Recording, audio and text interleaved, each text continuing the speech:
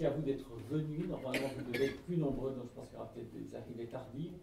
Ou alors reste comme à l'ERC, il y a beaucoup de rêves et puis finalement, euh, ou d'absence de, rêves et on n'y va pas. Mais en tout cas, on était très heureux du succès euh, de cette opération auprès de vous parce que beaucoup se sont inscrits, ne peuvent pas venir, mais suivront euh, à distance ensuite. Donc pour ceux qui ne connaîtraient pas encore, je suis administrateur de l'UF, Olivier Houdet, et la raison de cette journée est la suivante, c'est que je pense que Jean-Pierre Bourguignon, le président de l'URC, que nous avons l'honneur et le privilège de recevoir cet après-midi, vous le dira évidemment beaucoup mieux que moi. Euh, il y a un vrai problème à la fois politique et culturel de la France, du milieu des enseignants-chercheurs à l'égard de l'ERC, c'est-à-dire que, pour dire ça, nous ne soumettons pas assez. Et la ministre actuelle, comme tout autre ministre en général, qui, comme vous le savez, chaque année négocie le budget de l'enseignement supérieur et de la recherche, et notamment avec Bercy, se trouve euh, souvent en contre-argument qui est de dire euh, mais monsieur, madame, euh, vos enseignants-chercheurs pourraient, par le biais des projets européens, solliciter des fonds que on essaye de requérir au niveau national. Donc il faut essayer de faire les deux, en fait. Et l'IUF, on doit tous être très fiers, parce que je pense qu'ici, vous êtes à peu près tous et toutes des lauréats IF, qui est une brillante distinction, qui est sans doute le RC en France. en tout cas, les jurys sont de niveau tout à fait comparable et souvent, je salue Isabelle Grenier qui a présidé le jury euh, junior cette année et qui est aussi dans beaucoup de panels ERC, donc il y a déjà un grand recouvrement entre l'IUF et l'ERC dans ces euh, évaluations.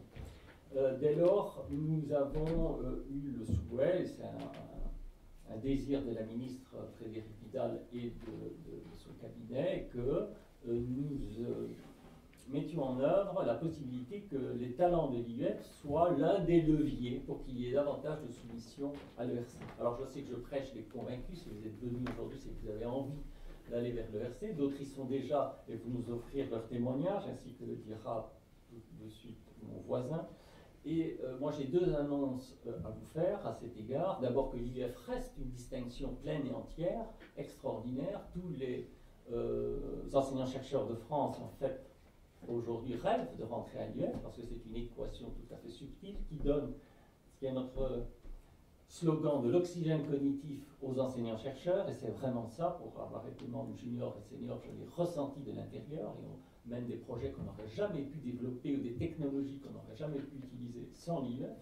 C'est notre oxygène cognitif, mais il se fait que l'ERC pourrait aussi contribuer à notre oxygène euh, cognitif.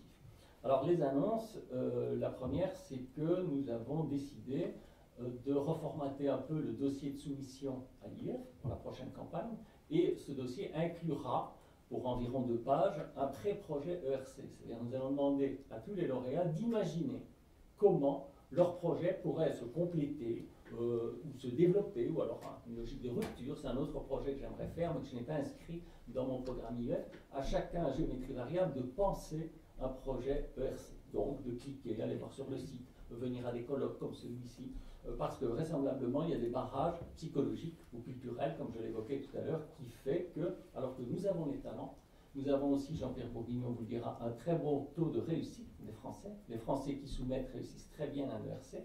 Donc il faut aussi briser un certain nombre de stéréotypes sur l'usage de l'anglais ou, ou toute autre chose. En fait, au final, quand les Français sont audacieux, euh, ils réussissent à l'ERC par la qualité de leur recherche. Donc, ma première annonce est de vous dire que ça ne vous concerne plus, mais sauf si vous demandez une reconduction, c'est que les futurs lauréats auront à inclure, à penser à désirer un projet ERC dans leur projet IEF, pour une part, et que par ailleurs, euh, j'ai nommé au sein du bureau de l'IEF mon voisin Jean-Christophe Barret, chargé de mission euh, IEF pour l'ERC, qui est organisateur de ce colloque et d'autres opérations euh, qu'il va vous suggérer, ou surtout qui ressortiront de la discussion et de vos attentes.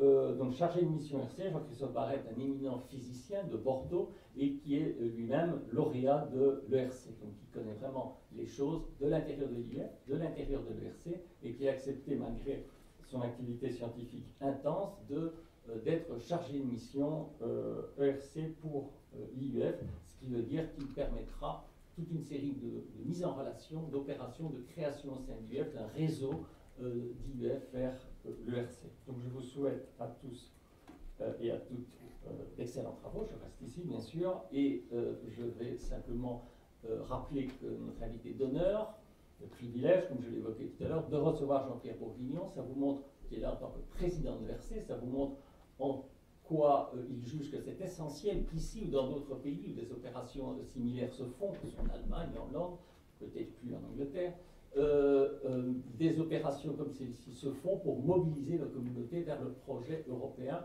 avec l'idée que l'Europe est tellement difficile à maintenir, à continuer de conduire, que l'une des choses qui l'unit, c'est la science. Et ce sont les collaborations scientifiques, autant en sciences dures qu'en sciences humaines et sociales.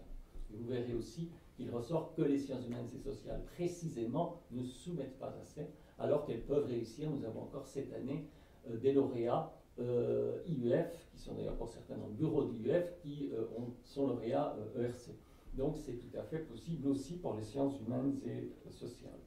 Je vais à présent passer la parole à Jean-Christophe Barret, que je vous ai déjà présenté et qui va animer toute cette journée. En tout cas, merci à vous d'être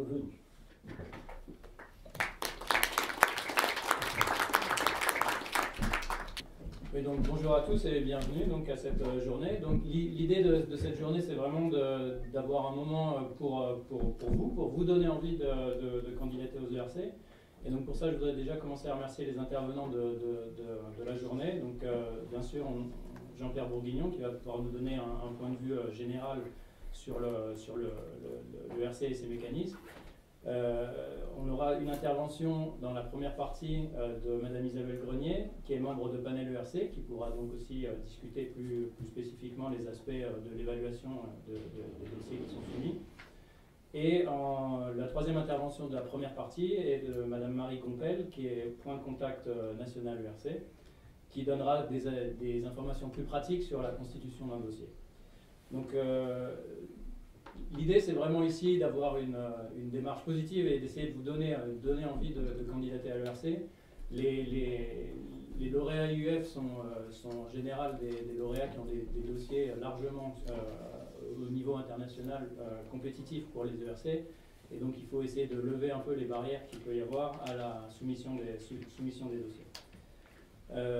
donc, je ne vais pas parler plus longtemps, je vais juste repréciser que la journée est, assez dense. Donc en deuxième partie, on, va revenir sur des, interventions de lauréats IUF qui vont euh, faire un retour d'expérience sur, leur, sur, leur, euh, sur leurs ERC. Euh, la, contrainte de temps qu'on a va faire que je vais essayer de, maintenir le, timing de chaque intervention dans le, dans le créneau qui était prévu. Donc je m'excuse par avance si je dois vous interrompre ou si je vous fais signe que l'intervention doit, doit être écourtée. L'idée, c'est aussi qu'on ait un peu de temps pour échanger et discuter, et donc de profiter de la pause café ou du temps qu'on aura en fin de journée pour euh, continuer les échanges. Et euh, à terme, ce qu'on voudrait, c'est mettre en place un réseau euh, de, contacts IUF-ERC qui permettra à chacun de trouver un correspondant ou un, parrain dans l'IUF dans dans qui pourra aider ou guider pour la constitution des dossiers. Donc l'idée ici, c'est une première, une première prise de contact entre, entre entre euh, candidats potentiels aux ERC et candidats ou, euh, ou euh, personnes qui peuvent donner des conseils sur, les, sur les montages de projets ERC. Très bien, donc du coup je vous propose de, démarrer avec la première intervention de Jean-Pierre Bourgeois. Bon après-midi, merci de, pour l'invitation. donc je vais faire une présentation de l'ERC, donc il y a toute une, la première partie et je pense, une chose que vous connaissez assez bien, donc je vais probablement aller relativement vite, et passer un peu plus de temps sur la deuxième partie, un petit peu plus analytique sur euh, euh, ce qui se passe à l'ERC. Donc euh, voilà cette présentation. Donc le contexte de l'ERC pour quand même essayer de, voir où on en est globalement au niveau européen. donc une chose qui est incroyablement constante, peut-être plus pour très longtemps, mais en tout cas on y est toujours, qui est euh, quelle est la part de, la production scientifique euh, qui est dans le monde, qui se trouve en Europe? On est toujours à peu près un tiers de la production scientifique en Europe. Euh, même, alors en fait, dans un contexte où la production américaine a tendance à décliner et la production asiatique a tendance à augmenter, ça c'est pas pas un scoop que je vous dis là. Et, donc l'Europe continue à contribuer très considérablement à la production de sciences Là, donc, il y a une, sorte de cartographie d'Europe avec les contributions scientifiques d'un certain nombre de pays, euh, dans lequel la France euh, a une place euh, tout, à fait, tout fait correct. Et alors une des choses qui s'est produite, donc qui est directement liée à ce que je vous disais, c'est quand on s'intéresse aux publications qui sont les 1% les plus citées, donc a priori, on peut espérer que c'est pour leur qualité qu'elles sont citées autant, hein, pas simplement parce qu'elles sont scandaleuses, mais en tout cas, bon, je pense que c'est quand même ça le facteur dominant. Donc pendant très très longtemps, les États-Unis ont dominé l'Europe de, façon euh, très très marquée, et il y a un point de tournant, un tournant tout à fait typique qui s'est produit en 2014 et pour la première fois, l'Europe était devant les États-Unis, et maintenant, régulièrement, l'Europe est devant les États-Unis. Évidemment, de façon un peu malicieuse, j'ai fait remarquer dans la contribution euh, de l'Europe pour ça, qui était la part qui venait de l'ERC. Donc évidemment, comme l'ERC est écrit en 2007, les premières publications à impact, forcément, les arrivent plutôt en 2010 ou 2011. Donc euh, il n'y a pas très longtemps qu'on peut le voir, mais le phénomène continue et la contribution des chercheurs ou des chercheuses financées par l'ERC est, est vraiment significatif. Comme vous pouvez voir, donc, dans cette part des, publications, évidemment, on voit la montée en puissance de, l'Asie, en particulier de la Chine, mais on voit aussi qu'il y a une sorte de décroissance des, États-Unis. Euh, vous imaginez que la situation actuelle des États-Unis n'est pas de nature à forcément faciliter euh, une remontée de, du pourcentage. En tout cas, pour dire que la bataille au niveau européen n'est pas perdue et qu'il faut au contraire continuer à la mener. Donc l'ERC, je pense que là, vous savez tous ce que c'est. Donc c'était une chose qui a été demandée par la communauté scientifique euh, longtemps. Personnellement, la première fois que j'ai entendu parler de la possibilité d'avoir l'ERC, c'était en 1995, donc euh, bien avant sa création. J'étais à ce moment-là président de la Société mathématique européenne. Et un certain nombre de scientifiques se sont dit qu'il faut absolument qu'on arrive à obtenir qu'on puisse financer des projets individuels au niveau européen. C'était pas simple parce que sur le plan légal, c'était pas possible, puisque la recherche n'était pas une responsabilité partagée de l'Union européenne. Donc les seuls financements possibles, c'était pour des réseaux qui contribuent à la cohésion européenne ou pour de, la création de valeur, et donc du coup la, priorité donnée à des projets de collaboration entre le monde académique et le monde euh, industriel. Voilà, donc finalement le RC est né en 2007 et avec l'idée euh, très très importante pour nous, donc euh, les gens arrivent avec leur projet, aura une personne responsable. Cette personne euh, choisit complètement ce qu'elle veut faire, avec qui elle veut le faire et les modalités pour le faire. Et le nombre de personnes employées avec les fonds d'un projet versé varie de une personne à 100 personnes. C'est variable. Euh, je pourrais vous donner pourquoi quelqu'un a embauché 100 personnes sur son contrat versé, c'est tout à fait intéressant. Euh, voilà. La chose fondamentale pour nous, et là on est complètement dépendant de la communauté scientifique, c'est l'évaluation par les pairs. Je pense que l'ERC est arrivé à convaincre certains des meilleurs scientifiques de participer aux évaluations. C'est vital. Si la qualité de l'évaluation diminue, on sait que l'ERC est en péril. Euh, nous sommes dans une, comme je l'ai dit, dans une logique de totale initiative laissée aux chercheurs, donc bottom-up. Pas question de donner, définir des priorités, c'est les chercheurs qui disent ce qu'ils veulent faire. Et euh, donc euh, la chose très importante, on ne veut pas faire de discrimination de la recherche plus fondamentale, de la recherche plus appliquée. Et donc la, terminologie utilisée pour ça en anglais est Frontier Research et en français la, la frontière des connaissances. Et tous les domaines scientifiques sont représentés, donc évidemment aussi les sciences humaines et sociales. Pour nous, c'est vital. Et alors l'originalité est considérable, qui n'a pas été si simple que ça à obtenir, en tout cas la communauté scientifique y tenait beaucoup c'est que le pouvoir euh, de pilotage global de l'ERC était donné à un conseil scientifique que j'ai l'honneur de présider, donc 22 scientifiques, vous les verrez tout à l'heure, euh, qui, qui ont la responsabilité de définir comment on utilise l'argent. Il y en a quand même pas mal, puisque cette année on est à 2,2 milliards d'euros qu'on va dépenser, donc euh, une certaine quantité d'argent. Et par ailleurs, c'est nous qui avons la complète responsabilité de l'évaluation, et avec une règle très simple, c'est qu'à partir du moment où on est dans un, euh, les panels sont constitués, ils ont tout le pouvoir, on n'intervient jamais après les panels, c'est eux qui décident complètement, ils sont en responsabilité. évidemment, euh, chose qui n'est pas du tout banale et qui est régulièrement battue en brèche, le seul critère de sélection, c'est la qualité scientifique des projets, et avec l'ambition euh, d'avoir des projets excellents. Et évidemment, la pression qui arrive de l'extérieur, vous ne serez pas surpris, c'est la pression de la pertinence économique, euh, et des pertinences sociales, etc., qui pour nous n'est pas un critère d'évaluation. Euh, de même que l'institution dans laquelle le chercheur va travailler euh, n'est pas un critère de sélection de, pour l'université. Donc la structure, donc très rapidement, cette fois, vous la connaissez, donc c'est sous la responsabilité de la Commission européenne, en particulier du commissaire en charge de la recherche, de la science et l'innovation, Carlos Moedas, qui va nous quitter bientôt, ce qui me rend bien triste, parce que travailler avec lui était absolument un bonheur. un nouveau commissaire va arriver, j'espère qu'il sera aussi bon que Carlos Moedas. Donc le conseil scientifique, je vous avais dit, donc, euh, il a vraiment des responsabilités à la fois stratégiques et de contrôle du fonctionnement. Et évidemment, pour faire tourner tout ça, puisqu'on est actuellement à peu près 5000 contrats actifs, il y a une agence qui gère euh, le RC, avec un encours de trésorerie qui est de l'ordre de 4 milliards d'euros, donc euh, une somme assez considérable, qui contient à peu près 500 personnes, et, qui, je dois dire, je ne dis pas ça pour les flatter, mais qui est probablement une des institutions les plus efficaces que j'ai jamais vues fonctionner. Les gens sont motivés, compétents, professionnels, et euh, j'espère que ça va continuer.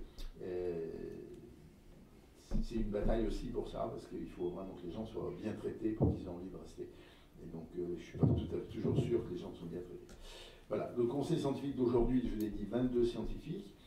Il se trouve qu'il y en a plusieurs, il y a plusieurs Français, en fait une Française qui travaille à Barcelone, qui s'appelle Isabelle Vernos, euh, Michel euh, Vieillorca, donc, qui lui est vraiment basé à Paris, euh, une Britannique qui est basée à Paris, qui est Margaret Buckingham, qui travaille à l'Institut Pasteur, et puis moi qui suis français mais habitant Bruxelles. Donc voilà, vous voyez qu'il y a une grande diversité de thématiques.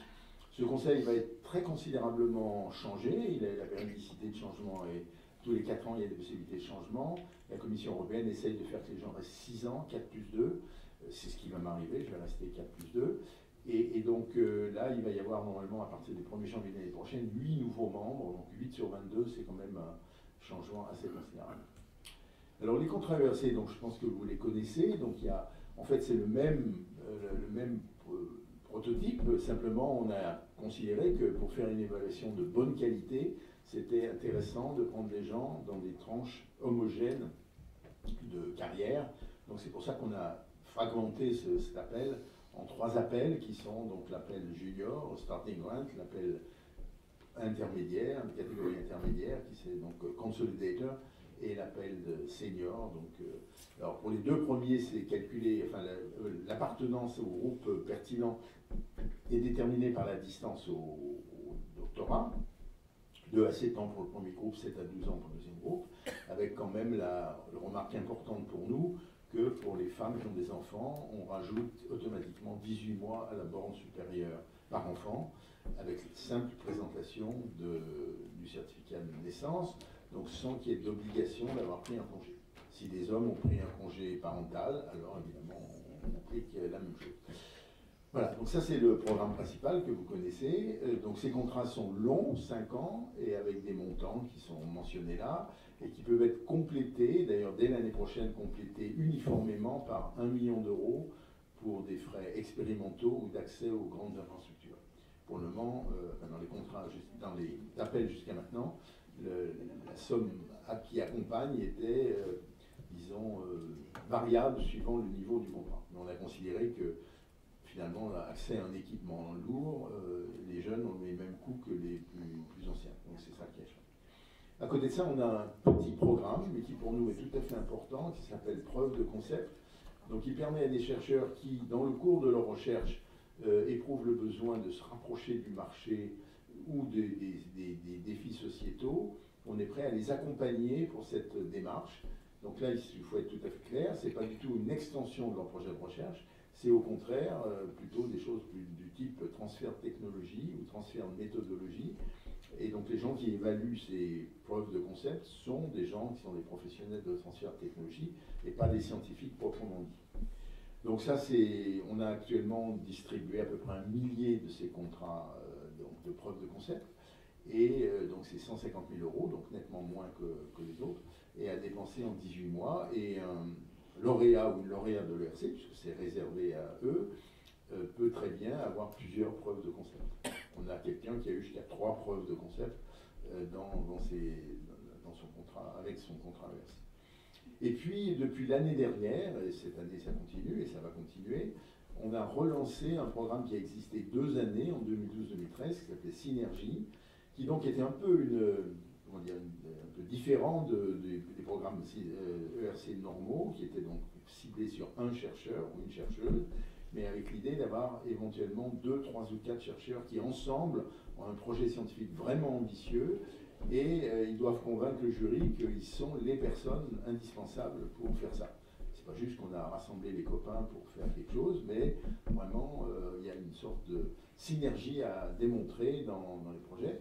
Donc ces projets sont nettement plus ambitieux financièrement, puisqu'ils peuvent aller jusqu'à, toutes les fois que les montants qui sont là sont des plafonds, il n'est pas question de, on peut très bien avoir des contrats ERC d'un montant plus faible. Euh, donc là, des contrats euh, synergie, c'est 10 millions d'euros. La somme supplémentaire pour des dépenses expérimentales euh, supplémentaires, c'est 4 millions d'euros. Donc peut jusqu'à 14 millions d'euros.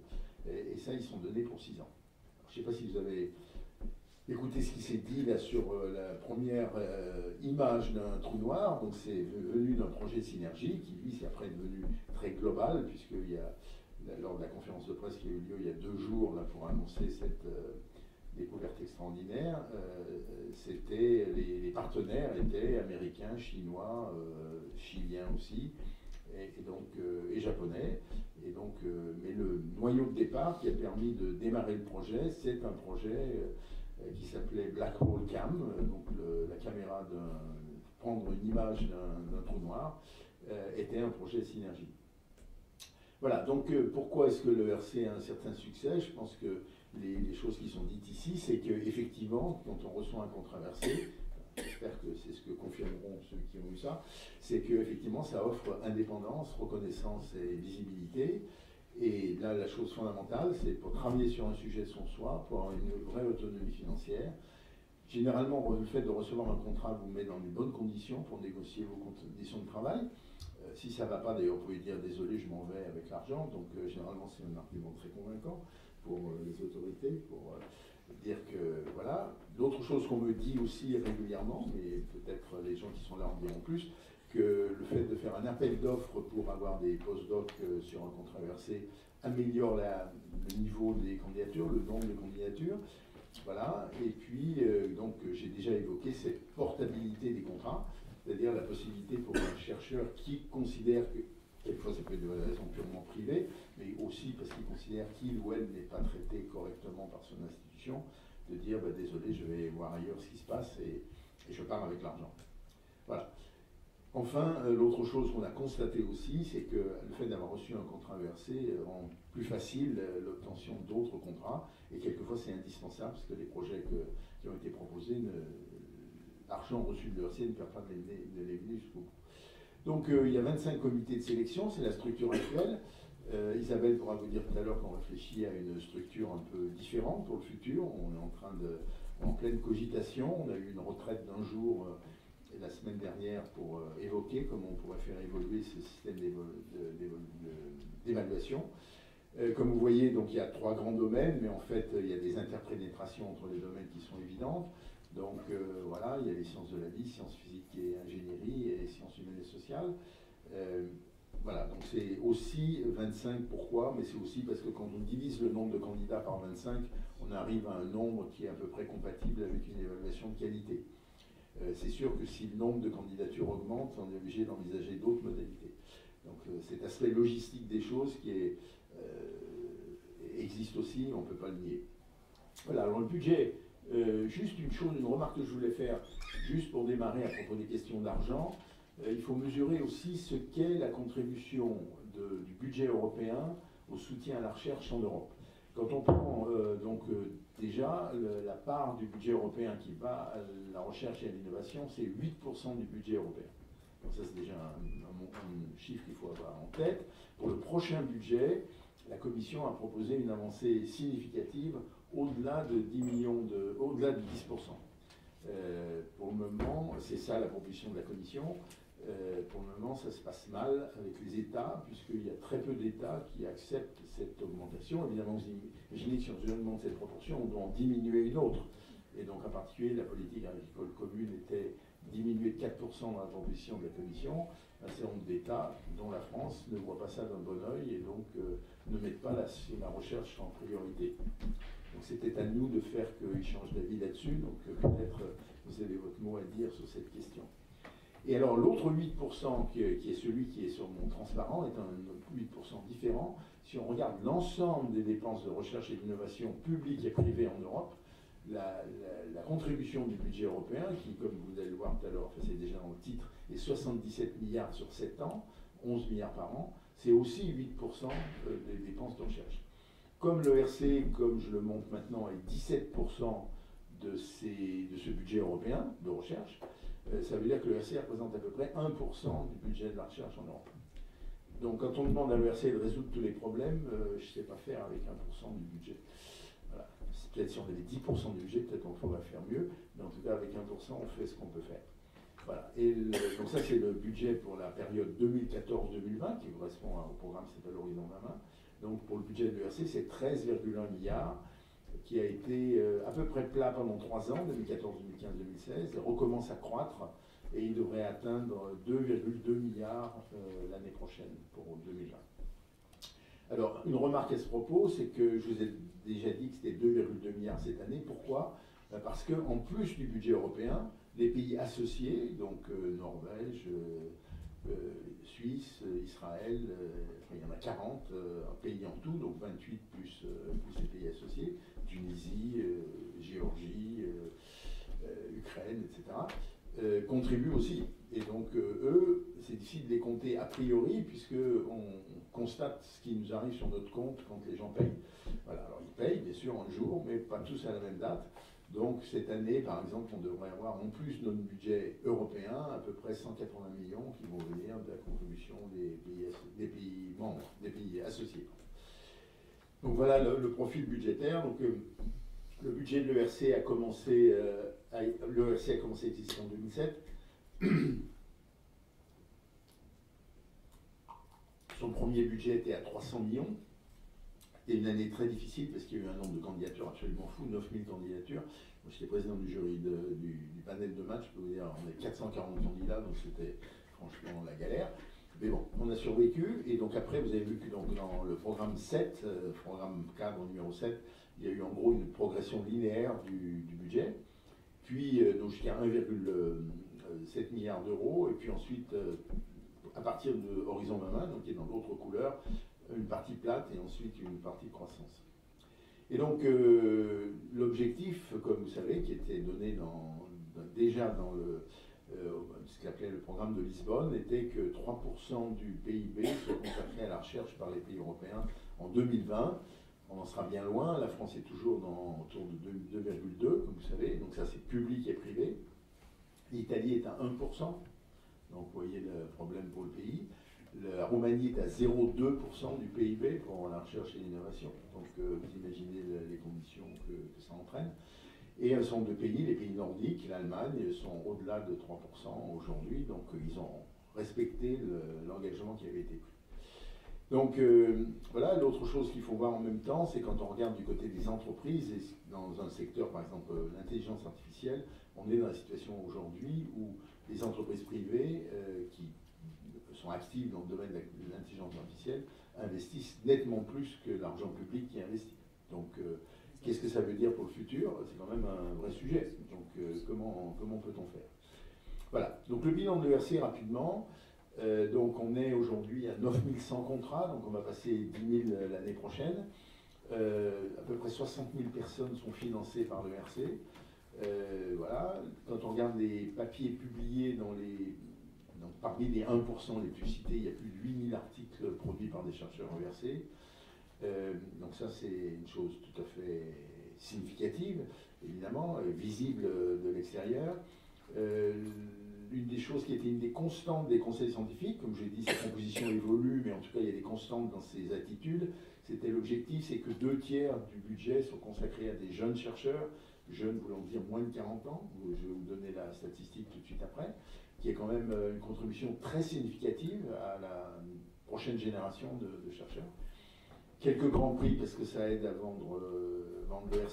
Donc 6 euh, prix Nobel, 5 prix Wolf et 4 médailles Fields. En fait, tous les Européens qui ont eu une médaille Fields étaient lauréats de l'ERC avant de la recevoir, donc c'est pas plus mal. Et l'un d'entre eux, celui qu'il a eu l'année dernière, Alessio Filacali, qui est italien mais aussi formé en France, était parti aux États-Unis et il est revenu en Europe parce qu'il avait un contrat versé. Donc ça, c'est un très bon argument à dire.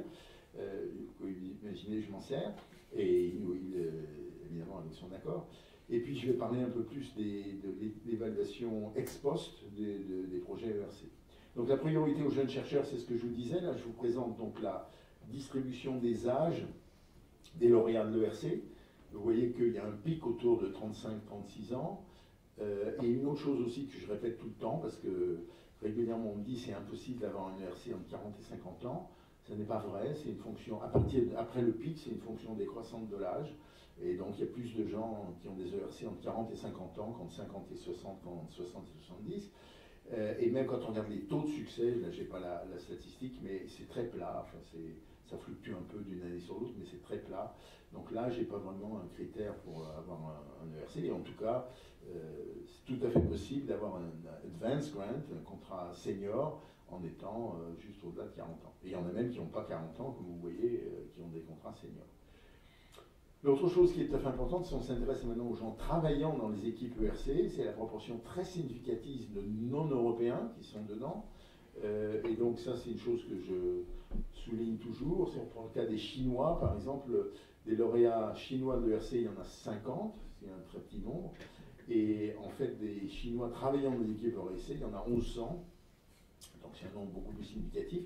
Donc l'espoir, c'est qu'on peut convaincre certains d'entre eux de s'installer en Europe pour continuer leur recherche s'ils trouvent que l'environnement est positif.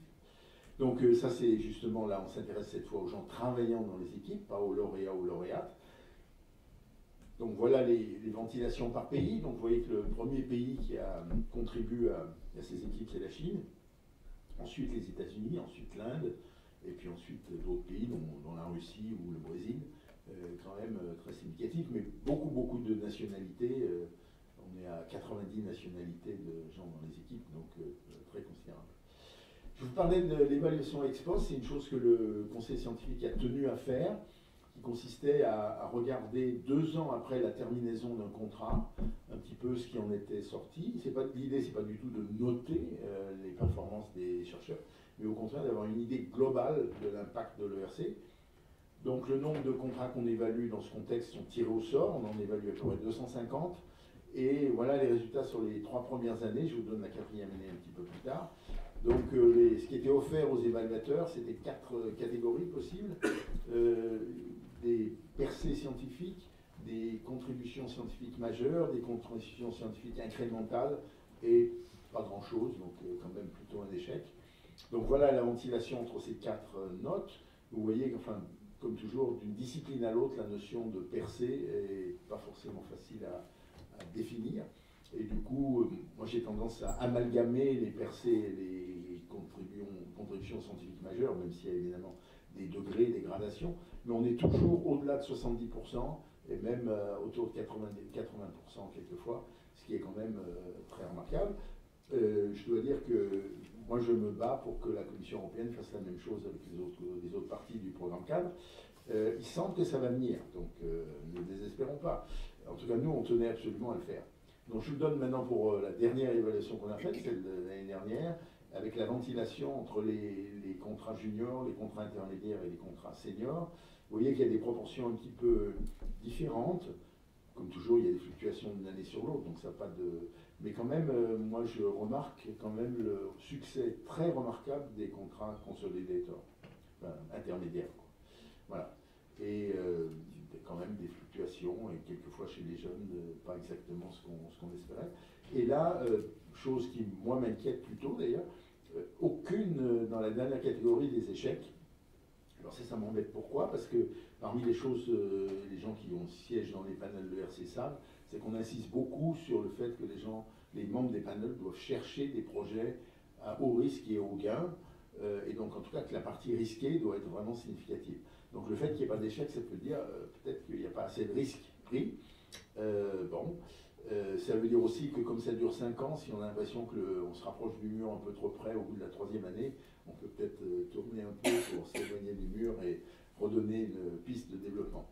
En tout cas, voilà la ventilation sur l'année dernière. Une autre chose qui évidemment nous a fait grand plaisir, c'est qu'à l'occasion des 10 ans, une structure complètement indépendante de l'ERC qui s'appelle Climate Analytics a, vraiment fait une, analyse de l'ERC comparative avec d'autres agences de financement. Je ne sais pas si c'est complètement lisible.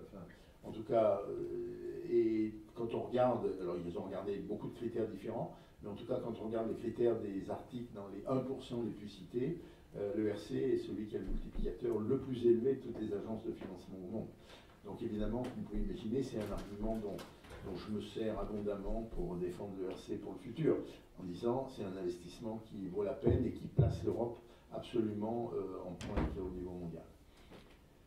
Les taux de réussite par pays. Alors je, je, commence par ça parce que, avant de parler des nombres, parce que pour dire que la France euh, se comporte très bien, et même, euh, mais peut-être un tout petit peu moins bien qu'avant. Avant, elle était vraiment seule en tête. Elle n'est plus en tête tout à fait. Les Pays-Bas sont passés devant. Mais malgré tout, avec un taux de succès à 15%. Je ne suis pas sûr que l'ANR ait un taux de succès à 15%. Mais euh, voilà. Le taux de succès moyen sur toute l'histoire de RC, c'est un peu plus de 11%. On est aujourd'hui à un taux de succès pour l'année en cours à 13%. Euh, donc euh, voilà, donc euh, les candidatures françaises ne sont pas des candidatures médiocres. Ça veut dire que la France a un potentiel très significatif. Malgré tout, elle n'est pas numéro 1, puisque le taux de succès le plus élevé, c'est celui de la Suisse. Et le taux de succès numéro 2, c'est enfin, Israël, qui a vraiment fait des performances assez exceptionnelles. Dans ma discipline, je suis mathématicien, Israël, quand on divise par la population, est vraiment euh, le pays avec les contributions les plus originales pour les mathématiques euh, de façon significative. Le deuxième pays étant la France, mais bon, quand même Israël est spectaculaire. Alors maintenant, quand on regarde les, les contrats par institution, c'est-à-dire on regarde où sont localisés les chercheurs, je vous donnerai après par nationalité des chercheurs. Donc la France là, se situe à 1100, donc c'est un argumentaire que je rediscutais avec la personne du ministère qui est venue nous rendre visite tout à l'heure que j'étais un peu triste que quand la France a passé 1000, on n'a même pas célébré ça, parce qu'après tout, 1000 contrats versés, c'est 2 milliards qui arrivent. Bah, 2 milliards, c'est pas négligeable, on peut peut-être les célébrer. En tout cas, les Allemands avaient célébré le passage à 1000 très solennellement, avec une vidéo d'Angela Merkel de 10 minutes, qui est quand même euh, significative. Euh, et la ministre pendant une journée pour euh, rencontrer des chercheurs et discuter avec eux. Je ne suis pas arrivé à convaincre le ministère, ma foi, c'est au ministère de décider évidemment ce qu'il veut faire. donc, donc la France avait consent à un nombre de contrats pas ridicule du tout, qui est à peu près vis-à-vis de l'Allemagne dans la proportion de la taille des populations. Euh, le pays qui a le plus grand nombre de contrats, c'est la Grande-Bretagne. Et la chose très importante pour la Grande-Bretagne, on le verra tout à l'heure, c'est que la moitié, à peu près la moitié de ses lauréats versés ne sont pas britanniques. Donc euh, ça veut dire que le statut des non-britanniques euh, après Brexit est quand même sujet très très très important, puisque ça peut inciter un certain nombre d'entre eux à dire euh, peut-être que je vais aller voir ailleurs ce qui se passe. Et quand même, le pays que, dont je voudrais souligner le succès phénoménal, c'est les Pays-Bas. Donc 750 euh, contrats versés. Pays-Bas, c'est un quart de la France, un cinquième de l'Allemagne. Donc si vous multipliez 750 par 4, euh, vous voyez le nombre auquel vous arrivez, c'est-à-dire 3000. Et la France est à 1100. Donc vous voyez l'écart considérable. Et en plus, dans le cas des Pays-Bas, euh, le nombre est absolument impressionnant, mais plus que ça, vous avez vu que maintenant le taux de succès est impressionnant. Ce qui n'était pas le cas avant. En fait, le taux de succès des Pays-Bas était beaucoup plus bas. Euh, il était à peu près la moyenne. là maintenant, ils sont numéro un des pays membres de l'Union européenne, et en plus, les nombres sont vraiment spectaculaires. Une autre chose, cette fois, quand on regarde par domaine, donc les grands domaines que j'ai évoqués, c'est-à-dire sciences physiques, ingénierie, sciences de la vie et sciences humaines et sociales, alors c'est là où la situation de la France est, franchement euh, particulière. Si vous faites l'addition, vous n'allez pas retrouver les chiffres d'avant. Je suis désolé, cette ventilation est celle qui est arrêtée au mois de novembre et celle que j'ai donnée, c'est celle du mois de février. Bon, je n'ai pas refait la ventilation, mais en tout cas, ça ne change pas évidemment les ordres de grandeur. Donc vous voyez que la France, euh, les contrats qui sont en sciences humaines et sociales, qui en bleu, c'est tout petit, tout petit. Et si vous regardez les Pays-Bas à côté, vous voyez que déjà les Pays-Bas, c'est à peu près trois fois la France, alors que le pays est un quart de la France. Donc le rapport, c'est de 1 à 12 le nombre de contrats versés en sciences humaines et sociales, qui est quand même euh, extravagant. Les Allemands ne font pas beaucoup mieux que les Français là-dessus, mais par contre les Britanniques se débrouillent très bien. Je cite toujours l'exemple du département d'archéologie d'Oxford, dont 85% du budget, c'est le RC. Donc évidemment, vous imaginez que l'arrivée de Brexit... Euh, les fait frémir, parce qu'ils se demandent bien ce qui va arriver après. Donc voilà, ça c'est la ventilation par, par domaine. alors l'autre chose qui est, vous avez dit, je vous ai parlé, on a un petit programme qui s'appelle preuve de concept. Là aussi, les Français sont, avec un nombre pas déraisonnable, mais vous voyez que là aussi, les Français sont moins que les Pays-Bas. c'est toujours pareil, rapport de population, c'est de 1 à 4. Donc euh, voilà, je ne sais pas si certains d'entre vous ont une preuve de concept, mais ici, il me semble qu'on m'a dit que vous, vous pouvez dire euh, ce que ça apporte ou, ce que ça n'importe pas, je ne sais pas. Voilà. Et alors l'autre statistique que, je voulais montrer, c'est une chose qui nous intéresse beaucoup, c'est quelle est la corrélation par rapport au, disons, poids des pays en termes de publication. Donc faites attention, les deux échelles sont des échelles logarithmiques. Donc, euh, sinon, on ne peut pas mettre les pays de taille très différente sur le même diagramme. Donc, c'est pour ça qu'on a fait ça. Et donc, avec la France, c'est légèrement surperformante, parce que les Français ne publient pas tant que ça euh, par rapport à ça. Évidemment, les Allemands sont exactement où ils devraient être, mais vous voyez qu'Israël est IL, donc est très surperformant, et que les Pays-Bas est aussi très, très surperformant. Donc, euh, voilà, donc il y a par rapport aux publications. Si on regarde maintenant par rapport au financement de la recherche, la France est exactement à son niveau de financement. Euh, la Grande-Bretagne est surperformante, l'Allemagne est sous-performante, ce qui n'est pas très étonnant. Je l'ai dit, c'était à 3% du PIB. Donc, euh, comme ils ont à peu près le même nombre de, RC, toute proportion gardée que la France, c'est normal qu'ils soient moins performants. Et pays remarquablement performants par rapport à ses dépenses budgétaires, c'est les Pays-Bas, la Suisse, euh, même l'Espagne, parce que le soutien budgétaire est faible. Là, ce qui est utilisé comme comparaison, ce n'est pas le budget global, ce n'est pas les 2% dont je parlais, mais c'est le, soutien public, qui en France est autour de 1,5. Ben maintenant, l'autre chose intéressante, c'est si on s'intéresse aux lauréats de l'ERC, en fonction d'où ils sont et quelle est leur nationalité. Et donc, c'est ce que je vous disais pour les Britanniques. Donc, en bleu sont les chercheurs ERC non britanniques qui ne sont pas dans leur propre pays. Donc pour les Britanniques, vous voyez que le bleu et le rouge sont presque équilibrés. Euh, pas beaucoup de Britanniques qui quittent la Grande-Bretagne pour avoir un ERC. Par contre, l'Allemagne exporte des chercheurs. Il y a plus de chercheurs allemands avec des ERC qu'il n'y a de non-allemands avec des ERC en Allemagne. La France, au contraire, les Français sont casaniers, donc voilà, il n'y a pas tellement de Français qui sont hors de France, mais la France accueille un nombre significatif de chercheurs étrangers. Et puis le drame de, de l'Italie, avec un nombre très considérable de chercheurs avec des contrats versés hors d'Italie. Alors ça me vaut quand je rencontre les ministres italiens qu'on me dise qu'on vole des chercheurs italiens. Alors je, on démontre que c'est pas vrai. En fait, euh, ces, Italiens sont déjà partis d'Italie très tôt. Un quart des doctorants italiens sont hors d'Italie. Donc euh, la France est à 6%, donc 25% et 6%, c'est pas la même chose. Donc les jeunes Italiens, probablement parmi les plus brillants, vont faire leur thèse ailleurs et s'installent ailleurs et ont un ERC ailleurs. Et quand vous faites même d'ailleurs plus précisément la mobilité grâce à la portabilité pour les Italiens, en fait les Italiens, il y a plus d'Italiens qui reviennent qu'il y a de gens qui quittent l'Italie euh, avec un ERC. Donc euh, le bilan est quand même, euh, la portabilité pour les Italiens est une chose positive, puisque ça amène plus de chercheurs que d'autres. Et puis le cas de la Suisse aussi, qui est un petit pays, mais qui attire énormément de, chercheurs étrangers. Voilà, ça c'était pour la France. Alors maintenant, par institution en France, donc évidemment, on a la singularité que le CNRS est la première institution à recevoir des contrats ERC en Europe. On n'est pas loin de 500 contrats ERC, euh, mais les autres euh, organismes de recherche ne débrouillent pas trop mal. Alors maintenant, si on consolide par site, le premier site français est Paris-Saclay, avec 120, 130 ERC, ce qui est un nombre euh, raisonnable. Euh, ensuite, euh, Paris-Sorbonne est, le numéro 2. voilà, quand on, consolide avec les, par, site. Donc voilà la ventilation. Effectivement, il y a, pour beaucoup d'universités, finalement, il y a aussi des universitaires qui passent par CNRS sur leur ERC, mais il y a aussi quand même des universités qui arrivent à, faire que leurs euh, chercheurs, en particulier leurs professeurs d'université, soumettent leur projets. Donc, ventilation aussi juste par euh, discipline en prenant les résultats du CNRS, parce que ça, je savais mieux le faire que les autres, par, par l'institut du CNRS. Euh, donc, vous voyez que bon, la ventilation est assez égale. Très bonne performance des mathématiciens vu leur taille au CNRS.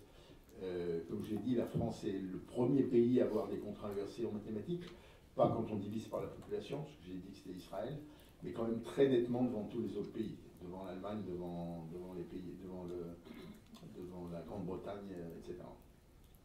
Et les résultats par région, alors là c'est complètement biaisé par une chose qui est le CNRS euh, n'étant pas capable de donner comme affiliation ses délégations régionales, donc les choses sont recentrées sur Paris, donc évidemment ça biaise la statistique.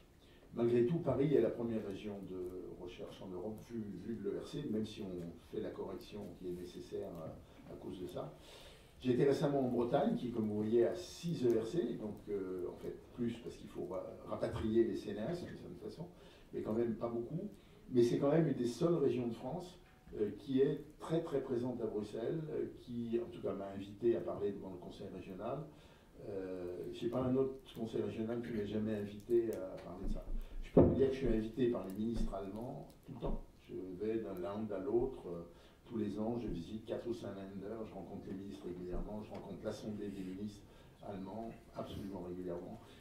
Donc là, il y a quand même une différence. Alors, je sais bien que les, pouvoirs et les budgets des lenders ne sont pas le budget des régions françaises, mais là, il y a quand même un manque de, d'intérêt et de, d'activité des régions en France pour accompagner euh, ces choses en particulier la région Île-de-France qui en ce moment est totalement somnolente quant à la recherche. J'ai vu personne de la région Île-de-France euh, depuis euh, dans les dernières années. Voilà. Donc je termine maintenant avec euh, malgré tout le fait qu'on est dans la préparation d'un nouveau budget, d'un nouveau programme 4, pardon, avec un nouveau budget qui s'appelle Horizon Europe, comme vous avez dû l'entendre.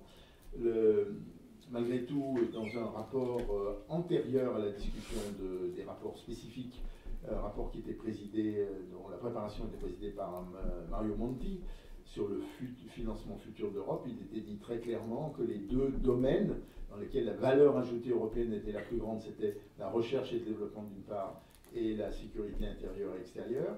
Donc du coup, avec la conséquence qui devrait en être tirée, c'est que la priorité devrait être donnée à ces domaines. Et quand on regarde le calendrier, donc comme vous savez, euh, le, budget global proposé par la Commission, qui est la première étape, a été, ça a été fait en 2 mai 2018. La publication du programme spécifique pour la recherche, donc, qui s'appelle Horizon Europe, a été faite début juin, toujours le projet de la Commission. Le Parlement a désigné un rapporteur pour discuter de cette proposition de la Commission, qui est un rapporteur roumain, qui s'appelle Dan Nica, le 11 juin. Puis à partir de mi-juillet, il y a eu le début de la discussion d'Horizon Europe avec le Parlement et avec le Conseil, donc avec les gouvernements. Je dois dire que les choses se sont assez mal passées, c'est-à-dire que le Conseil de compétitivité, comme il s'appelle, la réunion des ministres euh, du mois de juillet a été, de l'avis de trois ministres, la pire qu'ils aient jamais vue, c'est-à-dire des gens défendant que des intérêts nationaux, sans aucune vision européenne. Euh, les grands pays n'ont pas fait exception à ça. Donc, euh, les gens de la commission étaient assez effondrés, je veux dire, y compris certains ministres qui étaient assez effondrés de voir une discussion comme ça. Deuxième discussion au Conseil de compétitivité en fin septembre, c'était moins pire. Euh, on était sous présidence autrichienne, et je dois dire que le ministre autrichien, M. Fassmann, était vraiment, euh, qui est un monsieur assez remarquable, ancien vice-recteur en charge de la recherche de l'Université de Vienne, s'est vraiment battu pour arriver à, ce qu'on sorte de cette vision, et ceci malgré un gouvernement autrichien qui, comme vous savez, n'est pas très favorable à l'Europe, mais lui en tout cas a fait vraiment son travail. Euh, donc euh, fin septembre c'était un peu mieux, mais toujours pas terrible. Finalement, fin novembre, il est quand même arrivé à ce qu'un minimum de choses soit, soit acquises. Le Parlement a voté sa position et euh, le Conseil, donc finalement, le 30 novembre, troisième réunion du Conseil de compétitivité, a, finalement adopté quelque chose qui est une sorte de cadre général pour ce, pour ce Horizon Europe. Et fin mars, euh, sous présidence roumaine, on a eu donc euh, un accord de principe sur la structure générale de euh, Horizon Europe, qui reprend une structure en trois, en trois piliers. Un pilier qui s'appelle Sciences excellentes, dans lequel il y a l'ERC, Marie Curie et les grandes infrastructures, qui ne change pas beaucoup par rapport à la, position actuelle, qui représente à peu près 30% du budget. Ensuite, un beaucoup plus gros morceau qui s'appelle les défis globaux, euh, qui représente plus de 50% du budget, avec des clusters, avec des missions, euh, qui est plus ou moins une fusion de des deux anciens piliers du programme euh, Horizon 2020, qui s'appelait compétitivité industrielle et qui s'appelait défis sociétaux. Et enfin un troisième pilier auquel le commissaire tenait beaucoup, autour de l'innovation. Voilà, donc ça c'est la structure globale de, ce Horizon Europe.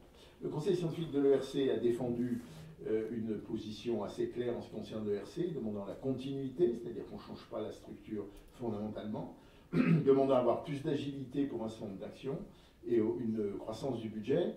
Dans la proposition de la Commission actuelle, la proposition du budget à 27 et pas à 28 est de 16,6 milliards d'euros pour le RC, à comparer à 13,1 milliards d'euros à 28. Donc pour nous, c'est une augmentation euh, autour de 55% de notre budget. Ce qu'on demandait, c'était un doublement du budget, donc on est déçu, mais bon, difficile de dire du mal d'un budget qui, vous, augmente de 50%. Euh, voilà, peut-être vous me dites que je, devrais être plus offensif et dire 50%. Non, non, jamais. Euh, bon, en tout cas, c'est pas du tout sûr que ce budget soit adopté, puisque beaucoup de pays sont contre l'augmentation du budget global de l'Union européenne et contre l'augmentation du budget de la recherche. Et la position française, pour le moment, n'est pas claire du tout. Donc ça, c'est une grosse... Euh, Pourquoi nous, on veut plus d'argent? Parce qu'on sait qu'on a beaucoup de projets remarquables qu'on n'arrive pas à financer tous les ans. Donc là, on est dans une période où on distribue 1100, 1200 contrats. On sait qu'on a au moins 500 projets qu'on ne peut pas financer et qui sont euh, de qualité assez comparable. D'ailleurs, Isabelle me montrait à quel point dans son panel à elle, c'était très difficile de, justement de, tracer une ligne de démarcation entre ceux-là on les veut et ceux-là on ne les veut pas du tout. Donc voilà, j'ai fini ma présentation, merci.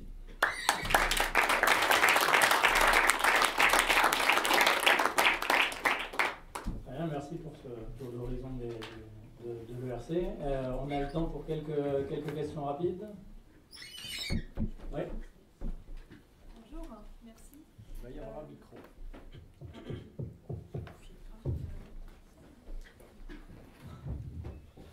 Merci beaucoup. Euh, je suis membre de l'UF Monde Junior et j'ai déposé euh, un projet cette année, consolidateur, et je suis en sciences humaines et sociales. Et du coup, j'avais deux questions. j'avais des déjà.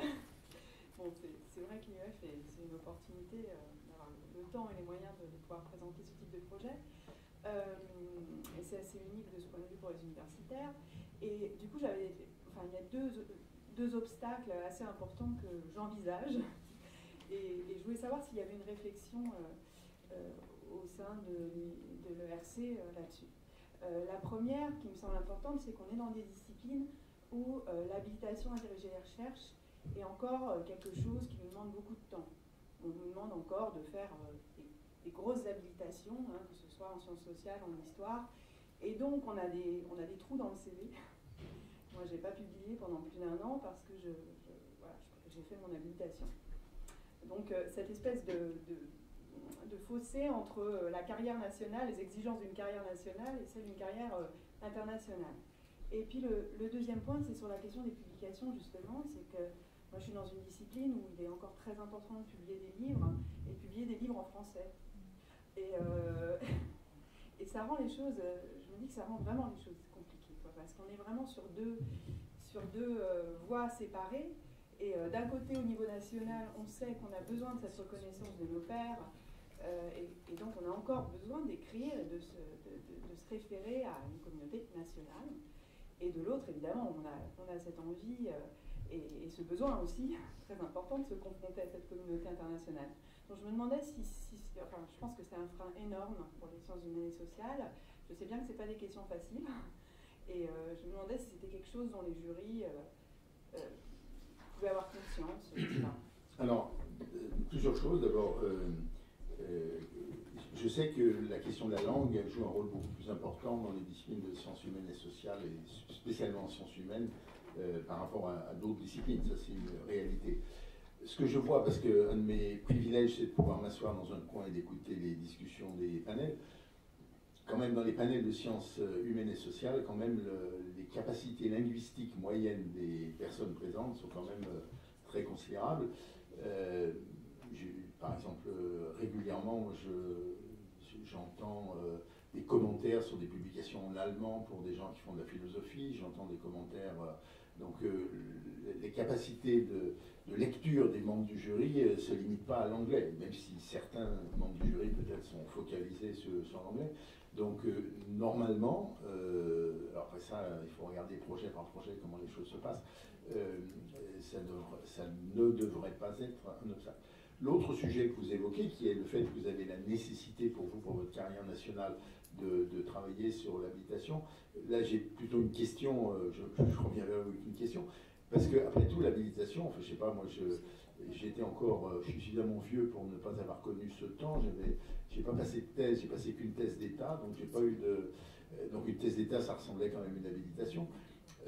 mais finalement, c'est quand même l'occasion aussi de faire une sorte de, très gros, puisque vous dites que c'est gros, euh, très gros rapport de synthèse sur tout un tas de choses. Et bien sûr qu'il y a des, articles de recherche pointus qui sont nécessaires et utiles pour montrer votre capacité de montrer que vous êtes à la pointe, mais faire un, travail de synthèse, c'est aussi une chose qui est appréciée par les jurys comme votre capacité à, euh, je veux dire, maîtriser euh, un domaine suffisamment large. Alors je ne sais pas comment sont conçues les habilitations de votre domaine, je suis désolé, mais normalement, un, rapport d'habilitation devrait être aussi une occasion de faire un exercice peut-être un peu différent d'une recherche absolument de pointe, parce qu'il y a une volonté justement de montrer la, maîtrise qu'on a d'un ensemble de sujets.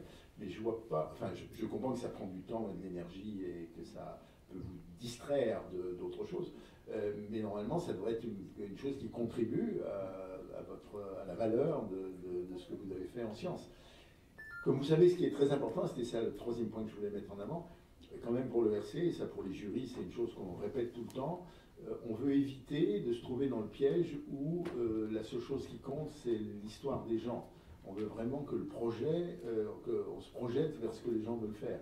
C'est pour ça que l'insistance, enfin Isabelle vous le redira tout à l'heure, sur les membres du jury, enfin que moi, je, puisque je fais le, c'est moi qui fais le briefing le plus souvent des, jurys, c'est vraiment d'insister lourdement sur euh, le fait que les gens doivent vraiment euh, se préoccuper du projet. Et après, une fois qu'on a analysé le projet, son intérêt, son ambition, etc., alors évidemment, on doit se préoccuper, est-ce que la personne qui le propose est crédible? C'est-à-dire, est-ce qu'elle a montré ou il a montré des, disons, des, éléments qui permettent de penser qu'il ou elle va être capable de le mener à bien? Mais, quand même, je crois que Bien sûr qu'il faut que vous apportiez des, éléments pour montrer que vous êtes compétente, mais en fait, euh, ce qui est très très important, c'est que votre projet euh, euh, excite les gens et qu'ils ont envie de voir ce que ça donne, et, justement, y compris même si c'est un projet un peu risqué. Je, termine avec le. Je vous ai dit qu'il y avait quelqu'un qui a embauché plus de 100 personnes. En fait, c'est une dame qui est une démographe et qui, qui a proposé un projet. Elle pensait qu'il ne serait jamais financé parce qu'elle s'est présentée devant des historiens. Euh, sur euh, les mariages interreligieux en Espagne sur trois siècles. Et, du coup, pourquoi elle a embauché une centaine de personnes? Parce qu'elle a pensé que les meilleures personnes qui pouvaient lui trouver des documents et l'aider à constituer son projet, c'était les gens qui travaillaient dans les mosquées, dans les synagogues et dans les églises en Espagne. Donc elle a embauché euh, pour quelques semaines une centaine de personnes qui lui ont apporté tous les documents. Et, enfin, je crois que son projet est un projet exceptionnel de qualité donc y compris avec un schéma d'organisation qui est absolument pas ce qu'on pourrait attendre. Quoi. Donc c'est pas un postdoc qui est allé frapper aux portes et rassembler des informations. Elle a fait confiance aux gens qui avaient ces données euh, en, responsabilité. Donc ça c'est un cas extrême, hein. je ne dis pas qu'il sait qu'il faut faire, je dis juste que, y compris des choses extrêmes peuvent, peuvent être acceptées. Peut-être une deuxième question?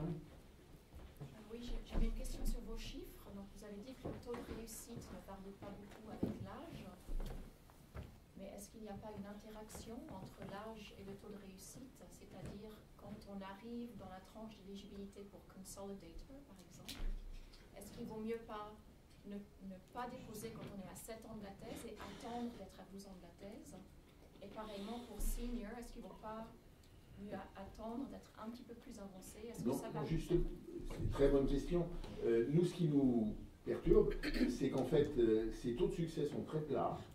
Mais c'est vrai que pour les, starting grants, donc pour le, programme junior ou pour les programmes intermédiaires, consolidator, c'est vrai que quand on regarde les nombres de candidatures, il y a des accumulations vers la fin, vers la, ligne. Mais, mais, quand on regarde les taux de succès, euh, en fait, ils sont plats. Donc ça tend à dire, alors vous pouvez me dire que ceux qui ont déposé trois ans après la thèse, c'est qu'ils étaient vraiment euh, gonflés à bloc, etc. Mais je pense que c'est quand même une sous-estimation par les candidats de leur chance. En tout cas, pour moi, c'est la preuve que les jurys sont capables de, comparer des gens qui sont quand même très différents, parce que sept ans après la thèse et trois ans après la thèse, c'est quand même pas la même chose. Ils sont capables de, dire, bah, c'est sûr, si quelqu'un est trois ans après la thèse, on ne peut pas attendre la même chose que quelqu'un qui est sept ans après la thèse. Donc je pense que ça, ça veut dire quand même que cette tendance à attendre la fin n'est pas raisonnable. Et alors, en particulier, c'est pour ça que je signalais les 40-50 ans, là, qui sont typiquement les juniors des seniors, euh, là, c'est pareil, il y a moins de candidatures, mais là, les taux de succès sont complètement plats. Donc ça veut dire qu'il n'y a vraiment pas de raison de ne pas être candidat à 40 ans. Euh. Euh, alors je signale juste une anomalie parce que elle est tellement amusante. Donc moi je dois valider les, gens qui sont recrutés, donc je, regarde les dossiers, et m'arrive un dossier en starting one de quelqu'un qui avait 66 ans. Je me pas possible, il y a une faute de frappe, euh, c'est pas possible. Et en fait, pas du tout, c'était pas du tout une faute de frappe, c'est un monsieur qui a été marin toute sa vie, qui a collectionné des cartes euh, du monde entier, euh, qui a passé une thèse de mathématiques et après avoir été marin, donc à plus de 60 ans, et qui est venu à l'ERC quelques années après sa thèse, parce qu'il avait découvert de nouvelles, enfin il avait détecté et en fait euh, découvert de nouvelles façons de faire des cartes euh, à cause de sa collection, qu'il avait réfléchi sa collection, et que du coup euh, ça amène à une étude mathématique vraiment sérieuse. Maintenant ce monsieur a un bureau à l'université de Lisbonne, et voilà, et il est ERC Starting One. Donc tout est possible. Et j'étais content que le jury n'ait pas écarté comme ça en disant non, c'est pas possible. Et en fait, c'est un projet complètement original qui est en fait à la fois expérimental et théorique. Euh, je trouve ça super. Ok, merci. Je suis, alors peut-être une dernière question, et, euh, pour des raisons de temps, il va falloir passer à la suite, mais dernière question euh, je voulais savoir si vous avez mesuré les, ou vous avez comparé entre les pays les mesures d'incitation aux enseignants-chercheurs pour proposer euh, un projet parce que j'ai exercé en Allemagne et au Royaume-Uni. Et là, en Allemagne, on demande tout le temps si on a obtenu des Drittmittel. Euh, au Royaume-Uni, on demande aussi systématiquement quel financement tiers on a reçu. Alors que euh, dans mon expérience en France, c'est presque tabouisé et il n'y a pas les incitations culturelles nécessaires pour inciter beaucoup d'enseignants-chercheurs à, à faire des demandes euh, écoutez, d'abord, le système varie beaucoup d'un pays à l'autre.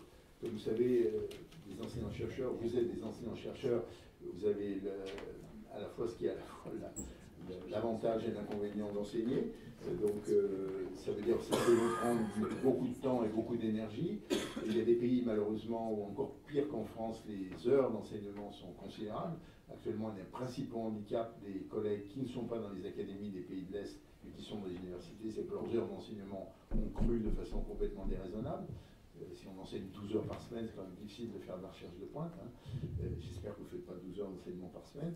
Euh, mais bon, malgré tout, ça, ça prend du temps et de l'énergie. Donc c'est sûr que la situation des gens qui sont dans les instituts de recherche et dans les universités ne sont pas égales du point de vue du temps disponible. Maintenant, quant à la pression des institutions pour euh, avoir, euh, disons, avoir des financements extérieurs, ça a été très variable. Par exemple, il y a eu une période où les instituts Max Planck n'avaient presque pas de candidats parce que le président euh, ne, faisait pas de pression. Le président actuel des Max Planck pratiquement dit à ses directeurs de Max Planck, qui, comme vous savez, sont pas vraiment directeurs, mais c'est plutôt un grade qu'autre chose, que vraiment, s'ils ne sont, pas, sont pas candidats à l'ERC, ils vont avoir des ennuis.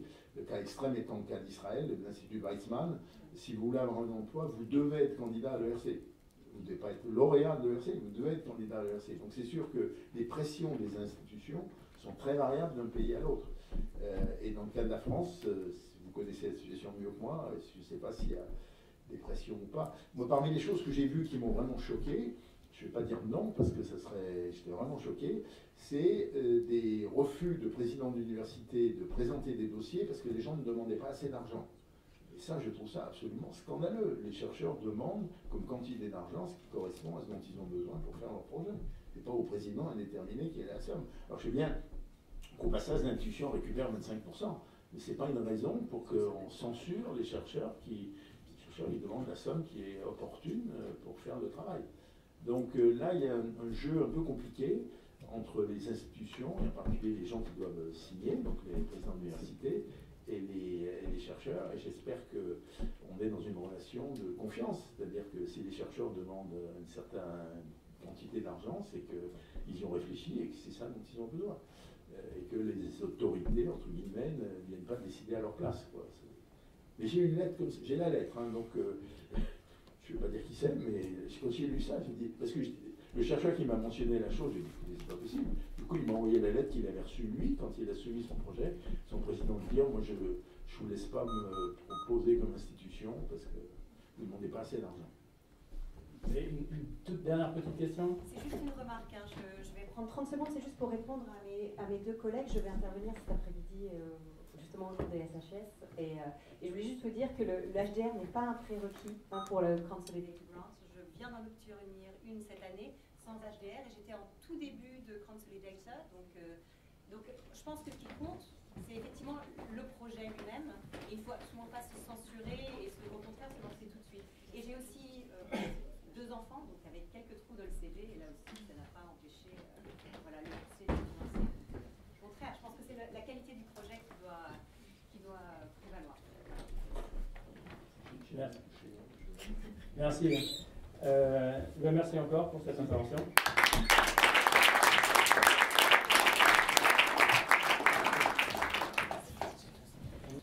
Nous allons passer à l'intervention suivante. Donc nous avons maintenant Isabelle Grenier qui, est membre panel ERC Starting Grant 2018. Euh, donc moi je vais prendre le point de vue. Euh, l'idée c'est vraiment de, vous présenter un petit peu justement le point de vue des jurys pour vous rassurer euh, sur la, compétitivité euh, et, le, et, surtout les critères qu'on qu a employés. Euh, moi j'ai vécu l'expérience quatre fois et à chaque fois effectivement les équipes Jean-Pierre et les équipes autour de lui rappellent les critères sur lesquels doivent fonctionner les jurys.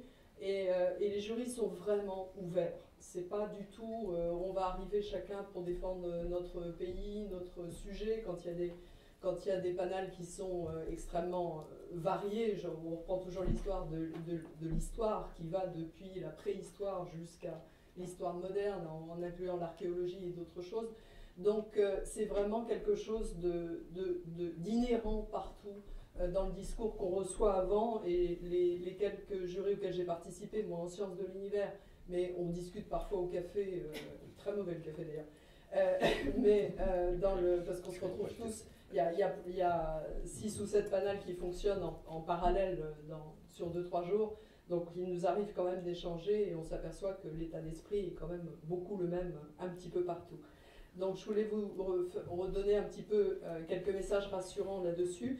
Euh, je vais quand même plutôt euh, porter, d'abord parce que j'ai jamais fait l'expérience des, euh, des Advanced Grants, je n'ai fait que Starting et Consolidator à l'époque où les deux n'étaient pas séparés, que ça avait été des centaines de dossiers à traiter. Euh, donc c'était, comment dire, c'est plus pour un message vers les jeunes. S'ils ne sont pas ici, s'il vous plaît, relayez ces informations parce que je sais que beaucoup se posent des questions, et surtout dans notre communauté d'enseignants-chercheurs, euh, où on a quand même des charges lourdes d'enseignement qui font qu'on est moins compétitif que les CNRS euh, ou d'autres instituts. Donc euh, merci de relayer ces informations pour justement les, euh, les aider à se projeter et à, proposer, parce que quand on voit les chiffres que Jean-Pierre vient de montrer sur le nombre de jeunes qui se présentent, euh, il faut vraiment qu'on réagisse. Et or, il y a une communauté d'enseignants-chercheurs qui représente beaucoup de chercheurs qui peuvent se présenter. Euh, et notamment ceux de bien sûr. Donc le processus, il est quand même simple, je vous le rappelle très brièvement, mais je pense que vous le connaissez, c'est que l'évaluation agit en deux étapes, step 1, step 2, et euh, ces deux étapes sont euh, assez... J'ai touché à rien. Ça a l'air de se calmer. Euh, donc les, ces, deux, ces, deux, étapes sont un petit peu différentes dans le sens où la lecture du dossier n'est pas la même. La première étape ne se fait que sur le synopsis qui a été envoyé, qui fait une dizaine de pages, et qui, oui, quand tu mets le, le, CV, enfin au total, ça fait à peu près une dizaine de pages, et c'est lu par plusieurs membres du jury. À chaque fois, la moyenne se trouve autour de 4, si j'ai bien compris. En tout cas, dans, dans les sciences dures, c'est le cas, mais ailleurs aussi. et donc là, le classement de la note est important. Chaque dossier est discuté individuellement. Donc s'il y a eu quelque part une mauvaise appréciation euh, d'un des membres du jury, des rapporteurs, qui a fait que la note est tombée bas ou au contraire euh, dithyrambique. Euh, c'est quelque chose, chaque dossier est repris individuellement. Donc la note est un paramètre euh, pour serrer les discussions, mais ça n'est pas le paramètre qui permet de, passer le classement de la première étape. Dans, une information qui est importante, c'est que pour les évaluateurs, la qualité du projet et la qualité du candidat sont pris à la même hauteur au niveau de cette première note euh, préliminaire. Donc c'est 50-50 à peu près. Euh, mais cela dit, comme je, l'indiquais, euh, après chaque dossier étant revisité, si quelqu'un n'a pas apprécié ou n'a pas compris ou a compris de travers et qu'il y a un autre membre du jury qui, qui, discute et qui dit mais non, mais là, il fallait prendre ce paramètre-là en compte et vous ne l'aviez pas vu, ou inversement, sur quatre personnes, vous avez quand même une, discussion qui s'établit rapidement. Et on peut très bien repasser quelqu'un qui, avait, qui était en bas de liste sur euh, un noyau dur à discuter, ou inversement, quelqu'un qui avait été euh, un projet qui avait été surévalué par un membre de jury qui connaissait moins bien le sujet, euh, peut redescendre dans la liste. Donc c'est vraiment au niveau des discussions et pas au niveau de l'arithmétique que se fait le choix moyennant quoi vous avez euh, trois notes qui sortent de cette première étape, qui sont le rang A, B ou C, euh, qui sont A, bah, vous êtes admis à l'audition, c'est à peu près trois fois le taux, enfin on ne peut pas dépasser trois fois le taux de, euh, succès qu'on veut avoir en finale, c'est-à-dire qu'on peut faire venir aux auditions à peu près trois fois les, les personnes sur lesquelles on pense pouvoir donner. S'il y a 10 bourses, on va faire venir 30 personnes. Euh, et surtout, mais ça, ça peut être éventuellement repris euh, pour le prochain, les prochains contrats, euh, revenir à l'audition vous donne aussi le feu vert de pouvoir resoumettre en cas d'échec l'année suivante. Alors que si vous avez la note B, il va falloir sauter un an avant de resoumettre. Et si vous avez la note C, c'est deux ans d'attente pour réfléchir et repenser le projet tous les jurys pratiquement râlent sur le fait que le A euh, ne, sépare pas euh, venir à l'audition et venir et resoumettre l'an prochain. Donc je crois que c'est dans les discussions. En tout cas, il y a un retour fort de, de nombreux panels disant que euh, ça serait bien d'avoir un ABCD, c'est-à-dire A, vous venez à l'audition, B, c'est vous ne pouvez pas venir, mais vous êtes autorisé à revenir l'an prochain, C, sauter un an, D, sauter deux ans. Donc euh, pour l'instant, euh, je ne sais pas si ça changera ou pas, mais en fait je crois que tout le monde était assez convaincu de l'utilité. Euh, et tous ceux qui ne sont pas pris à l'audition reçoivent les notes, les notes non, mais les rapports, les commentaires des, des, évaluateurs internes, des membres du jury, et un classement qui est un pourcentage par rapport à la barre pour essayer d'évaluer s'ils étaient très loin ou au contraire très près de la barre qui peut les aider à, euh, à, envisager de resoumettre rapidement ou de repenser, enfin de se situer par rapport à la compétition internationale. Le la deuxième étape s'évalue sur le dossier complet, donc euh, les documents B1 et B2 qui sont beaucoup plus conséquents. Euh, il y a toujours des membres du jury, parfois redistribués, parfois ceux qui ont déjà vu la première étape, ce qui assure une continuité. et vous avez en plus deux à trois euh, jurys euh, membres externes qui sont sollicités par le comité pour euh, donner un avis beaucoup plus ciblé. On prend des personnes qui vraiment connaissent le sujet. Alors c'est parfois deux, c'est parfois trois, il arrive que ce soit quatre. Autant des perches, on a un taux de succès qui n'est pas très fort pour essayer d'attraper les experts parce qu'évidemment les meilleurs sont toujours sursollicités. Mais vous avez quand même cette, ce regard de spécialiste vrai parce qu'il est important de savoir que les membres du panel sont assez diversifiés pour pouvoir couvrir des, euh, des disciplines quand c'est interdisciplinaire et pour pouvoir couvrir des champs euh, vastes à l'intérieur des disciplines. Et donc, ils ne sont pas forcément spécialisés tous sur le sujet, et loin de là, sur le sujet que, que propose le projet. Donc, on a besoin de cet avis ciblé externe en plus, et ne serait-ce que pour euh, éviter que euh, bah, la- l'aspect publicitaire, parce que tous ces dossiers sont tous à dire qu'ils sont les meilleurs, bien sûr, euh, et que le projet est absolument formidable à faire. Donc euh, parfois c'est suffisamment bien fait pour que si on n'est pas complètement spécialiste, on se fasse un petit peu rouler dans la farine. Et que surtout on ne sache pas qu'il y a une équipe en compétition à l'autre bout du monde ou dans le laboratoire à côté qui est encore plus performante sur ce sujet-là. D'où l'importance d'avoir un avis euh, supplémentaire euh, en plus. Euh, donc voilà un petit peu le processus. Donc à partir de ça, on a donc ces avis internes et externes et il y a des notes qui sont re- retravaillées évidemment, des moyennes qui nous sont présentées. Franchement, à, l'étape 2, ces notes ne sont, pas très importantes. Ce qui est important, c'est l'audition. Et cette audition, c'est surtout la qualité des, des- de- des échanges avec le comité qui est importante pour euh, convaincre euh, que ça va passer et c'est ça qui va compter le plus.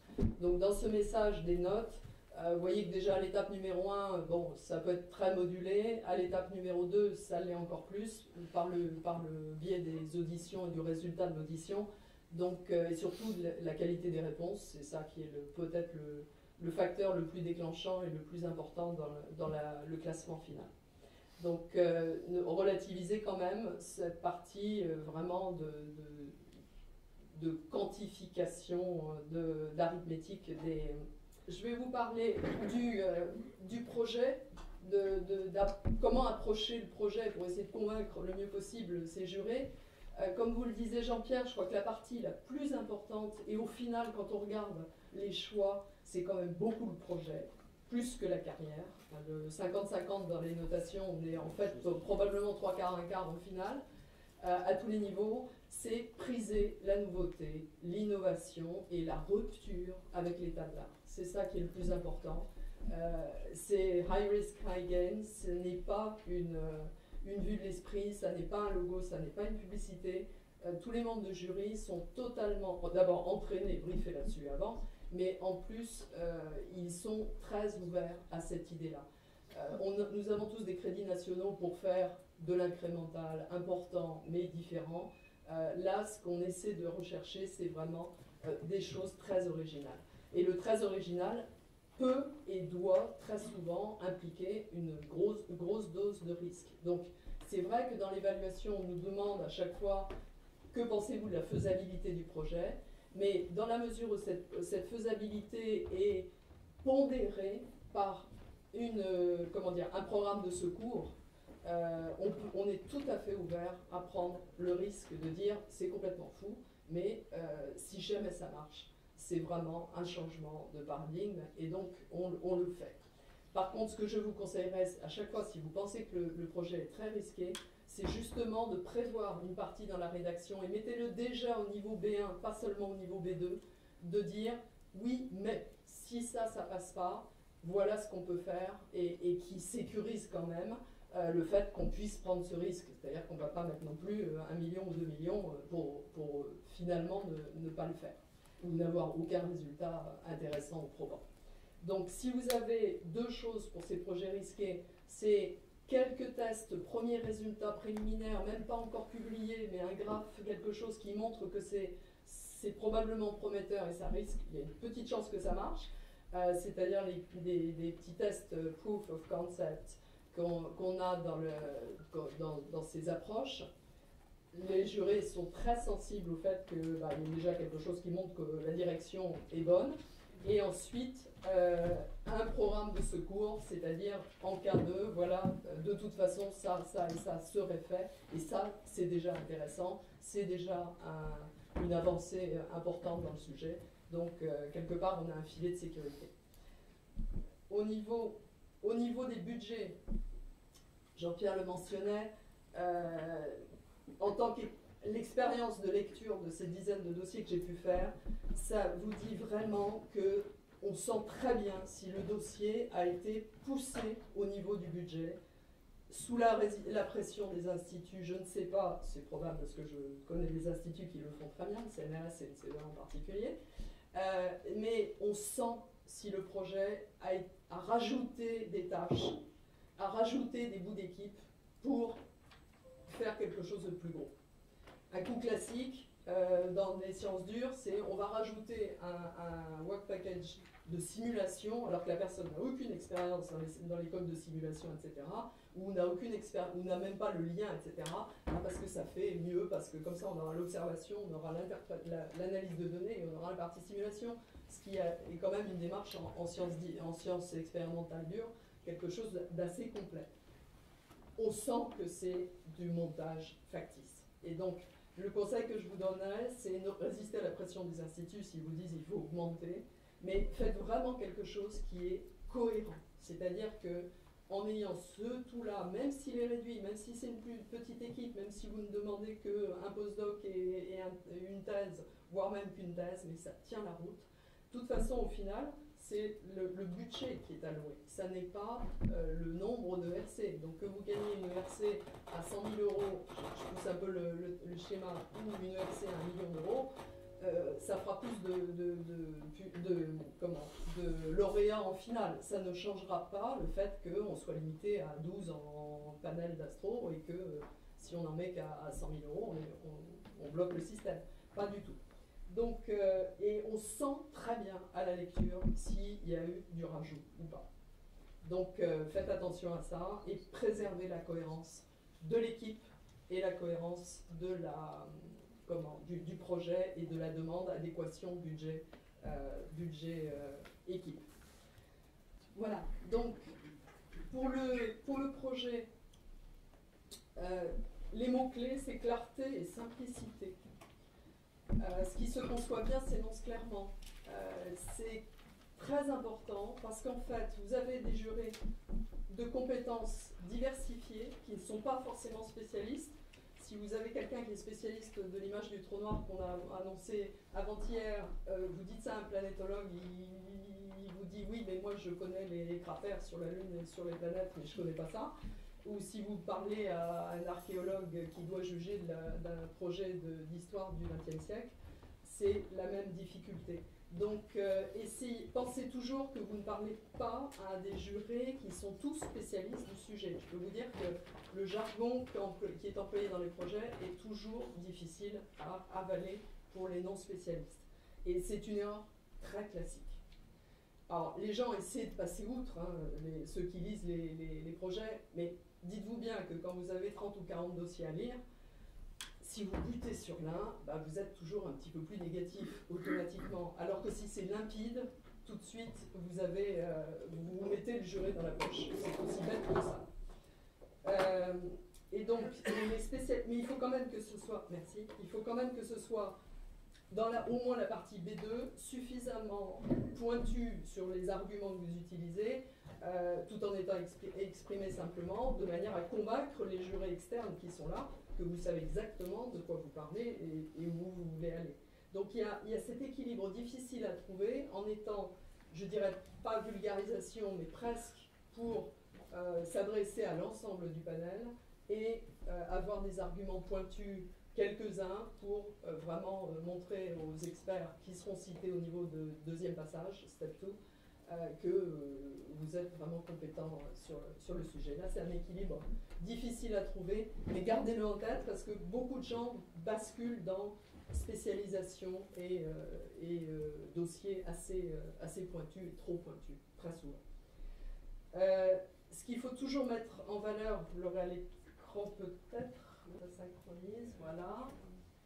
Voilà, les mots-clés les mots qui sont importants, qu'il faut toujours mettre en valeur, c'est rapidement l'état de l'art, le but, bien évidemment, ça tout le monde y pense, les enjeux, qu'est-ce qu'il y aura de difficile ou pas difficile sur la route, l'impact à long terme, ça c'est rarement mis en valeur dans les dossiers, et les avantages par rapport à la compétition. Je peux vous dire combien de fois on écrit dans les, retours pour les candidats on aurait bien aimé savoir quel était l'état de l'art dans les autres équipes du monde entier et en quoi votre projet est plus compétitif ou plus intéressant ou a une approche différente ou une meilleure chance d'arriver euh, au but. Ça, c'est. si vous le faites tous, après on va embêter parce que nous on a plus de critiques à émettre. Mais euh, pensez-y parce que c'est quand même quelque chose d'important quand on est en train de se dire est-ce qu'on prend ce risque-là? Si on prend ce risque, oui, si on sait que personne d'autre ne le fait dans le monde. Si vous savez que l'équipe israélienne ou l'équipe euh, chilienne est en train de faire encore mieux, avec des outils euh, encore plus ciblés, euh, c'est honnête de le dire et c'est honnête pour le les membres de jury de le savoir. Donc ça, pensez-y, et c'est très rarement mis en valeur dans les... Dans, je suis en train de pointer ici, c'est idiot. c'est très rarement mis en valeur. Une autre chose qui est très peu utilisé, euh, même dans les sciences qui ont l'habitude de diffuser leurs connaissances, euh, c'est la dynamique de la présentation du dossier. Dites-vous que ces évaluateurs vont lire des dizaines de dossiers, que ça prend des week-ends et des soirées, qu'on le fait du mieux qu'on peut, mais que ça demande d'avaler une dose d'information extrêmement importante, et que si vous déjà vous les mettez dans votre poche, si la structure même de la présentation est vivante, dynamique et qu'elle met très bien les points en valeur. les points dont je parle, c'est-à-dire l'état de l'art, le but, ça c'est un petit discours, mais le but, il faut qu'il tienne en quelques phrases et qu'elle ressorte bien encadrée quelque part, qu'un schéma ou une figure, ça dit en général mieux que dix textes euh, euh, le point fort qui est important, euh, et que le point fort, le risque, etc., ce soit très bien mis en valeur. Alors les Max Planck sont devenus très bons là-dessus parce qu'ils utilisent des, euh, des, conseils privés à l'extérieur pour euh, justement relire les dossiers et les, ventiler sous cet aspect-là. Ça, c'est pas bon parce qu'ils en vont jusque, pratiquement jusqu'à du marketing. Et ça, c'est pas bon parce que du coup, ça fait de la surenchère et, et quand on le lit, euh, on se braque. je peux dire que pas mal de jurés, quand c'est vraiment trop marketing, on commence à dire oui, bon, bah, c'est du vent, hein, il n'y a plus de contenu derrière. Donc, euh, mais par contre, le, caractère dynamique de la présentation, le fait qu'il y ait des paragraphes très clairs, le fait qu'il y ait des encadrés disant voilà exactement c'est ça, etc., vous mettez le rapporteur en position de regarder tout de suite la synthèse du document. C'est encore plus vrai pour la partie B1 que pour la partie B2, puisque c'est celle-là qui va faire le triage de, de démarrage. Donc, si vous ne passez pas ce triage-là, de toute façon, c'est fichu. Et il faut vous mettre dans la tête que le rapporteur, lui, va essayer de trouver qu'est-ce qui est important de ce qui n'est pas. Si vous le mettez tout de suite en situation de le lire très vite, et surtout quand il va revenir en arrière pour euh, faire une synthèse lui-même de quelle note il doit mettre, etc., quand il voit les points clés bien ressortir, il est certainement beaucoup plus favorable euh, à, avoir une analyse en plus la plus proche de ce que vous voudriez qu'il retienne de votre dossier. Pour la partie carrière, le, je ne sais pas dans d'autres panels, mais tu, es assis plus souvent, mais honnêtement, ce que j'ai vu, euh, la, carrière n'est jamais jugée au poids. C'est pas le nombre de publications, pardon, c'est pas le nombre de publications qui a compté, c'est pas euh, le H-index ou des choses comme ça. Je peux même vous dire que dans le panel euh, qu'on a géré au dernier Starting Hunt en astro, on n'a même pas prononcé le nombre de publications ou de chiffres on est toujours resté parce qu'on était hostile à ça. On sait combien ces chiffres sont erronés. Euh, et surtout, ça dépend tellement d'une communauté à l'autre, enfin, et des pratiques dans les communautés. Même à l'intérieur de l'astrophysique, l'univers est grand. Euh, vous parlez de galaxies, vous parlez de planètes, euh, et les, pratiques sont différentes. Donc, pensez différemment, c'est-à-dire que plutôt que de donner des chiffres, vous les mettez, parce qu'il y a quand même des adeptes de ces chiffres-là, mais pensez à mettre deux choses.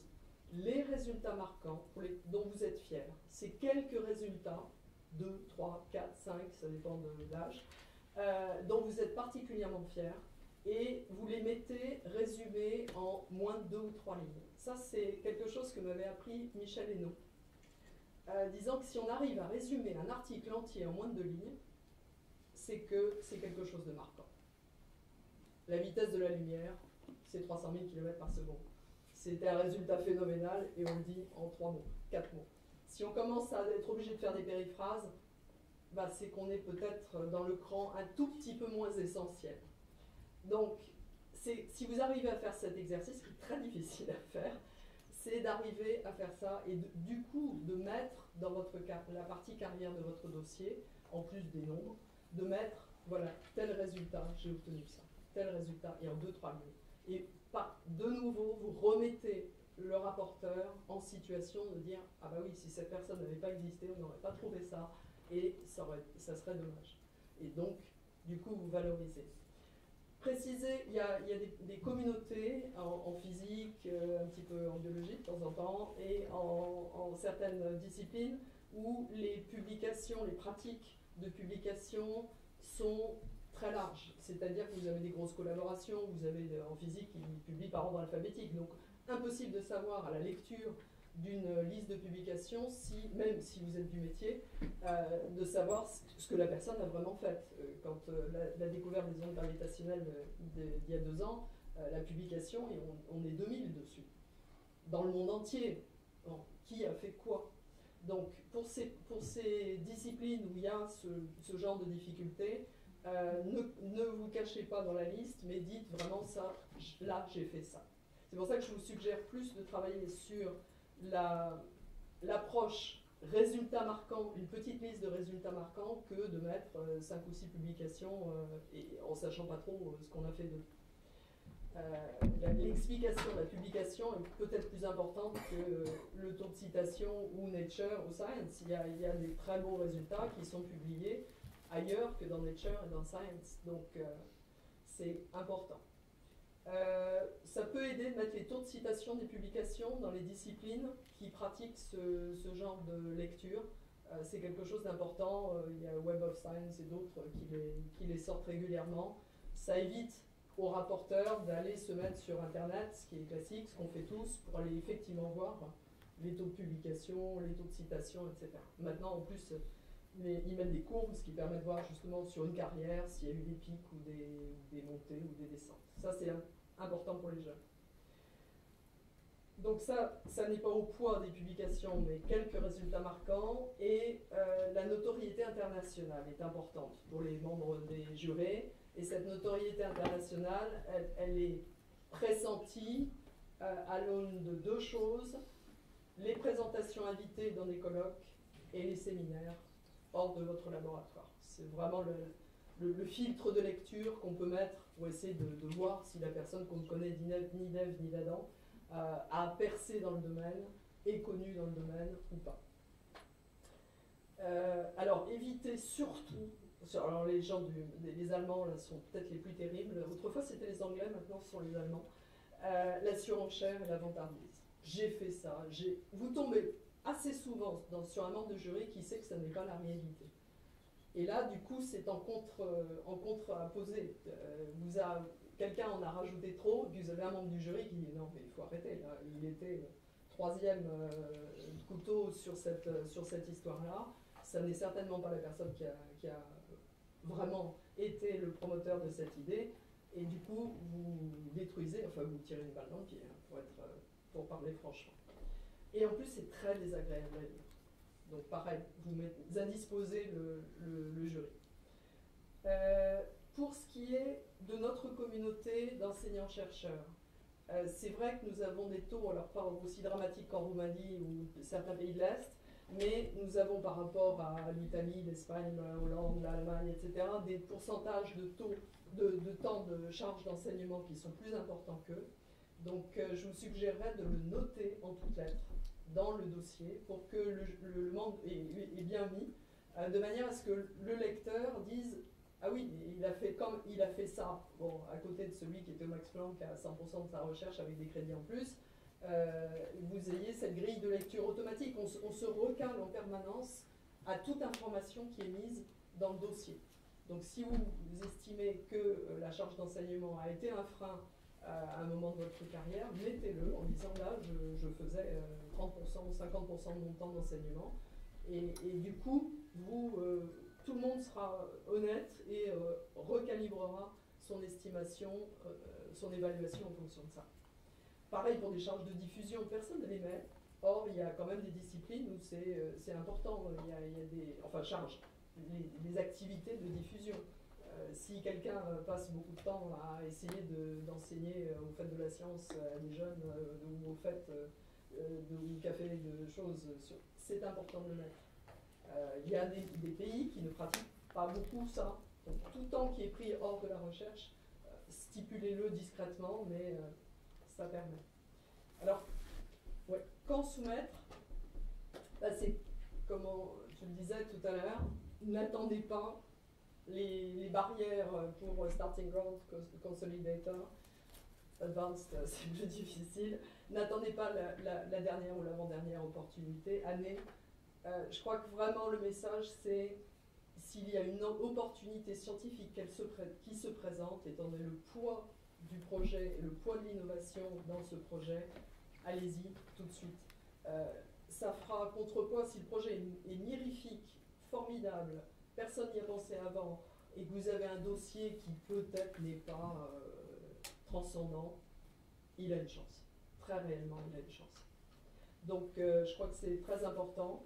Et, et aussi, j'ai entendu beaucoup de jeunes me dire, mais est-ce qu'il faut absolument avoir eu un papier dans Science ou dans Nature, en tout cas pour tout ce qui est discipline de sciences dures Non. Non. C'est pour ça que si vous jouez en plus euh, aux résultats marquants plutôt qu'au listing des publications, euh, vous, filtrez la lecture de l'évaluateur de manière à ce qu'il prenne en compte ce que vous avez réellement fait et peu importe où ça a été euh, publié. Pour l'audition, et je finirai là, si vous répondez à ces questions que j'ai repris au fil des ans, parce que j'ai un très beau dictionnaire des questions qu'il faut poser dans mon ordinateur, euh, vous, pratiquement, si vous arrivez à répondre à toutes ces questions-là, vous, vous mettrez le jury à mal pour vous en poser d'autres. Euh, donc, c'est pourquoi le projet? Ça, c'est la première, c'est évident. Quelle va être la rupture que vous pensez pouvoir apporter? Quel est le risque principal et comment vous pensez pouvoir le contourner? Ou le contourner ou avoir une issue de secours? Et quel est le qu'est-ce que ça va apporter à 5 à 10 ans plus tard. Donc euh, ça, et, pourquoi vous? Mais pourquoi vous, c'est pas parce que vous avez eu trois papiers dans les chairs avant. C'est pourquoi vous, parce que vous êtes juste au bon moment, au bon endroit, avec la bonne synergie d'équipes autour de vous et d'idées et autour de vous euh, pour euh, mener à bien ce, projet. D'accord? Et, et, un défaut classique, c'est de répondre beaucoup trop longtemps, ce qui fait qu'on ne peut pas passer plus de questions. Or, je montrais à Jean-Pierre l'importance des réponses euh, aux questions dans le jugement final. Donc, plus vous arrivez à, solliciter de questions du jury et surtout à ne pas prendre un quart d'heure pour répondre à chaque question, euh, et plus vous avez de, vous augmenter vos chances d'arriver à convaincre. Voilà, ce sont des conseils de grand-mère, mais j'espère qu'ils seront utiles beaucoup. On a le temps pour quelques questions. Ouais. Et comment est-ce que les... Merci pour les présentations. Et comment est-ce que les, les, experts externes sont sélectionnés? Parce que parfois, eh, il n'y a aucun expert euh, dans les panels. Ça arrive, Alors, comment est-ce que eh, les externes Alors, on a deux choses. On a une, une banque de noms qui existe déjà dans laquelle euh, on va chercher des idées avec les mots-clés associés. Euh, mais en général, autour de la table, il y a suffisamment de gens qui connaissent à qui demander et euh, avec cette banque de noms, on arrive à trouver. Une chose qu'on avait proposée à l'ERC, mais je ne sais pas si, si, je crois que vous réfléchissez dessus, ça serait d'avoir des, des logiciels qui analysent, ça existe, ça commence à exister en intelligence artificielle, des logiciels qui analysent les résumés des publications en ligne qui existent et de sortir des noms. Ce qui fait que nous, on pourrait avoir euh, une liste de noms pour ce type de publication, tac, tac, tac, et après, c'est le, le comité qui choisit. Ça permettrait de renouveler, parce que là, c'est vraiment la connaissance des, gens à bord du, du, comité, qui sont en général pas toujours non plus de première jeunesse, parce qu'on essaie de prendre des gens qui ont des, connaissances élargies, euh, ce qui fait qu'on retombe un peu toujours sur les mêmes noms. Donc, euh, est-ce que cet outil sera mis en place? Je pense que ce sera une force euh, pour pouvoir justement renouveler. Mais sinon, c'est vraiment les idées des gens dans le comité, plus la banque de noms qui est derrière, qui a déjà servi dans le passé et qui donne des idées. Sinon, on peut aussi faire des recherches sur les articles directement. C'est-à-dire qu'on prend les noms des personnes, euh, on a euh, Web of Science ou ADS ou d'autres choses qui nous donnent des idées de noms euh, associés. Mais on ne peut pas non plus présupposer qui va être sélectionné à la fin, donc c'est quelque chose qu'on fait à une fois le classement des auditions demandé. Oui, dernière, dernière question ah, Non Il y a deux questions. Euh, ok, merci. Donc, euh, ma question est simple. Euh, en fait, je travaille, et comme d'autres probablement, à l'interface entre deux disciplines. Et mon problème pour des années, et c'est pour ça que j'ai attendu, en fait, c'était de comprendre où je devais postuler. C'est-à-dire que dans mon cas spécifique, on a une application en médecine et biologie. Et pour ce qui concerne la méthodologie, c'est plutôt l'informatique et la mathématique.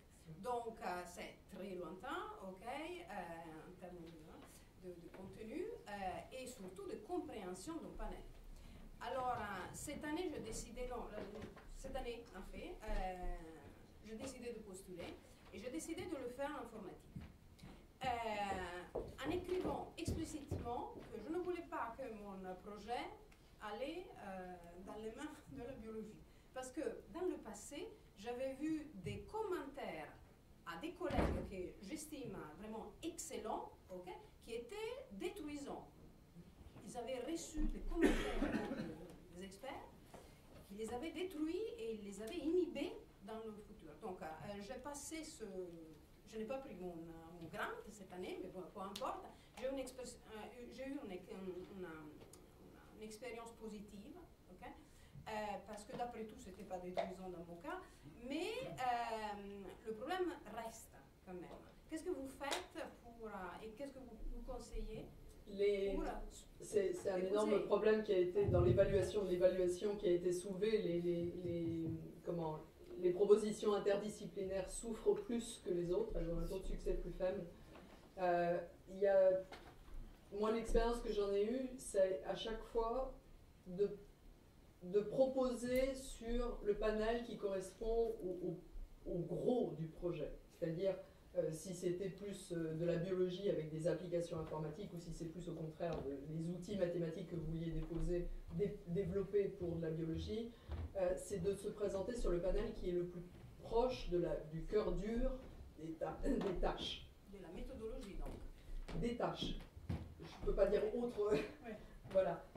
Mais vous demandez des tâches spécifiques avec des gens particuliers, des, équipes derrière. C'est de, cibler le panel qui correspond à ces tâches le mieux. Et de, de mentionner que vous voulez l'avis d'un deuxième panel si vous pensez que pour la compréhension du sujet, euh, c'est important. Parce que ce qu'on fait à ce moment-là, c'est que le panel directeur évalue, et ils sont très attentifs parce que Jean-Pierre et, son équipe répètent toujours faites attention au, caractère indisciplinaire, parce que beaucoup, même à l'intérieur d'un panel, sont interdisciplinaires, mais inter-panel, euh, ils nous mettent en garde à longueur de temps de faire attention particulier. Ce qui fait que c'est bizarre qu'on ait des taux un peu plus faibles, parce que quelque part, nous, on les filtre beaucoup plus haut. C'est-à-dire qu'on est plus gentil avec eux, en moyenne, que quelque chose qui est un cœur dur de la discipline. Donc, euh, y a, et on demande un avis à des, à des rapporteurs de l'autre panel. C'est-à-dire que, euh, je prends un exemple pour vous, vous, vous mettriez en informatique, vous avez demandé aussi à être jugé par la biologie, bah, vous allez être prise sous la coupe de l'informatique, mais vous allez avoir des notes de une ou deux personnes, les présidents de panel discutent entre eux pendant une journée avant qu'on distribue tous les dossiers, justement tous ces cas d'interface, où on s'assied ensemble, on regarde, et on dit, bah là, j'ai besoin de un ou deux euh, rapports supplémentaires côté biologie, parce que visiblement, euh, le, panel informatique ne va pas s'en tirer, euh, et on fait venir ces notes en plus. Mais ce qui est important, c'est de cibler vraiment le panel où vous pensez que non seulement vous avez plus de chances, mais qui est le plus à même de juger le cœur de la faisabilité du projet. Et l'intérêt viendra du rapporteur qu'on rajoute ou qu'on échange. Mais euh, les, premiers jours les, où les, les chairs, les, présidents se rencontrent, avant même que les comités se réunissent, euh, c'est en amont, hein, c'est plusieurs semaines avant, euh, on joue à se repasser les dossiers, parce que justement on estime que tel panel n'est absolument pas compétent. Même s'il a demandé le panel numéro 9 ou le numéro 15, si on voit que ça ne va pas, euh, on va aller négocier avec le panel où on pense que c'est plus intéressant, et eux-mêmes en fonction, parce que dites-vous, ça dépend des gens qui sont dans le comité cette année-là. Vous pouvez avoir beaucoup de trous euh, ou pas beaucoup de trous sur un sujet particulier parce que, euh, bah, parce que les, membres du jury étaient cette année-là ceux-là. Donc on discute entre nous au début et on fait du mieux qu'on peut pour ça. Il y a une difficulté de taux de succès en finale. Mais euh, est-ce qu'elle est intrinsèque ou est-ce qu'elle est résultat de l'évaluation? Je ne crois pas que personne soit capable de le dire. Une dernière petite question hein.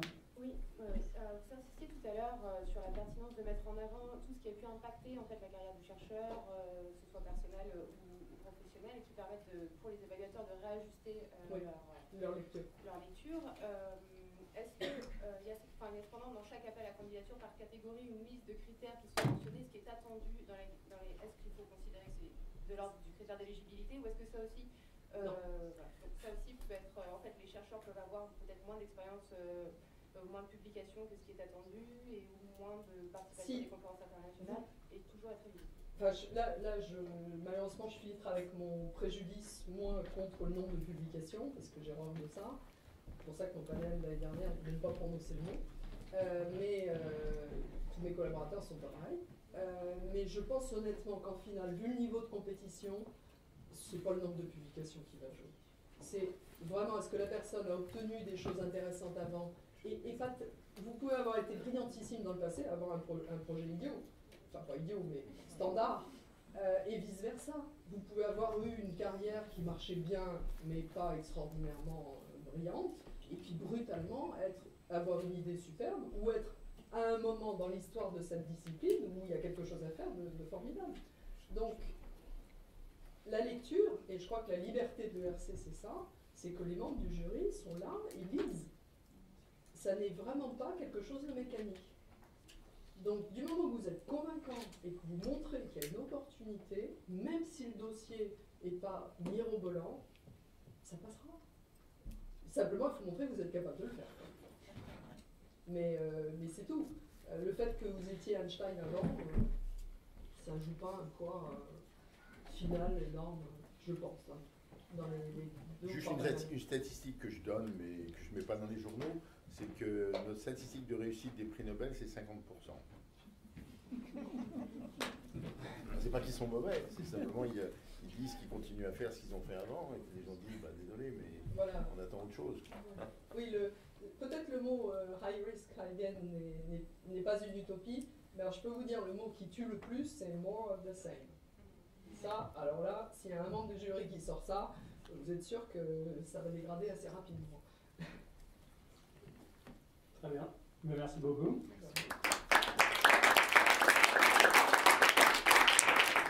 Donc on va passer à la, troisième intervention de Madame Marie Gompel, donc, qui est du point de contact RC. Donc bonjour à tous. Euh, donc je suis Marie Gompel du point de contact national, comme ça vous a été dit. Et donc peut-être pour euh, vous expliquer un petit peu euh, ce qui va être mon propos, c'est sans doute reprendre des choses qui ont déjà été dites. Donc je passerai assez rapidement. N'hésitez pas à m'interrompre si vous voulez poser quelques questions. Et l'ambition du point de contact national, en fait, c'est de vous motiver, mais si vous êtes ici, c'est qu'a priori vous l'êtes déjà. Euh, vous expliquer les choses. Euh, notre rôle, c'est vraiment d'essayer de traduire les enjeux qui sont ceux de l'ERC.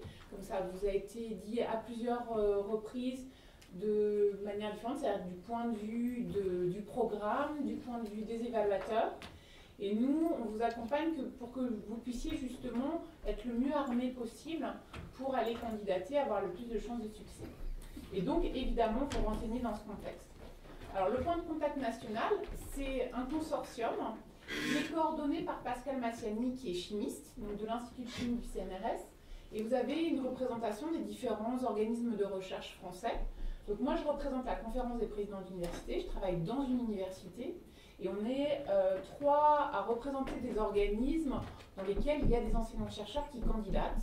Donc il y a Amélie Antoine Odo euh, de Sciences Po qui est intervenue, je crois, l'année dernière. Euh, Damien Vogel qui est à l'école normale supérieure. et donc moi, université en région, parce que évidemment, il n'y a pas qu'à Paris qu'on fait de la recherche du niveau attendu à l'ERC. Et euh, sans doute que le programme est un petit peu au début sacralisé, mais on est là aussi pour le désacraliser. Il y a des chercheurs qui sont dans des tout petits centres et qui sont lauréats de.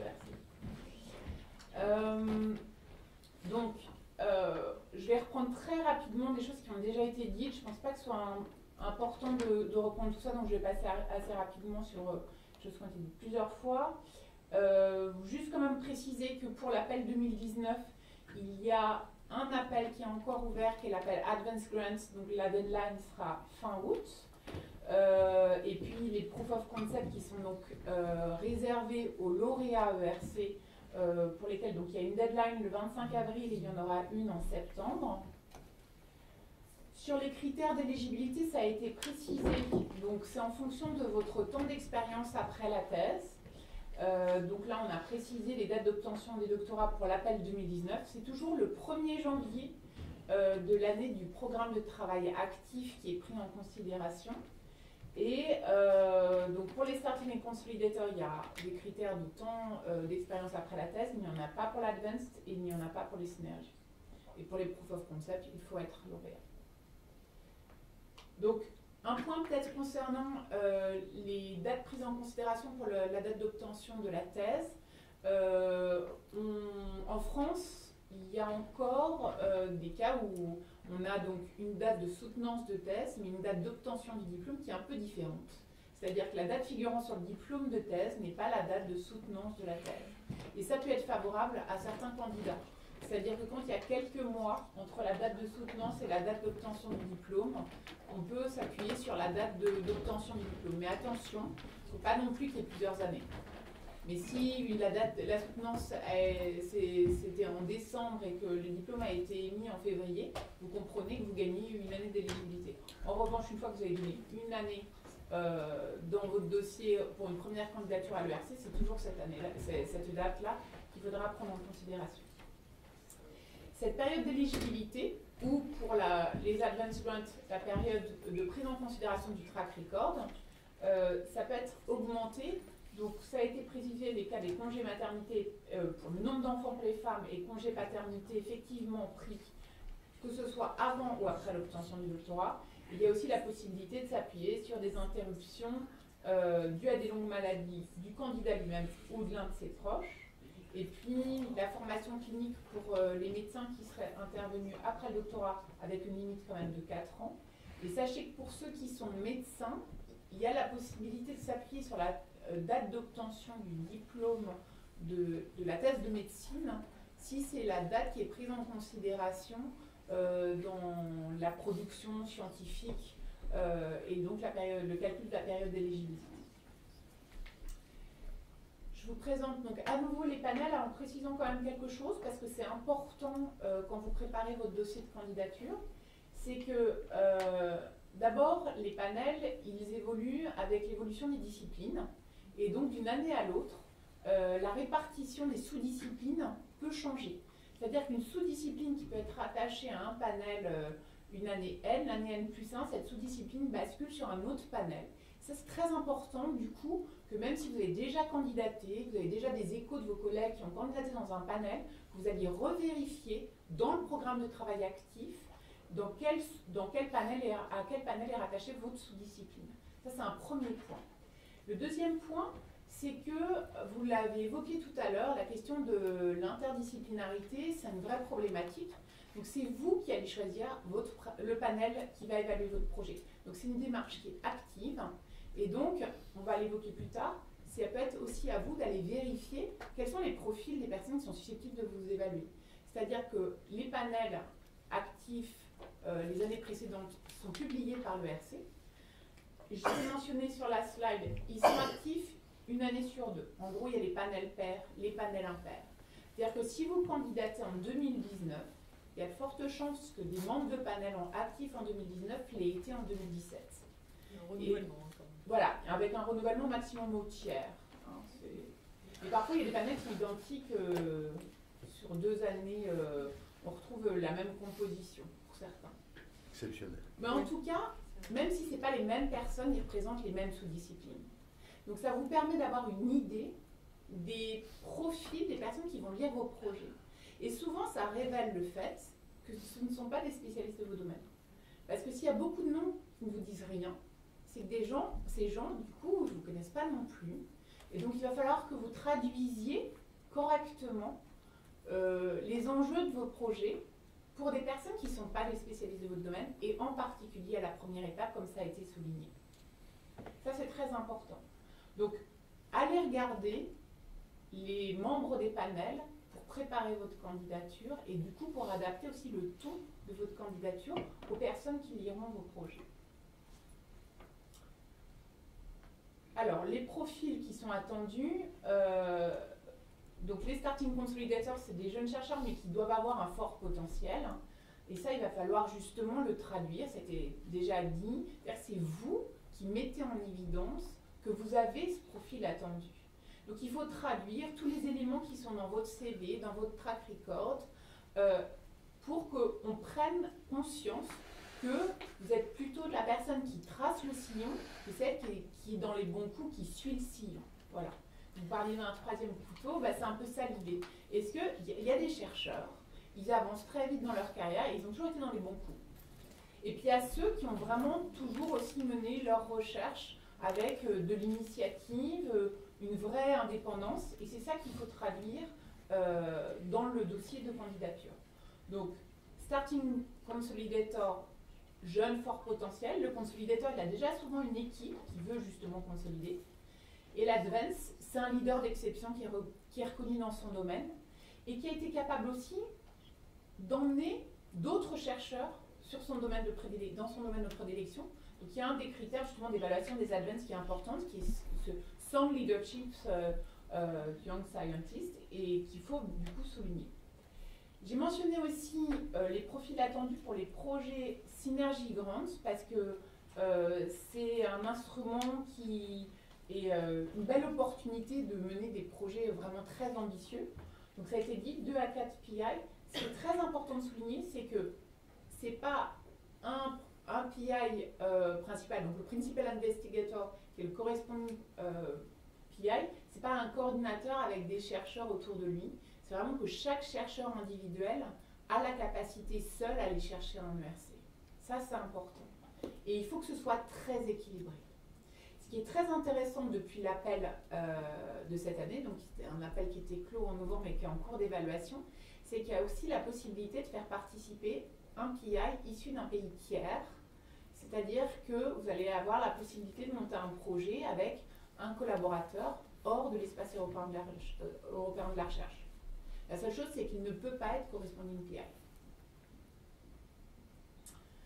Donc, il y a un certain nombre de documents qu'il faut vraiment, euh, dont il faut prendre connaissance avant de se lancer dans une candidature. Le programme de travail actif, mais si l'appel, par exemple, n'est pas encore ouvert, c'est toujours très instructif d'aller lire les programmes de travail passés. Les guides des candidats, donc on évoquait l'Advance qui n'est pas encore ouvert euh, pour 2019 vous pouvez aller euh, prendre connaissance de l'appel à projet 2018, euh, le guide de l'évaluateur pour comprendre quels sont les enjeux de l'évaluation, et puis aller regarder quels sont les lauréats des panels dans lesquels vous souhaitez candidater. Quand vous hésitez entre plusieurs panels, voir les profils euh, des projets financés dans les panels dans lesquels vous souhaitez candidater vous permet aussi de vous positionner par rapport à, à ces lauréats. Et l'autre chose, c'est que ça vous permet aussi de vous positionner par rapport aux attentes de l'ERC. C'est-à-dire que est-ce que vos collègues sont dans les, dans les lauréats euh, et, vous avez la possibilité de lire les résumés. Le site de l'ERC est très bien fait, vous avez un moteur de recherche. Donc vraiment, c'est une source d'information. Et sur le site de l'ERC, vous aurez également accès donc à la composition des panels euh, actifs les années précédentes. Il y a une liste de noms qui est communiquée euh, lors de l'appel ouvert, c'est les panel chairs. C'est-à-dire, vous, avez le nom du panel chair de l'appel euh, lorsque vous candidatez. Alors ça, c'est important aussi, la manière dont vous allez rédiger votre résumé. Alors j'ai repris juste pour l'évaluation, vous rappelez bien les différentes euh, parties. Vous soumettez la totalité du dossier à l'heure de la deadline. Donc il y a, on va revoir la composition du, projet donc il y a deux parties scientifiques B1 et B2. Dans le B1, il y a ce projet euh, court en 5 pages, le CV, le track la proposition scientifique en 15 pages qui comprend également le budget, la lettre d'engagement de l'institution d'accueil qui est très importante, c'est l'occasion d'aller discuter avec les présidents des universités pour justement un peu évoquer la nécessité d'avoir de l'espace pour pouvoir accueillir une équipe en cas de succès, l'aménagement du temps. Alors vous êtes IUF, c'est le moment idéal pour candidater, vous êtes déchargé, vous avez du temps à consacrer à la recherche, à consolider les résultats qui seront les, données préliminaires pour montrer l'aspect Harris-Kagan du projet. Mais il faut avoir une projection et se dire, bah, ok, euh, l'US c'est 5 ans, mon projet dure 5 ans, comment aménager mon temps de travail pour pouvoir vraiment consacrer le temps suffisant au projet ERC. Et puis pour les starting et les consolidators, vous devez également fournir un diplôme de doctorat et tous les justificatifs pour euh, l'extension de la fenêtre d'éligibilité. Première étape, vous n'êtes évalué que par les panels. Donc que par le panel que vous avez choisi. Ça veut dire que, on l'a dit, les panels sont assez larges. Vous avez a priori une personne qui connaît bien votre domaine, mais des personnes qui peuvent être de vos disciplines et qui ne sont pas des spécialistes de votre domaine. Donc à vous de traduire les enjeux, à vous de faciliter la lecture de votre projet. Donc effectivement sur la forme, les encadrer, les, euh, le gras, euh, tout ce qui fait que ce soit lisible, mais que les enjeux soient, li- soient, li- soient lisibles. Et l'autre chose, c'est que dites-vous que, effectivement, un évaluateur, il lit une quarantaine à une cinquantaine de dossiers par panel, et donc, bah, il faut que ce soit digeste. Et il ne faut pas que ce soit un thriller. C'est-à-dire que si l'hypothèse de travail, elle intervient en quatrième page, bon, euh, vous n'allez pas accroché. Donc dès la première page, hypothèse, problématique euh, soulevée par le projet. Ça, c'est important. Mais dans n'importe quel appel à projet, d'ailleurs. hein.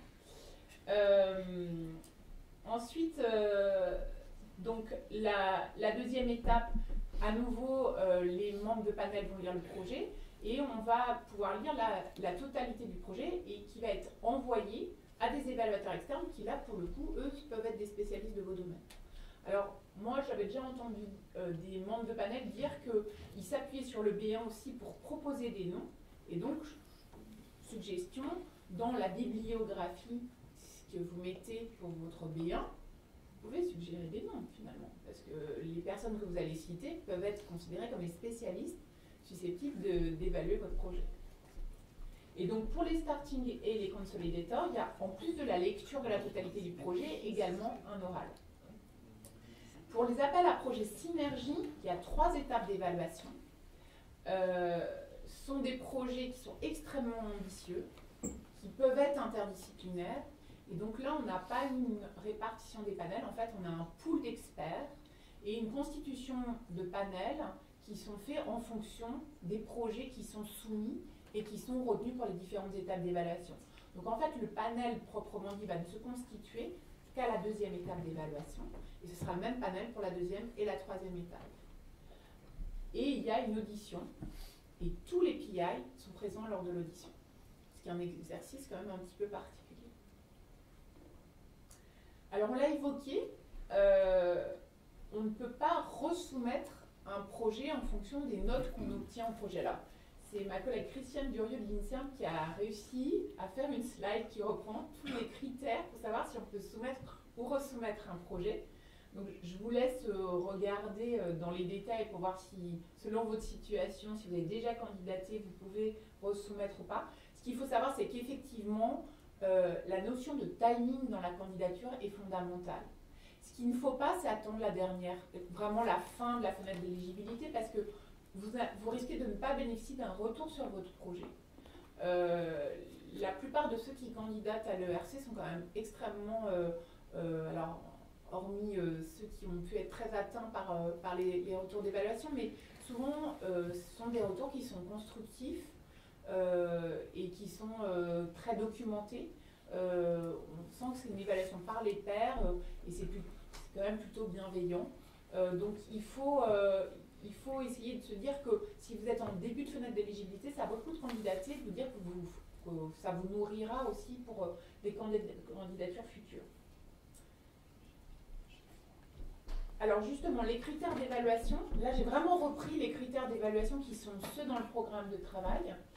Euh, pour ce qui est du candidat lui-même, les critères sont les capacités intellectuelles et la créativité. Donc c'est vraiment votre, votre capacité à aller au-delà des tas de l'art, euh, creative independent thinking pour euh, starting et consolidator. Et on disait, pour les advanced, un critère très important, c'est sound leadership in the training and advancement of young scientists.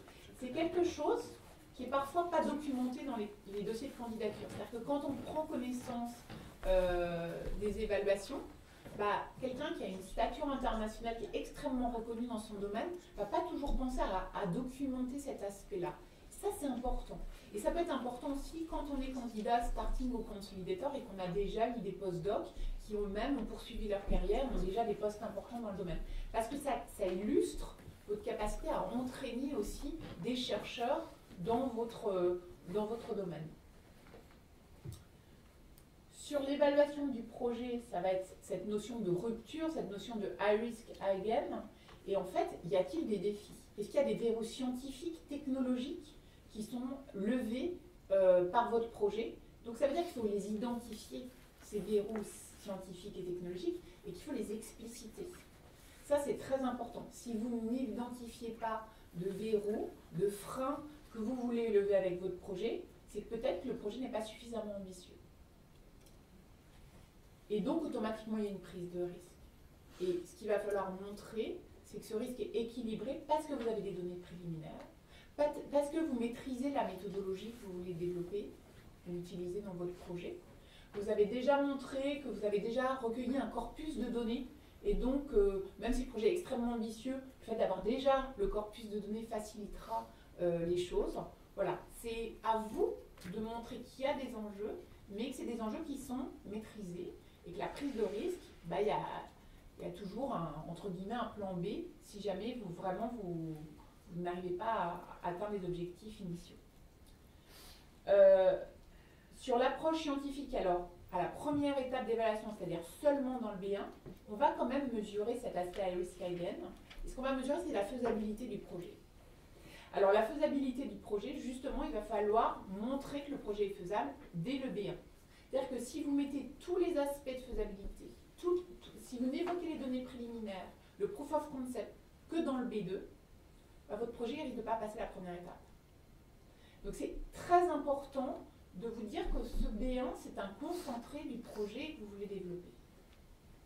Et à la deuxième étape, donc dans la totalité du dossier, Là, on va voir si c'est une approche qui est novatrice, si la méthodologie elle est adaptée, et en gros, si les moyens que vous voulez développer dans votre projet sont en adéquation avec l'ambition scientifique du projet. Donc maintenant, si on rentre un petit peu plus dans le cœur de ce que c'est que le dossier de candidature, que deux minutes, je vais faire très très rapide, euh, euh, le dossier est constitué d'une partie administrative qui est remplie en ligne. Je vous invite vivement à aller auprès de vos structures d'accompagnement, de vos établissements, parce que c'est des choses qui sont familières si vous avez déjà utilisé le participant portal, mais c'est toujours bien de le faire avec eux. Et donc, on l'a dit, euh, un B1, un B2 qui sont les parties scientifiques et des annexes. Euh, alors, pour la partie CV et track record, ça a déjà été dit qui est très important, c'est de vous dire que la plupart des évaluateurs sont des évaluateurs internationaux. Qui ils ne connaissent pas le système français. L'HDR, c'est français. Il faut expliquer ce que c'est. Il euh, faut expliquer pourquoi vous avez besoin de l'HDR pour avoir des doctorants et pourquoi justement peut-être que vous n'en avez pas eu dans le passé. Peut-être que dans votre discipline, si vous n'êtes pas agrégé, vous ne pouvez pas avoir l'HDR. Et ça, c'est des choses qu'il faut expliquer. Parce que c'est très français et que c'est certainement un frein aussi au développement de certaines carrières internationales, mais ce sont les règles nationales qui s'appliquent. Donc vous avez la liberté, il y a un format qui est proposé, mais vous avez la liberté de développer ce format de manière différente. Donc ça, expliquez-le, prenez le temps de le faire. On l'a dit, beaucoup de dossiers sont évalués, donc plus c'est lisible et compréhensible, mieux c'est. Le CV en rouge, ce qu'il faut bien expliquer, si vous êtes passé par une grande école, pareil, très français, expliquez pourquoi les grandes écoles, bah, c'est des grandes écoles en L'HDR, on l'a déjà dit. L'IUF, l'IUF c'est une distinction. Euh, donc il faut expliquer. Et toute médaille d'une si vous êtes membre de société savante et que vous avez eu le prix de votre société savante, dans les panels assez larges, bah, ça peut être très remarquable, par exemple en minéralogie, Mais la minéralogie sera peut-être représentée qu'un par un membre de panel. Donc donnez les chiffres, dites combien de personnes dans votre, dans votre discipline sont distinguées par ce type de prix, euh, combien de fois il est donné, ce genre de choses. C'est très important de le dire. On parlait de l'encadrement des jeunes chercheurs, précisez ce que sont devenus vos doctorants et vos postdocs, c'est-à-dire leur nom et leur, leur place actuelle. Ça peut être euh, très, euh, ça reflète justement ce côté essaimage autour de vos thématiques. Le track record, il montre, il illustre justement cette capacité à la déclare. Donc, je vais assez vite euh, montrer ce que vous avez déjà fait dans le passé comme activité euh, novatrice et prometteuse. Euh, toutes vos contributions scientifiques, alors auprès de vos pairs, mais ça peut être aussi des données grand public, des activités de vulgarisation scientifique qui sont importantes. Tout ce qui est reconnaissance par votre communauté, donc on a déjà évoqué les prix en gros, il faut montrer que vous êtes la personne adéquate pour mener le projet que vous voulez déposer. Donc, pareil, vous êtes très libre sur la forme. On l'a évoqué, il y a moyen maintenant avec les outils de biométrie de montrer votre production scientifique, le nombre de citations commence à évoquer.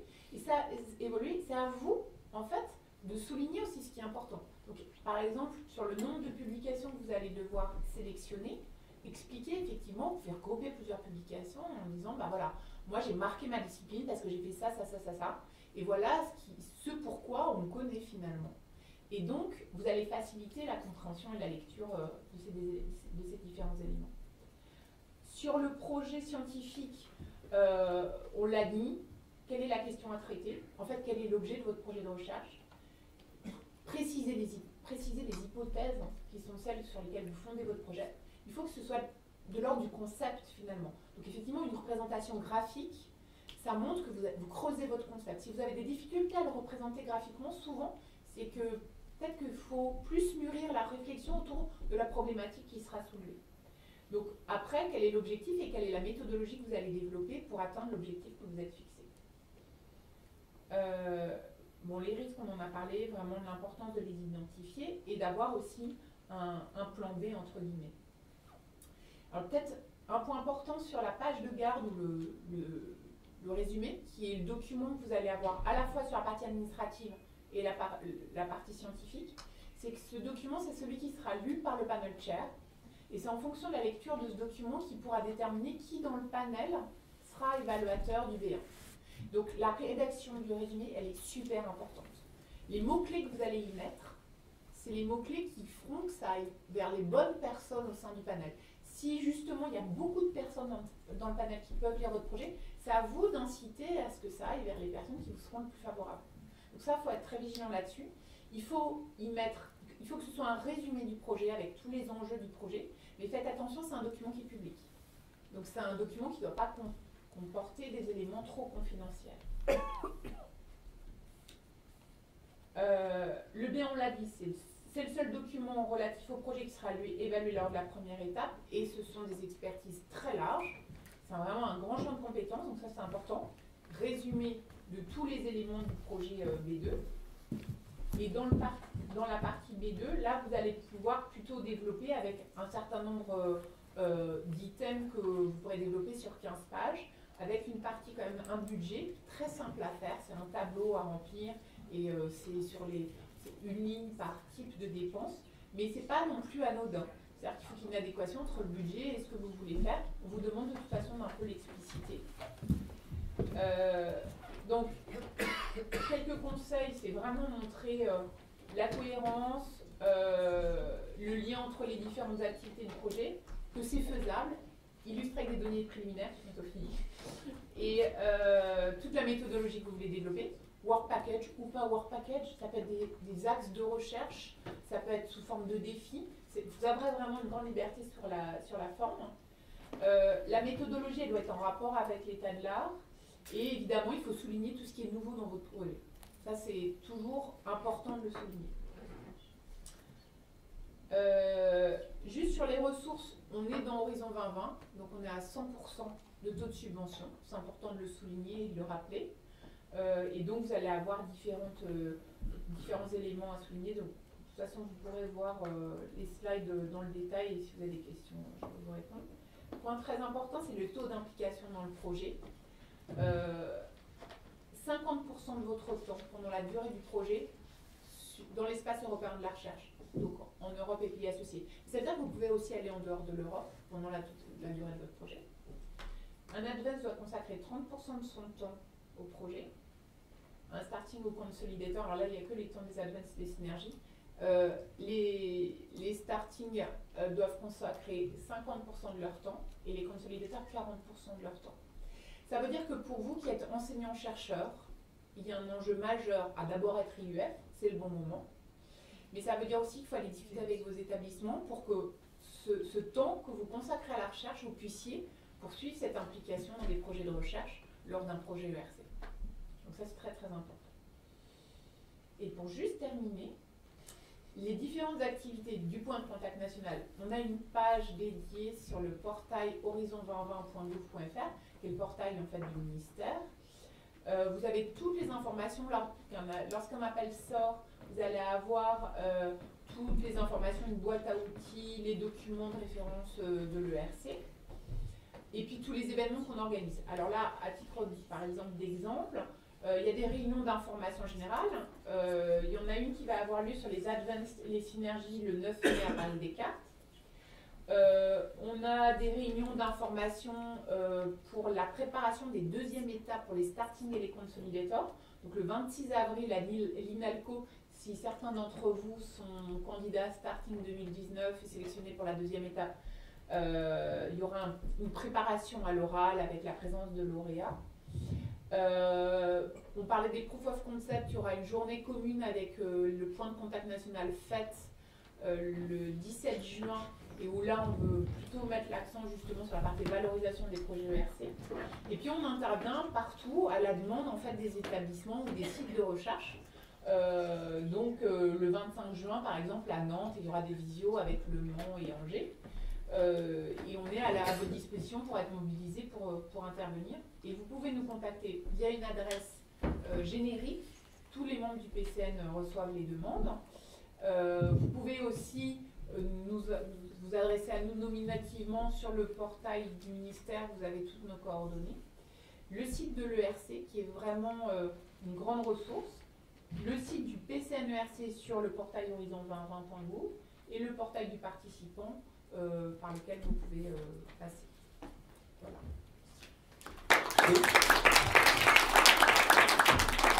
Juste, avant de prendre une première question, euh, nos deux, intervenants suivants ont des contraintes horaires, donc on va commencer. En fait, on fera la, pause après leurs, deux interventions, je suis désolé. Pendant que Lidéric peut-être s'installe, on peut prendre une question pour, pour Madame. Oui merci. Vous en avez parlé un petit peu, mais juste pour être bien certaine, donc vous parlez de 40 ou, 50% du temps, c'est du temps total ou c'est du temps de recherche? Temps global. D'accord. Parce que, pareil, euh, ça a été bien dit, expliquer ce que c'est qu'être enseignant-chercheur en France.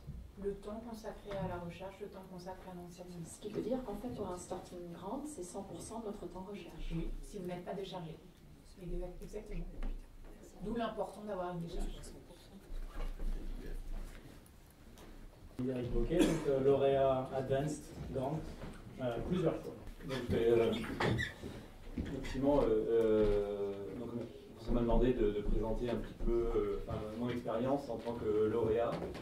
J'étais à l'IUF il y a une dizaine d'années, donc j'en ai beaucoup bénéficié, donc c'est pour moi une façon de revenir, de, rendre ce que j'ai pu obtenir. Donc j'étais effectivement professeur à l'Université de Lyon 1, puis depuis je suis au CNRS. J'ai eu Universal Grant en 2010 quand j'étais justement euh, professeur à l'IUF et en 2017 et j'étais membre de panel dans les Advanced Grants en 2016 et en 2018. Donc je vais essayer de, donner un peu une sorte de gooby d'expérience de ce que j'ai euh, obtenu de, tout ça. le Mac commence à faire comme, Microsoft. Euh, bon,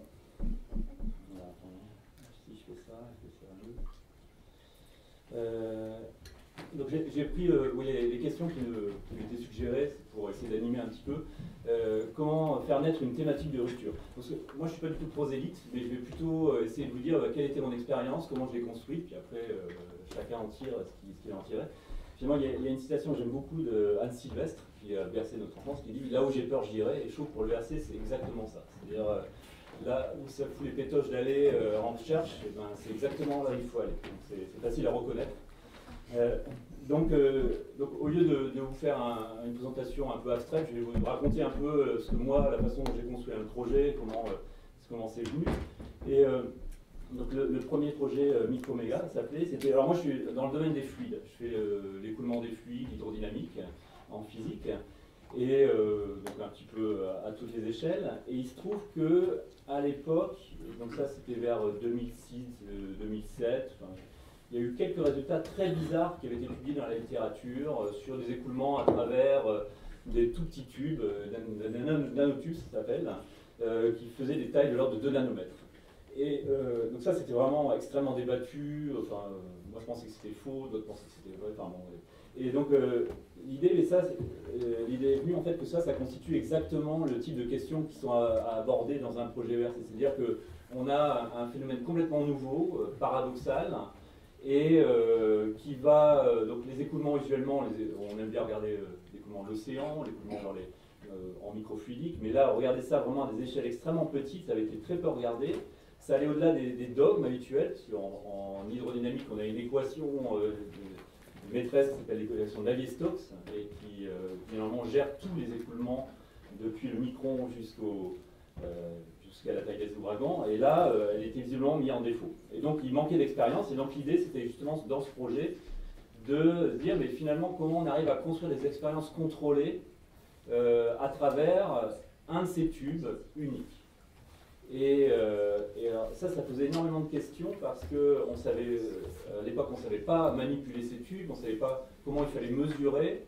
Et donc ça, je, vous le cite parce que c'est exactement le genre de construction qu'on peut faire. C'est-à-dire, euh, il y avait vraiment une question scientifique, et après, il fallait construire une méthodologie complètement nouvelle pour, pour l'aborder.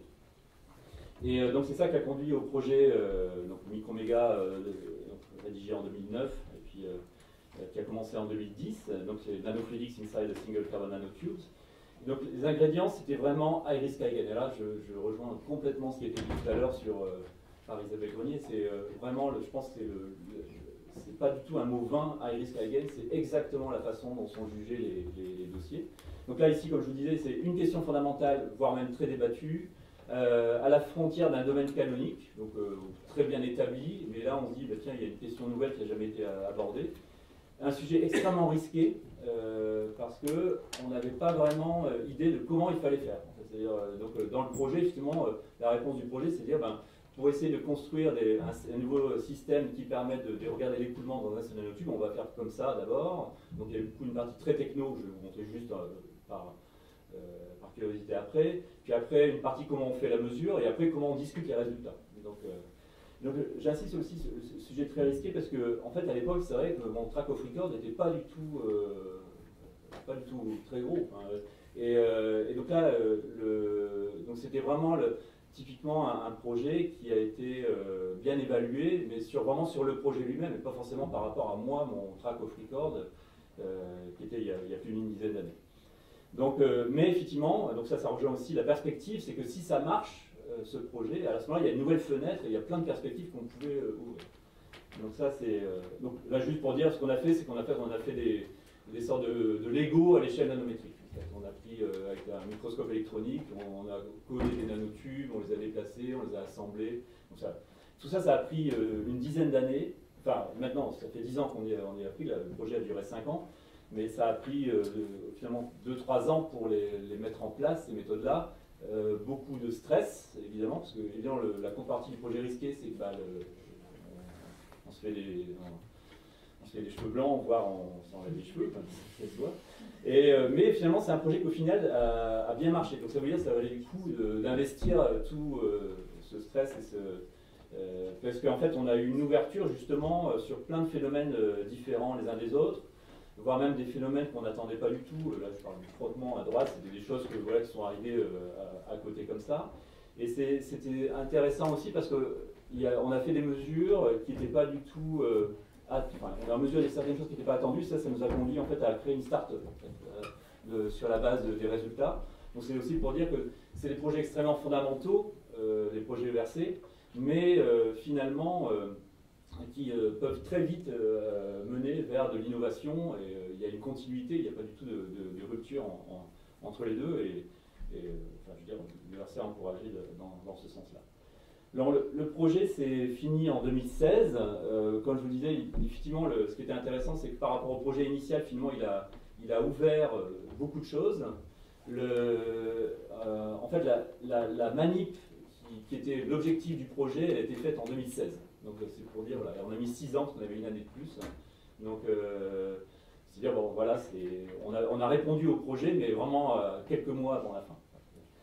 Euh, et ça, ça a conduit, finalement, ça a nourri aussi d'autres projets collaboratifs, ça c'était intéressant, comme des ETN. Euh, ETN, c'est des training networks euh, pour, avec des collègues européens, et aussi même un FET, donc là c'est plutôt sur les, les projets pour l'innovation, en fait, qui font lien avec l'innovation, et qui était basé en grande partie sur la partie start-up, c'est-à-dire ce phénomène sur l'énergie Donc, donc, je voulais montrer ça pour cette expérience-là. Je voulais montrer une deuxième expérience, que, sur laquelle j'ai aussi appris beaucoup, c'est que euh, on se prend vite au jeu en fait de ces, projets-là. Et en fait, quand ce projet-là est, fini, euh, c'est terminé. Euh, en, fait, ce que j'ai trouvé intéressant, enfin le plus intéressant, c'était que ça m'a obligé à prendre des risques que naturellement on n'a pas forcément envie de, prendre. alors que normalement la recherche, ça devrait être vraiment une prise de risque. Et donc, c'est poser la question de dire, mais finalement, si je devais refaire quelque chose, enfin, je discutais beaucoup avec un, jeune collègue justement qui, avait été embauché dans le RC, qui est après devenu CNRS. Et on se disait, mais qu'est-ce que si, si, on, veut faire quelque chose d'encore euh, plus loin, qu'est-ce qu'on pourrait faire? Et ça, je trouve que le RC pose cette question-là aussi, donc de, de, nous remuer un petit peu. Et donc, évidemment, l'idée, c'est, donc ça, ça a été très bien dit par Isabelle Voyer aussi, c'est qu'il ne faut surtout pas être incrémental. Incrémental, c'est le mot-clé, donc je disais, euh, euh, ouais, c'est ça. Et voilà, dans notre panel, c'était incrémental. Ça, tue immédiatement le, le, projet. Donc, comment ne pas être incrémental, sachant qu'on a passé six ans à construire quelque chose? Donc, euh, et donc il fallait identifier des questions euh, nouvelles, des directions nouvelles qui savent euh, utiliser ce qu'on a déjà fait. Mais surtout pas dire, regardez, je suis, très bon, j'ai fait tout ça. Donc, donc il fallait aussi des nouvelles méthodologies par rapport à ce qu'on avait fait et prendre à nouveau des risques. Alors, juste pour info, en fait, l'idée c'était de faire le lien là. J'avais fait avant le transport dans des, des, des tubes artificiels. L'idée c'est de commencer à faire des machines avec ça c'est-à-dire euh, commencer à mimer vraiment euh, les, canaux biologiques, euh, etc. donc là, c'est vraiment essayer de mimer une machinerie ionique, et, ce qui là est extrêmement, une nouvelle fois extrêmement compliqué et qui n'est pas du tout évident à, construire. Et c'est ça qui a conduit au projet qui s'appelle Shadow, voilà, parce qu'on veut faire des pompes ioniques, donc là, les Shadow font des pompes. et d'ailleurs, je suis, au niveau des acronymes, c'est vraiment tout et n'importe quoi. Mais c'est important parce que au bout de 100, euh, on se rappelle des noms. Hein. Exactement. Donc, un, nom qui frappe. D'ailleurs, Shadow, ça ne veut rien dire en fait. Pour nous, le français, ça veut dire quelque chose. Mais ce que je veux dire, c'est que les gens souvent se cassent la tête à trouver un truc. Donc, il y a quelque, chose, quelque chose qui soit prononçable. Voilà, c'est ça. Parce que je vous garantis qu'il y en a des. Bon, euh, au bout de la troisième fois, on doit faire. C'est ça. Euh, mais un truc qui frappe, c'est vrai que c'est plutôt intéressant. C'est un, conseil un peu de grand-mère, comme vous dites. Mais, euh, grand-père, grand-père. grand-père, voilà. Alors, juste, euh, là, j'ai pris des copies de, mon projet, juste pour vous montrer euh, à peu près le, B1 et le, B2 à la suite. Ça, c'est juste pour dire que je pense que les schémas effectivement c'est extrêmement important. Face à AR, le projet, parce que souvent c'est des projets assez denses que vous avez vus. essayez d'avoir, par exemple, on ne voit pas très bien là, mais euh, euh, sur la deuxième page là, du B1, c'est vraiment la question. Euh, c'est qu'est-ce qu'on qu'est-ce qu'on veut faire exactement. Et je reviendrai dessus juste après, mais en gros, moi je suis à peu près convaincu, mais ça c'est mon opinion personnelle, que on sait très vite si ça va passer ou pas. En fait, c'est-à-dire que quand on lit la première page, on se dit celui-là il est vraiment très bien. Enfin, là il y a ce que j'appelle l'effet waouh on a envie de continuer en fait, on a envie de savoir. Et, euh, ça, c'est la première page qui, attrape. Alors, parfois c'est décevant dans les projets, on continue à lire, sinon on rate, mais il faut que ça soit là, il faut que ça soit très très clair en fait, euh, euh, dès le début. Ensuite, là ça c'est le B1, bah, je, reviendrai après sur le B1 et le, B2. Le, B1 c'est un synopsis, ça montre en gros ce qu'on veut faire, donner les risques. Le B2, c'est le détail. C'est-à-dire, une fois qu'on a montré qu'on veut faire un projet, euh, le rendre crédible. De dire, euh, c'est très risqué, mais voilà comment je vais, le faire.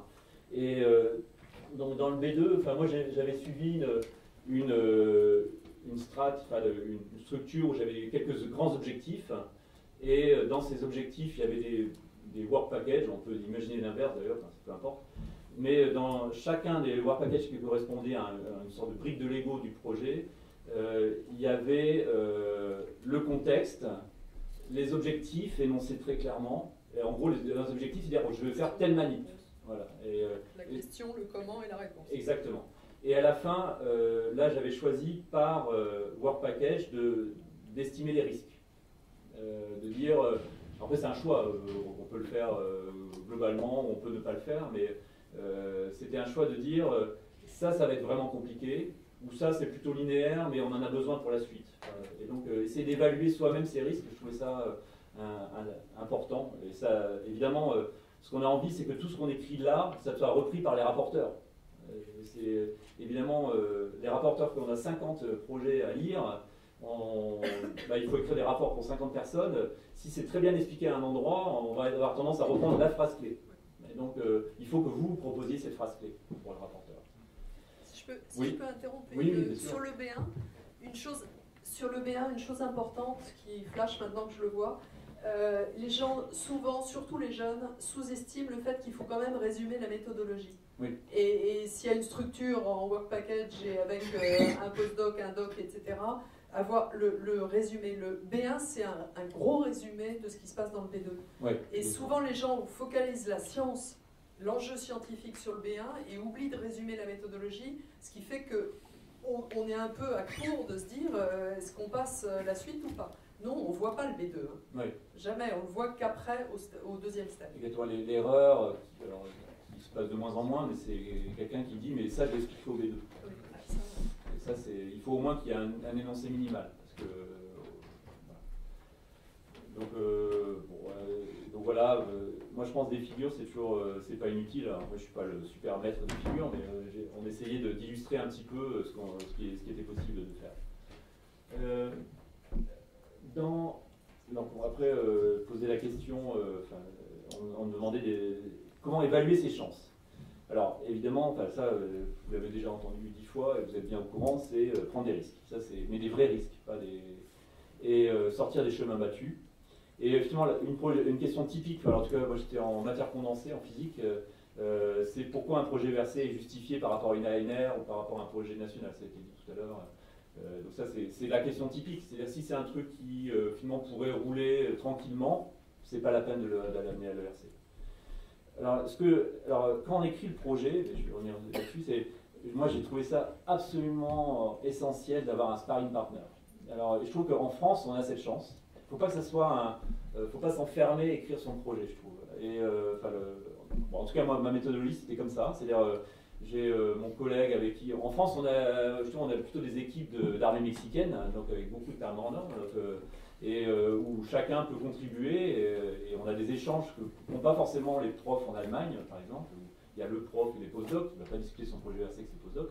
En France, on a cette chance d'avoir des collègues hyper compétents à côté de nous. Et donc moi, je sais que dans, mon cas, je- j'échangeais, je disais, mais est-ce que tu penses qu'on pourrait faire ci? Euh, Lui me disait, non, non, pas du tout. Euh, bah, ça, rebondissait et finalement, euh, je, je trouvais ça extrêmement important.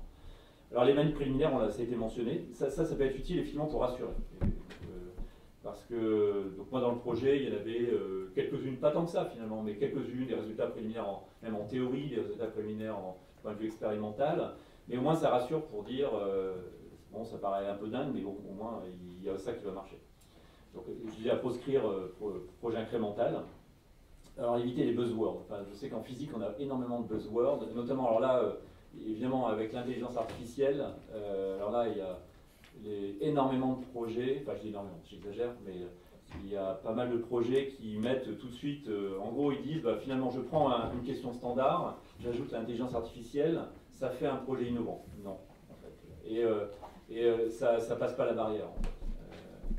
Euh, donc, et c'était dit aussi tout à l'heure, les idées doivent être très clairement énoncées. Il faut que ça soit net et que justement dans cette première page, cet encadré que je vous avais mis là, qui est un peu une évidence, mais c'est vraiment dire en, est-ce que vous pouvez résumer votre projet en deux phrases? Je pense que finalement les Américains ont cette notion de pitch elevator, enfin elevator pitch.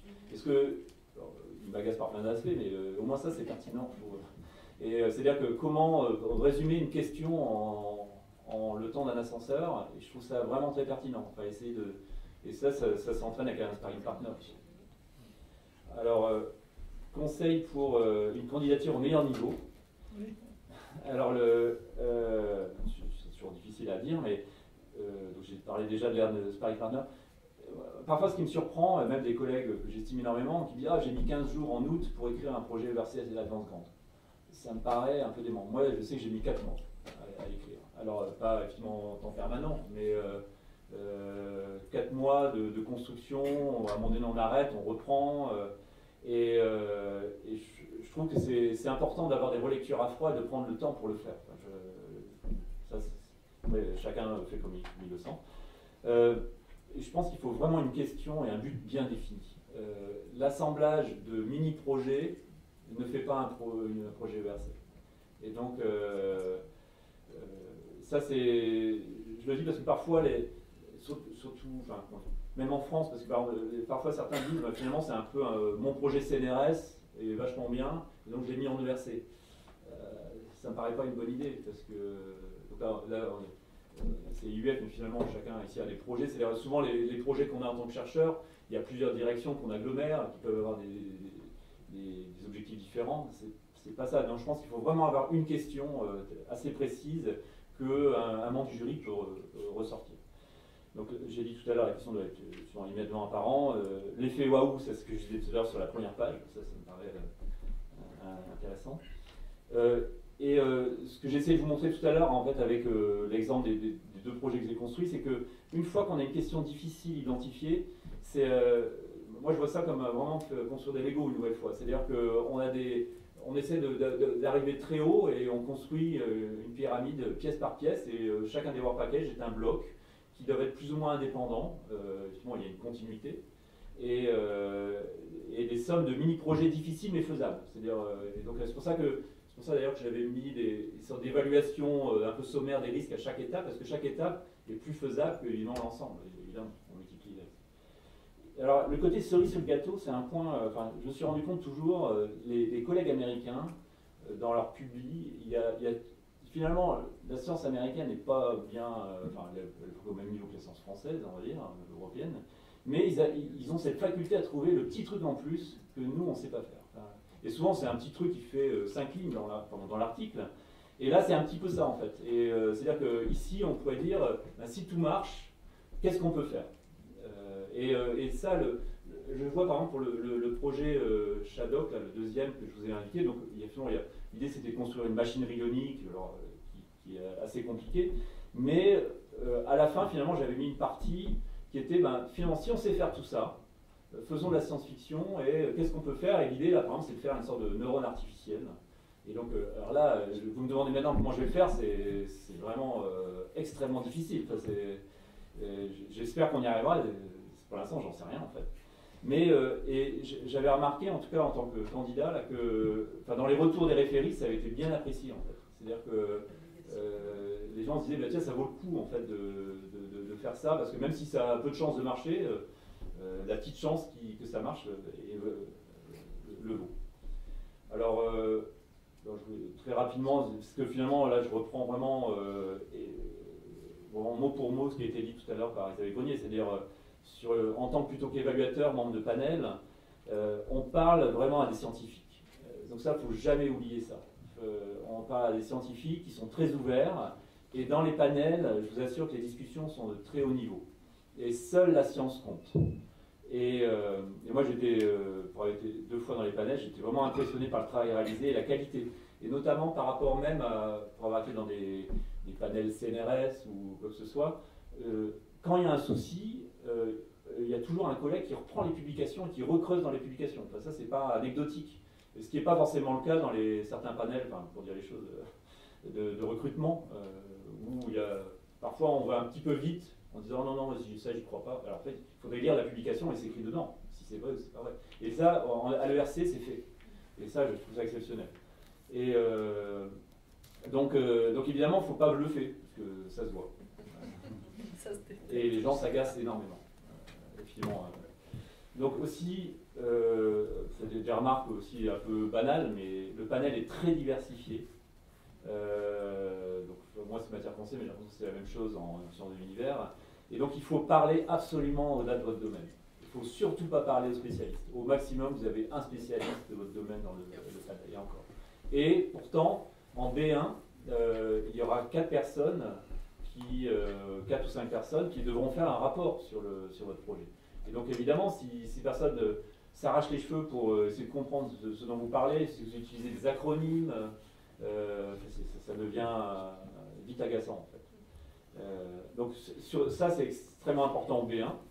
Au B2 c'est encore important parce que ces mêmes personnes souvent agissent aussi en rapporteur au B2, mais il y a en plus des rapporteurs qui sont plutôt des spécialistes. Donc là, le B2 peut rentrer vraiment plus dans le cœur technique.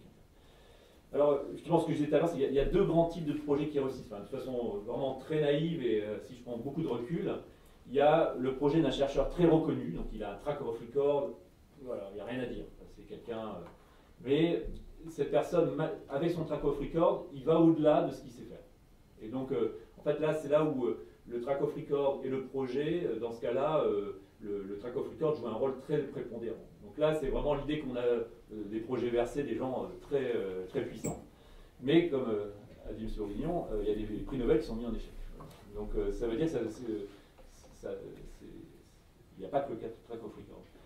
Et ensuite, il y a, les projets, justement, euh, et c'est là où ça donne euh, beaucoup d'espoir, c'est qu'il y a des pro- projets construits sur une idée très originale, risquée, euh, qui est très risquée et qui impressionne le jury. Et ça, finalement, le track of record compte beaucoup moins. Donc, euh, je- voilà, il y, a, encore des exemples. Moi, il y a eu des exemples dans les, dans les panels où j'étais, où vraiment des gens assez jeunes euh, sont, sont sortis avec un projet ERC parce que franchement, ils avaient fait un boulot de dingue alors que le- finalement, ils n'ont peut-être pas euh, beaucoup de publications ou des publications très si marquées. Donc, euh, bon, B1, B2, c'était déjà été dit. Voilà. Le, le B1 est un synopsis et le B2 montre la faisabilité.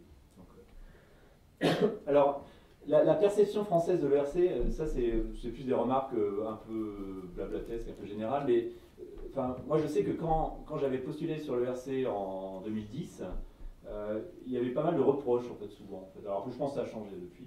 Euh, avec ce côté, euh, la science française est très collective et là finalement euh, on met beaucoup d'argent sur une personne, c'est individualiser un projet. Et Alors que dans les équipes, euh, enfin, nous on était une équipe euh, assez plate, euh, voilà. Et pourquoi toi euh. Et en fait, moi je trouve que c'est vraiment une perception extrêmement fausse. euh, parce que souvent, en fait, c'est un projet qui est toujours collaboratif, de toute façon. Euh, le projet, notamment à Lyon, était très euh, impliqué parce qu'il y avait plusieurs personnes dans le laboratoire, parce que voilà, les nano- nanotubes, tout ça, enfin, euh, il y avait du savoir-faire d'une autre équipe avec qui on avait beaucoup travaillé. Alors, d'autre part, il faut toujours rappeler que il faut pas se censurer, puisque si ça marche, c'est aussi une source de financement direct ou indirect pour les autres équipes du laboratoire. Donc euh, ça, c'est évident. Et euh, je trouve que ça s'insère bien dans le modèle français, c'est-à-dire que le RC Finance, c'est une personne sur un sujet, on, fait une sorte de task force autour d'un sujet, euh, ce qui n'est pas la même chose qu'un modèle anglo-saxon où il y a le laboratoire de Intel, et c'est très pyramidal, où il y a le, projet VRC qui va embaucher que des, euh, des postdocs et des thésards. En France, je pense qu'on a cette possibilité de créer une petite équipe, sachant que dans cette équipe, une autre personne peut avoir un autre projet VRC sur un autre sujet. Enfin, j'ai vu le cas euh, à Jussieu, ici, etc. Voilà, bon, après, ça question notre métier, etc. Donc voilà, c'est mon dernier slide. Euh, pour dire que sur, euh, sur le risque et l'ignorance, etc., j'aime bien cette phrase de Bourdieu, faire sans savoir complètement ce que l'on fait, c'est se donner une chance de découvrir dans ce que l'on fait quelque chose qu'on ne savait pas. Alors c'est toujours dit de façon très compliquée, euh, moi je résume toujours ça par euh, les cons les tout de Michel Audiard. Et euh, c'est plus euh, pragmatique. Voilà, merci.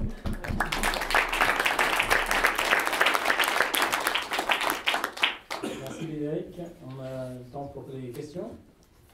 Oui.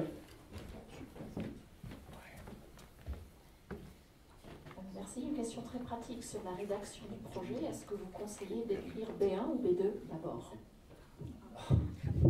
J'ai fait les deux sens. euh, euh, moi j'ai tendance, ouais, à- j'ai du mal à avoir un conseil très précis là-dessus. C'est-à-dire que là, finalement, euh, comme le, projet s'est d'abord construit en agglomérant, en construisant une stratégie, finalement, c'était plutôt le B2 qui s'est construit pour le dernier, disant, euh, mais en fait, il y a un peu les deux en parallèle. Donc, j'ai pas d'avis très, très, fort là-dessus. Si, je pouvais me permettre une idée, c'est de construire le B2 en style télégraphique et de rédiger B1 avant. Parce que B1 est crucial pour, le, pour passer, mais on a besoin de connaître tout le B2 pour pouvoir rédiger B1. Mais ça n'est pas un résumé. Non. Non. Euh, moi, je, m'interrogeais en fait sur, euh, sur la distinction entre les projets individuels qui, comme vous disiez, sont souvent collaboratifs euh, et, et, la réouverture des synergies. pendant de, quelques années, deux ans, je crois, on n'a pas eu la, enfin, la question ne se posait pas, c'est des projets individuels, donc on pouvait aussi travailler en équipe, mais parfois, en fait, je me demande si ça peut être au détriment d'un projet d'avoir une structure vraiment avec des PI qui ont des fonctions assez égales dans un projet individuel. Est-ce que les, membres de panel vont pas dire que ce n'est pas la place de ce projet-là et que ça devrait être un, projet Synology Alors, c'est clair que les projets ERC, c'est quand même un PI. On est d'accord. quand je dis c'est un projet collaboratif, euh, c'est dans le sens où le PI organise une équipe où il a des, certaines tâches à faire, et pour ça, il, peut aller chercher la compétence d'une équipe qui fait un truc très particulier, et si cette équipe accepte, de, ça va être Mais la, seule personne, parfois existe, je ne sais plus si ça existe encore, de, des co-PI, mais voilà, c'était euh, supprimé. Euh, mais de toute façon, il y a un PI qui est euh, bien identifié. Après, ça n'empêche pas d'aller chercher des projets collaboratifs. Donc c'est très différent des, synergies où il y a plusieurs PI finalement au même niveau. il reste quand même une personne qui doit être bien identifiée, qui va lancer le projet, le suivre, proposer les idées. Ok. Bah, donc s'il n'y a pas d'autres euh, questions, on remercie encore une fois.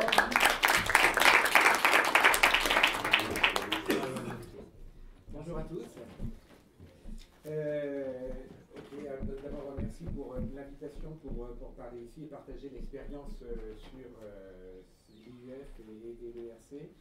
Donc, d'abord, quelques mots de présentation. Donc, je suis mathématicien appliqué. Donc, après une thèse à l'UPMC, un poste à Créteil, puis un petit tour aux États-Unis, j'ai repris un, un poste à l'UPMC à poste de professeur en 89. Euh, donc mon domaine c'est la modélisation mathématique, l'analyse des équations dérivées partielles, l'analyse numérique, euh, le calcul scientifique et, surtout l'interdisciplinarité. Dès le début, j'ai voulu faire euh, des maths pour la médecine, donc en même temps que je faisais des maths, j'ai commencé des études de médecine pour mieux comprendre que j'ai pas eu le temps de terminer, mais néanmoins ça m'a permis d'avoir un, petit peu un background de médecin. Donc les, premiers travaux euh, vraiment en mathématiques, euh, ben, je les ai ensuite appliqués à, la médecine. Et j'ai pu bénéficier, euh, quelques temps après avoir eu mon poste, d'une délégation au CNRS pour six ans, pour animer un laboratoire de, adossé à l'IDRIS, donc le centre de calcul national du CNRS, euh, un, laboratoire où on parlait d'algorithmes, euh, donc c'était centré sur les maths et, l'informatique, et, donc pour parler de, méthodes numériques pour résoudre des modèles euh, sur les, sur les grands calculateurs. Et, donc là, il y, avait, beaucoup de disciplines qui étaient représentées, qui utilisaient le calcul scientifique pour, y arriver. Et donc c'est là que j'ai fait mes premiers travaux en, chimie, plus exactement en collaboration avec des chimistes grâce à, Marie-Madeleine Romer et, Marc Bénard qui étaient de l'Université de Strasbourg et qui venaient donc pour travailler, comme moi je venais, euh, dans ce laboratoire-là pour échanger. Donc euh, ça a été très, très intéressant et, donc des applications vers la, médecine que j'avais, vers la mécanique euh, de façon assez évidente aussi. je me suis intéressé à la modélisation en chimie sur lequel, au niveau du numérique en tout cas, il n'y avait pas grand-chose. Il y avait des travaux sur les modèles mathématiques qui étaient faits par des mathématiciens, euh, comme Lib par exemple, euh, comme euh, aussi Pierre Williams pour, pour, ce qui est de l'école française. Mais il n'y avait pratiquement rien au niveau de, des, des, choses que les chimistes faisaient sur les gros calculateurs. Et, donc, je me suis dit que ça valait peut-être le coup de, de, regarder là. Alors, puisque c'est IUF et ERC, je vais aussi parler de l'IUF, c'est-à-dire que après avoir euh, dirigé le, laboratoire euh, Williams sur Sorbonne Université, enfin sur l'université Pierre et Marie Curie, comme ça s'appelait dans le temps, il n'y a pas encore très longtemps. Je l'ai dirigé donc pendant 12 ans et pendant, ces 12 ans, je me voyais mal déposer un projet quelconque puisque être directeur d'un laboratoire de la taille de celui-là, ça demande quand même pas mal de temps. Donc à l'issue, j'ai déposé, j'ai tenté l'IUF et j'ai réussi à, l'avoir. Et donc mon projet était en, en, 2012 axé sur trois choses. Euh, développer des algorithmes, avoir des applications, et puis, troisième axe, monter des relations industrielles. Euh, et donc, parmi les applications, eh ben, il y avait, euh, on, voit ici, il y avait modélisation mathématique en, sciences du vivant, mais en premier item, méthode numérique en chimie computationnelle à plusieurs échelles. Alors, à la fin de, 2000, de, ce premier IUF, ben, je me suis dit, je vais peut-être en déposer un autre parce que c'est quand même, euh, c'était bien ces cinq années pendant lesquelles j'avais quand même une certaine liberté. Ça m'a permis, après la direction du laboratoire, de, reprendre plus corps avec euh, la recherche et des, projets ambitieux. Et donc, euh, ben voilà, j'ai dit, pour, le renouveler, parce que c'est quand même assez rare d'avoir un renouvellement, j'ai dit, bah, j'avais trois axes qui étaient faire des maths appliquées, euh, avoir des applications et monter des relations industrielles. Je pense que j'ai tout fait. Donc, euh, du coup, euh, je pense que je peux resoumettre un projet. D'autant plus que, au niveau des relations industrielles, ce que j'ai monté pendant ces cinq années, et j'aurais pas pu le faire autrement, c'est monter un institut Carnot, donc un institut de recherche de large avec les industriels pour, pour, pour, travailler réellement avec eux. Donc, euh, si j'avais pas eu l'opportunité de monter un projet Carnot, j'aurais peut-être monté un projet ERC. Donc c'est ce que j'ai dit, et donc euh, j'ai dit, bah, comme euh, j'ai envie de continuer vraiment à faire de la recherche, mais aussi à animer ce, projet Carnot, et eh ben, je pense que l'IUF, ça serait la meilleure des choses pour me permettre de, de déposer un projet ERC. Donc du coup, comme je l'ai eu, il a fallu que je dépose un projet ERC. Hein. Bon, alors voilà, donc notre projet ERC, c'est un projet ERC Synergie. donc j'ai illustré quelques pages euh, du, projet. Donc synergie, ça veut dire plusieurs PI, qui sont euh, des équivalents de PI euh, de RC, vu mon âge, la, plus avancée. Et, et, donc, c'est un projet sur la modélisation mathématique en chimie computationnelle. Donc EMC2, donc c'est facile à se souvenir. Voilà, voilà donc voilà les quatre porteurs et j'étais corresponding PI. Donc, euh, c'est un projet franco-français euh, centré sur euh, presque Sorbonne Université, au sens où il y a deux matheux, donc Eric Ansès et moi. Il y a une spécialiste de computer science, Laura Grigori, qui est à l'INRIA, mais qui fait une grosse partie de son activité au sein du laboratoire Jacques Villons, donc sur Sorbonne Université. Et le chimiste, c'est Jean-Philippe Piquenal, qui d'ailleurs est membre IUF Junior 2016 et euh, qui est euh, professeur et, directeur du laboratoire de chimie théorique. Donc, alors, comment ça s'est passé? Donc, bah, on a expliqué que déjà, on avait commencé à travailler, effectivement. Donc, je rejoins là ce qui a été dit sur montrer que ça, c'est basé sur une expérience réelle. On a montré que en travaillant ensemble, et ça a commencé donc en 2012 par un petit projet financé par euh, France Berkeley, mais aussi ensuite, euh, je reviendrai peut-être un petit peu plus longuement dessus, sur euh, un, LABEX, on a réussi à avoir des financements qui nous ont permis de travailler entre maths et chimie et proposer des nouveaux algorithmes qui ont permis d'aller mille fois plus vite et donc d'aller grosso modo d'une petite protéine à 10 000 atomes à des, protéines plus euh, de l'ARN à 3 millions d'atomes, euh, commencer à attaquer et à modéliser le, ribosome. Donc ça, ça, a été fait à l'intérieur d'un code qui préexistait, qui était euh, l'un des, fers de lance de, Jean-Philippe Piquemal et de son équipe internationale. Et donc néanmoins, quand on a accéléré par mille un certain nombre de résolutions, eh ben, euh, ça a quand même fait du, bruit dans la communauté. en particulier, juste avant l'oral de l'ERC, on a eu un prix, Athos, Joseph Fourier, en High Performance Computing, donc sans doute pas fait de mal à, la, partie, euh, reconnaissance. Voilà, donc l'idée, donc avoir un grand challenge, donc c'est ce qu'on a essayé d'expliquer. Si tout marche, qu'est-ce qu'on va réussir à faire?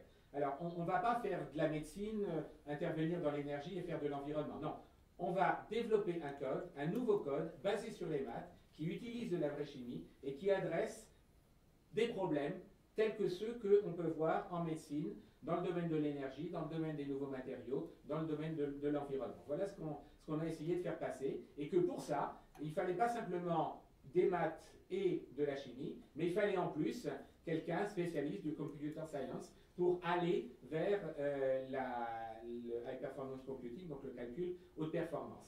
Et donc, c'est ce qu'on a dit, pour aller plus loin, il nous faut réellement des moyens supplémentaires. Voilà. Alors, euh, l'idée, c'est que effectivement, on a bien décomposé ça en work package, en, un certain nombre de tâches. Euh, une grosse partie du, budget, ça va aller vers des financements de doctorants, de post-doctorants, mais aussi parce qu'il y a un code à développer et qu'un code, ça se développe avec des gens qui sont faits pour ça et pas des étudiants. Donc, on, on va employer des ingénieurs qui vont nous permettre d'avoir un code qu'on va pouvoir transmettre et, laisser de façon ouverte. Et on va adresser, donc bon, ça c'était pour être joli. Quoi. Donc, euh, alors, comment préparer une ERC et, de rupture Bon, bah, du coup, en, étant mathématicien, mais mathématicien appliqué, ayant déjà travaillé de façon interdisciplinaire et en particulier euh, depuis euh, une, dizaine d'années à ce moment-là, avec des chimistes et ayant accès à, des codes, pas simplement celui de Jean-Philippe Picmal, mais aussi d'autres codes. Euh, bah, le, le, cadre de l'ERC, c'était une évidence, c'est-à-dire euh, c'était le ERC Synergie, je veux dire, c'était le, comme, tout est indiqué ici, 10 euh, millions d'euros pour travailler à plusieurs, 4 PI de, de, de, force à peu près égale. Donc dans notre cas, l'ERC Synergie, c'était pratiquement une, évidence. Hein. Euh, alors, en fait, on, avait, euh, on avait fait un, un, petit galop d'essai, puisqu'on avait déjà déposé en 2012 euh, un, premier projet qui n'avait pas, pas l'ambition de celui qu'on a déposé là, vu qu'il a eu C. en 2013, on l'a redéposé, d'accord, donc c'était mieux, il a eu B. Et, et, surtout, on a eu des rapports qui nous ont permis de comprendre quel était le cadre. Hein. donc, c'est important de déposer des projets pour avoir un retour. Alors, il ne faut pas déposer n'importe quoi parce que si vous avez vraiment une mauvaise note, euh, vous ne pouvez plus euh, soumettre pendant quelques temps. Mais euh, ça, vaut le coup quand même d'avoir un retour pour comprendre pourquoi vous ne l'avez pas. Comme ça, après, vous pouvez espérer l'avoir. Alors, donc, pas d'appel 2014. Donc, bah, du, coup, du, coup, on s'est financé, on, financé, avec un, LABEX. Donc, en, grosso modo, quand, quand le premier a euh, n'a pas marché. De toute façon, c'était assez difficile qu'il marche, puisqu'il n'y avait qu'une dizaine de financements à, ce moment-là. Sur 700 candidats. Sur 700 candidats, le premier. On se finançait sur 700 candidats. Mais c'était annoncé comme étant quelque chose pour voir si la communauté réagissait. Bon, du coup, la communauté a réagi. Et, donc, du coup, il y a eu un deuxième appel qui n'était pas prévu au début, au début, je crois. Si, si, c'était prévu, mais 400 candidats pour 13 lauréats. Oui, c'est ça. c'était à peu près du même ordre de grandeur. C'était pour récupérer parmi les, ceux, qui auraient dû l'avoir. Euh, et voilà. en tout cas, on n'était pas dans cela. Mais on a été mieux évalué.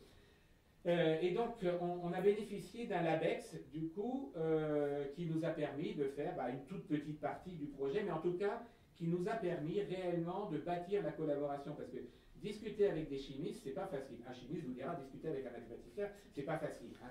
Surtout, euh, avec un mécanicien, on a l'habitude, on sait comment ils réagissent ces gens-là, d'accord? On a l'habitude de travailler avec eux. Avec des biologistes, c'est un petit peu plus compliqué. Mais avec des, chimistes, c'est impossible, d'accord? Donc, par exemple, un...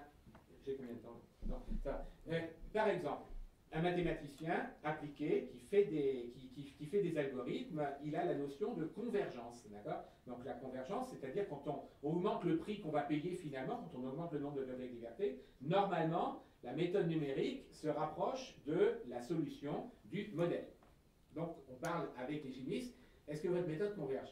Bah, Oui, elle converge. Oui, mais plus précisément, à quel, bah, euh, j'ai comparé avec la réalité et j'obtiens les mêmes résultats, des résultats coïncidents avec les fourchettes d'erreur. D'accord. Ben, euh, vous allez même plus vite que nous parce que nous, c'est dans une deuxième étape. On valide notre modèle par rapport à la réalité. D'abord, on essaie de voir si notre solution numérique converge vers la vraie solution, s'il n'y en a qu'une, du, modèle. Bon, mais c'est encore mieux ce que vous faites. Mais donc, euh, enfin, néanmoins, est-ce que ça converge? C'est-à-dire, est-ce que si on met plus de degrés de liberté, si on... Ah ben, on peut pas. On, si, on mettait moins de degrés de liberté, on ne pourrait pas résoudre le problème, et on ne peut pas parce qu'on sature le nombre d'heures qu'on nous a donné. Donc, euh, alors pour comprendre cette notion de convergence, hein, que je voudrais rapidement résumer, c'est six mois. Hein, voilà, bon. Alors donc, euh, après ça, il y, a, plein d'autres trucs. Le, les, les, les, minimisations d'énergie, par exemple, euh, enfin, c'est des choses qui n'ont pas le même sens des deux côtés. Donc construire une communauté, construire une collaboration dans ce cadre-là, ça demande du temps et on a bénéficié de ce LabEx Calcim Lab euh, qui nous a permis d'avoir des, des, thèses en co-tutelle, des vraies thèses en co-tutelle, hein, pas des fausses, des vraies thèses où il y a deux directeurs de thèse, où réellement on a pris euh, pour des sujets post-doc un chimiste et on l'a mis dans un labo de maths, on a pris des matheux, on les a mis dans les labos de chimie, et aussi on était deux directeurs de thèse, réellement. Voilà. Donc euh, ça, ça nous a permis d'avancer. Et, euh, et, donc, pourquoi ça avance plus Par contre, voilà. Et, donc, bah, ça nous a permis euh, d'avoir ce cadre-là et d'accélérer et ce qu'on a pu montrer. Donc, 2017, appel, nouvel appel, donc on s'est dit j'avais 203, on y va. Et alors là, il faut, bien réagir aussi par rapport au, au montant. Les premiers montants, c'était 15 millions. donc, quand j'ai vu l'appel à projet, c'est moi qui ai vu le premier appel à projet, du, en, en 2012. J'ai dit, on, ça serait peut-être pas mal qu'on y aille. Alors les collègues m'ont dit, mais t'es fou, enfin en maths, qu'est-ce qu'on va faire avec 15 millions? Euh, Voilà. Donc, euh, bon, j'ai dit, on essaie de jouer le jeu. Voilà. On commence à bâtir. Qu'est-ce qu'on va faire?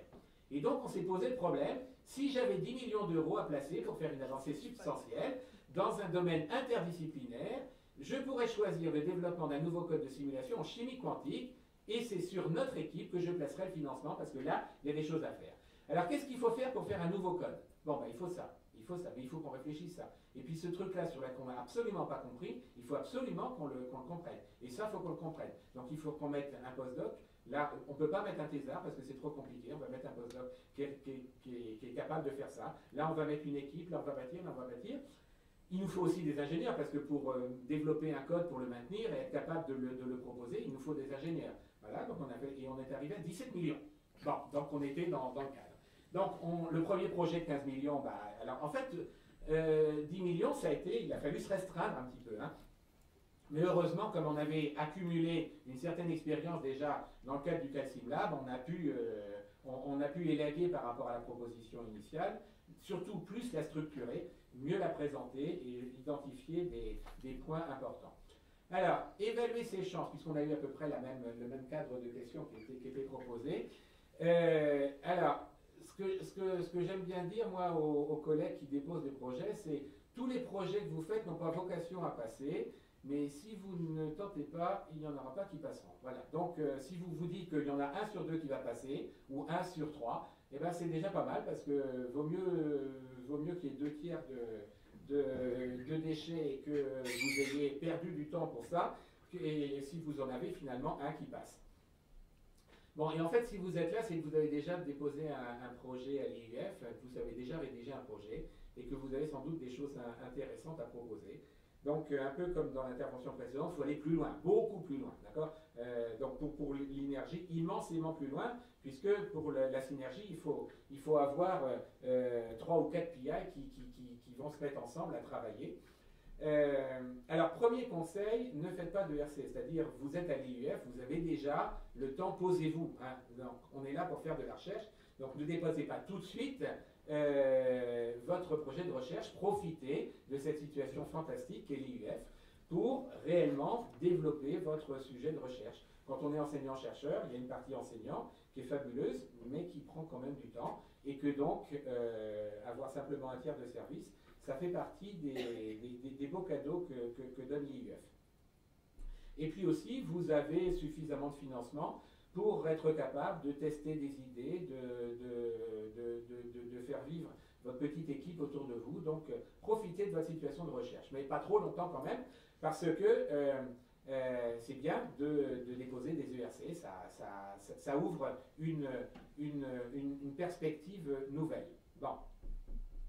Alors, euh, bon, qu'est-ce que j'ai foutu là euh, J'ai appuyé sur le mauvais bouton. Voilà. Hop. Bon, alors, donc si vous ne tentez pas le c'est sûr que vous ne l'aurez pas. Hein. C'est un petit peu la dernière phrase qui, qui était dite tout à l'heure.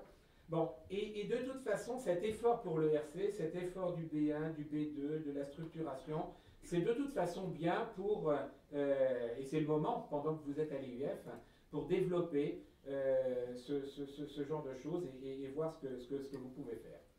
Alors, combien de temps euh, et quels moyens? Alors, le temps, nous, effectivement, c'est pas en trois semaines que ça a été fait. Euh, je vous ai dit, il y a une première soumission en 2012, ensuite une soumission en 2013, une soumission en 2017. En 2013, on avait arrêté d'espérer, puisque de toute façon, il n'y avait pas d'autres appels d'offres qui étaient prévus. Bon, néanmoins, on, maturait petit à petit, et je pense qu'on a mis euh, six mois euh, pour monter le projet. Pas à temps plein, bien évidemment, on avait autre chose à faire que, de penser à ce seul objectif de l'ERC, surtout que c'était quand même pas donné gagnant. Mais on, a, on, a mis énormément de temps, surtout à quatre, pour essayer à quatre de parler à une seule voix, essayer d'identifier les vrais problèmes. Euh, pour, un, pour une ERC synergie, euh, euh, pas synergie, je veux dire, la démarche est, sans doute différente. En tout cas là, il a fallu qu'on travaille réellement beaucoup ensemble. Ça n'empêche pas que, juste au moment de la soumission, il y a encore eu des, changements dans le, dossier. Hein. Mais il était quand même la, grande structure était faite. Et je suis assez d'accord avec ce qui a été dit pour euh, le B2 ou le B1. On, a commencé par la structure du B2, on a regardé ce qu'on allait mettre dedans, ensuite on a écrit le B1 et on a développé le B2 et on est revenu sur le B1, puis on a continué sur le B2, puis on est revenu sur le B1, enfin une centaine de fois. Hein. Mais euh, voilà, donc c'est plutôt dans ce sens-là qu'on a structuré les, choses. Voilà, euh, alors, nous étions mûrs, mais le projet n'était pas tout à fait encore mûr, puisqu'on a eu C, puis B, donc euh, ça, montrait qu'on avait des choses. Alors, la vie continue, néanmoins, même si on n'a pas les financements, parce que les rapports ont servi, on a, on, a tiré plein de choses, et, si on n'avait pas eu le RC, ça aurait été déjà des, choses positives que d'avoir les, les éléments qui étaient dans le rapport qui nous ont permis de nous mettre en face de cette collaboration interdisciplinaire où il y a plein de choses à, inventer, plein de choses à assurer, plein de choses qui existent que notre collègue chimiste ou que nos collègues chimistes ne connaissent pas et qu'ils nous ont fait savoir et que plein de choses aussi qu'en tant que matheux, on, ne savait pas. Donc c'était important d'avoir ces rapports et, euh, et, la dynamique donc, qui était donc partie. Donc euh, IUF, Calcimla, puis IUF, et donc tout ça, ça a, été important pour nous. Alors pour la partie coachée ou pas, oui, je pense que c'est important. Tous les conseils qui peuvent vous être donnés là, je ne prétends pas que les miens vont être particulièrement importants, mais en tout cas tous les conseils que vous pouvez récupérer sont hyper importants. Euh, accepter de se faire relire, accepter d'expliquer, de revenir sur un certain nombre de, de, de concepts pour les clarifier. Parce que effectivement, et encore plus pour un, projet synergie, ceux qui vont lire le projet sont, bien sûr, certains d'entre eux sont complètement spécialistes d'une partie, ils sont rares ceux qui sont spécialistes de l'intégralité, et il y en a plein qui sont spécialistes de pas grand-chose. Ils sont simplement intelligents, euh, parce qu'ils ont été choisis pour ça. Ils sont capables de comprendre si on leur explique, mais si on ne leur explique pas, eh ben, ils ne peuvent pas comprendre. Et ils ne peuvent pas comprendre l'enjeu, ils ne peuvent pas comprendre la démarche. Donc, euh, euh, tout ça, ça a été important. Donc, toutes ces discussions et ces retours ont permis au projet d'exister, et parce que, évidemment, c'est des appels à projets très compétitifs. La répétition à l'oral était fondamentale. On a demandé à, deux collègues qui avaient eu le RC Synergie, et on a demandé à d'autres collègues qui n'ont pas peur de nous faire de la peine, enfin pas faire de la peine, quoi, nous dire la réalité. Donc, on a fait un premier oral, dans duquel on était content, on l'avait bien préparé. Il a été totalement sabordé. Euh, voilà, donc on est reparti. C'était une semaine avant. Hein. voilà, donc ils nous ont dit, bah, c'est bien ce que vous racontez, mais ça passera pas. Voilà. Mais ça a été très constructif, d'accord ils ont, ils ont tout démoli, ils ont dit ça, ça va pas, ça, ça va pas, ça, ça va pas, ça, ça va pas. Et puis, bah, ils nous ont permis de, de sortir parce qu'on était peut-être un petit peu trop enfermé dans notre... Enfin, il était bien l'exposé, hein, mais... mais... il passait pas, voilà. Euh, ok, alors, qu'est-ce qui caractérise la synergie? Alors, bon, euh, voilà, euh, waouh. Euh, c'est quand on est en présence d'un tel projet, on le sait. Euh, donc euh, j'avais discuté avec un certain nombre de personnes qui avaient été dans des panels ici, là, ailleurs ou plus loin. Donc voilà, c'est l'une des premières choses qu'elle m'avait dit. quand, on a le bon projet, on le sait, et donc il faut montrer que c'est le bon projet qui est là. Le projet pour un synergie doit reposer effectivement sur trois ou quatre personnes de stature URC, bien montrer que si les quatre avaient tenté indépendamment, le projet n'aurait pas marché. Ce n'est pas, euh, pas quatre projets ERC qui, qui s'emboîtent, c'est plus, on va beaucoup plus loin. Hein. La synergie, c'est faire 1 plus 1 égale 3, et là, 1 euh, plus 1 plus 1 égale 10. Enfin, on va essayer en tout cas. Et, donc, c'est ce qu'on a prétendu, c'est ce qu'on a essayé d'argumenter et d'expliquer. Euh, et, donc aussi montrer qu'on va réellement travailler euh, ensemble et comment on va travailler, que, que c'est une nécessité que tout le monde travaille ensemble. Donc en particulier, on a dit qu'on allait se voir tous ensemble une fois par semaine. Donc euh, actuellement c'est infaisable. C'est pour ça qu'on a demandé à retarder à septembre 2019. Quand on a su, on n'a pas commencé au 1er janvier parce que c'était impossible de tenir ça. Alors on, a aussi dit qu'on n'arriverait certainement pas, mais à trois quarts du temps, on essaiera d'être réellement une fois par semaine ensemble pour voir les problèmes et les résoudre ensemble. Comme les thèses cofinancées euh, et, co-dirigées qu'on a eues. Ne pas avoir une solution de matheux ou une solution de chimiste ou une solution de computer scientist. Je ne dis pas informaticien parce que l'informaticien, c'est pas tout à fait bon.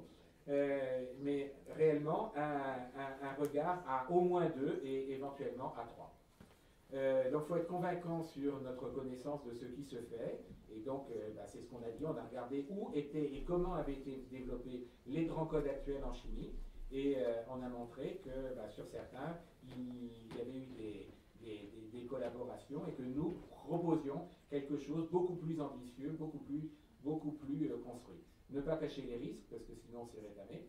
Et, et, et, puis, et puis bien insister sur le fait que si c'était évident, ce ne serait pas nécessaire de déposer un projet. Voilà, merci.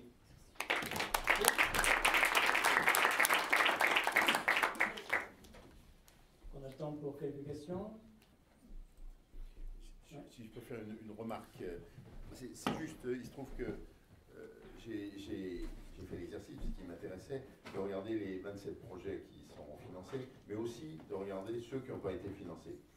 Et quand même, ce que tu dis est absolument vrai, c'est-à-dire que sur le projet lui-même, les projets qui ont été retenus, c'est pas pareil que ceux qui n'ont pas été retenus. C'est pas uniformément vrai, mais c'est quand même très vrai.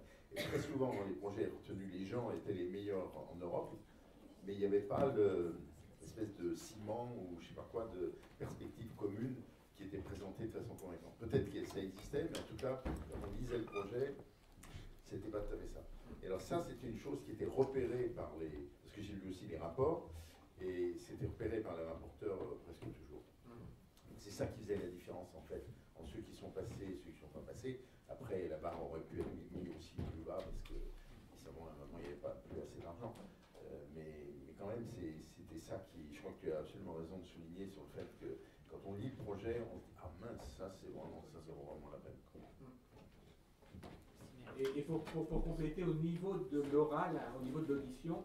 Euh, donc, ça a vraiment été un exercice à, quatre. C'est-à-dire que donc euh, j'ai fait, puisque j'ai fait corresponding, j'ai fait la partie présentation euh, globale, parce que là c'est très limité en temps, mais sur toutes les questions, on a eu deux réponses données par deux spécialistes différents. Donc on, a essayé de montrer, et ça on était très content, il y a plein de, il y a plein de trucs qu'on s'est dit après on aurait mieux fait de répondre ça, oh merde, tu aurais dû répondre ça, pourquoi j'y ai pas pensé?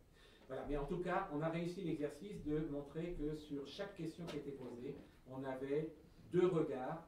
Le regard si c'était une question de maths, de mathématiciens, mais aussi du chimiste ou du computer scientist qui venait en écho et qui disait bah oui, si on avait ça, on a réussi à le comprendre et voilà comment on l'intégrera. Sur une question de chimiste, le matheux faisait la même chose, disait bah, on a à peu près compris ça et donc euh, voilà ce qu'on pourrait apporter. Et, donc sur toutes les questions, on a répondu à deux, ce qui, me semble, montrer que euh, notre collaboration, enfin notre, notre, cohérence scientifique était assez réelle. S'il n'y a pas d'autres questions, dans ce cas, on peut remercier encore. Euh, Donc on va euh, euh, continuer du coup la, la session de retour d'expérience euh, avec euh, Yann Algan, qui va nous parler de son expérience avec l'ERC. Voilà.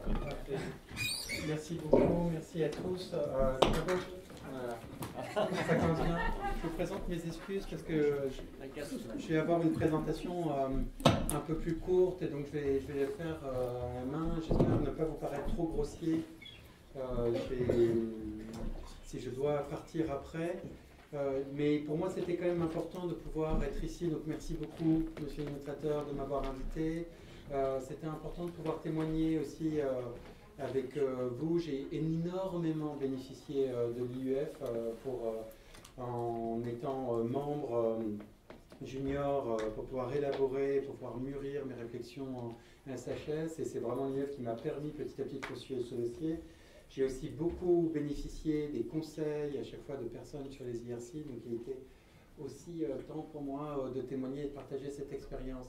Donc euh, je m'appelle Yann Algan, je suis euh, professeur d'économie à Sciences Po et je suis également le doyen, le directeur de l'école d'affaires publiques de Sciences Po, la grande école euh, qui prépare pas qu'à la haute fonction publique, à euh, tous les métiers des affaires publiques. Euh, je ne sais pas combien d'entre vous sont plus dans le domaine des SHS. Il y en a quelques-uns, d'accord. Il y en a qui sont entre Euh, entre les deux. D'accord. Et euh, donc, moi, je vais vous partager vraiment de façon très modeste. J'ai écouté les deux précédentes présentations. Je me suis dit, j'ai envie d'en. Ça me motive. euh, Je vais, je vais représenter encore une troisième euh, IRC. Je vais vous présenter vraiment une expérience modeste d'un- d'une IRC plus junior. hein, c'est ça, c'est Starting Grant. Et puis après, euh, Consolidator. Donc j'ai eu les deux à la suite. J'ai enchaîné.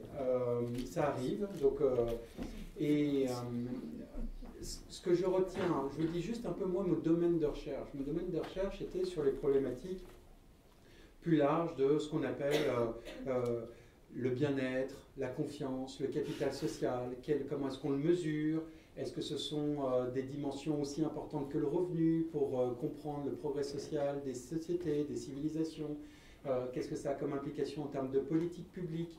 Donc c'est des domaines qui étaient relativement émergents à l'époque, parce que ça, y est, je commence un peu à, vieillir. C'était maintenant il y, a, il y a 10 ans ou 9 ans lors de ma première euh, IRC euh, Starting Grant. Et euh, c'était des sujets, on sentait qui étaient en train de mûrir, mais qui demandaient aussi à un moment donné un peu une, réflexion de rupture potentiellement. Donc c'est la réponse à la première question. Qu'est-ce qu'un projet de rupture? Et d'une certaine façon, euh, je pense que la, la meilleure façon d'y répondre, c'est lorsque vous êtes dans un domaine, euh, donc je prends l'exemple des sciences sociales, euh, c'est de vraiment de, de voir en quoi, lorsque vous allez résumer en une phrase ou en deux phrases à quelqu'un, un interlocuteur, il va tout de suite comprendre que vous êtes à la frontière. Moi, d'une certaine façon, je conseillerais presque, faites vos parties B1, B2, mais je vous conseille presque à la limite de faire qu'une phrase préparée dès le départ, l'oral, dans un PowerPoint de 7 minutes. Comment est-ce que vous allez dire, waouh, la personne a vraiment, va vraiment changer le champ Il ne faut pas non plus être euh, euh, euh, irrespectueux et il faut garder, rester modeste, etc. Mais vraiment, posez-vous cette question. Je vous donne juste un exemple. Moi, sur la question du bien-être ou de la confiance, j'aurais très bien pu me dire, oui, euh, le bien-être est important, il y a quelques mesures euh, dans des enquêtes euh, à l'heure actuelle. sur une échelle de 0 à 10, est-ce que vous pensez que vous êtes confiant ou non? Euh, Cette question est euh, imparfaite, posons d'autres questions, d'accord? Vous voyez que là, vous ne changez pas de nature. Moi, vraiment, mon point, ça a été de dire, si on prend vraiment au sérieux les questions de confiance et de bien-être, on a trois grands problèmes. On ne sait pas vraiment les mesurer à l'heure actuelle. Il y a énormément de questions autodéclarées, mais euh, elles sont très imparfaites. Comment est-ce que les gens se situent, sur une échelle de 0 à 10 Elles sont très peu fréquentes, c'est une fois tous les 4 ans. Donc comment est-ce qu'on prend le pouls des sociétés D'accord? Elles sont très peu représentatives aussi. On ne sait pas au niveau des villes, si vous voulez mesurer les gilets jaunes, etc. Comment est-ce que vous êtes près des territoires? On doit avoir des mesures complètement différentes. Et donc à l'époque, c'était le début un peu des big data. Et la proposition a été de dire, eh ben, nous allons suivre, par exemple, que ce soit avec des Google Queries, euh, que ce soit avec euh, des nouvelles mesures de suivi en ligne, où je vais pouvoir mesurer le niveau de bien-être ou le niveau de confiance. Et là, tout de suite, si vous arrivez en disant, regardez, on est capable d'avoir une granularité beaucoup plus importante à un niveau des territoires, on est capable d'avoir des données de très très haute fréquence, et puis on est, on est capable aussi de montrer que ces données sont très liées à ce qui a été fait dans la littérature. Hein. faut quand même euh, vous êtes face à des très grands experts, euh, il ne s'agit surtout pas de les insulter, de dire que tout ce qui a été fait auparavant est complètement nul et vous, vous allez tout mettre à plat. Mais dire, regardez, ma recherche, elle va même vous aider, elle va aider la recherche précédente aussi à progresser, je vais pouvoir tester avec les anciennes enquêtes qui ont été faites.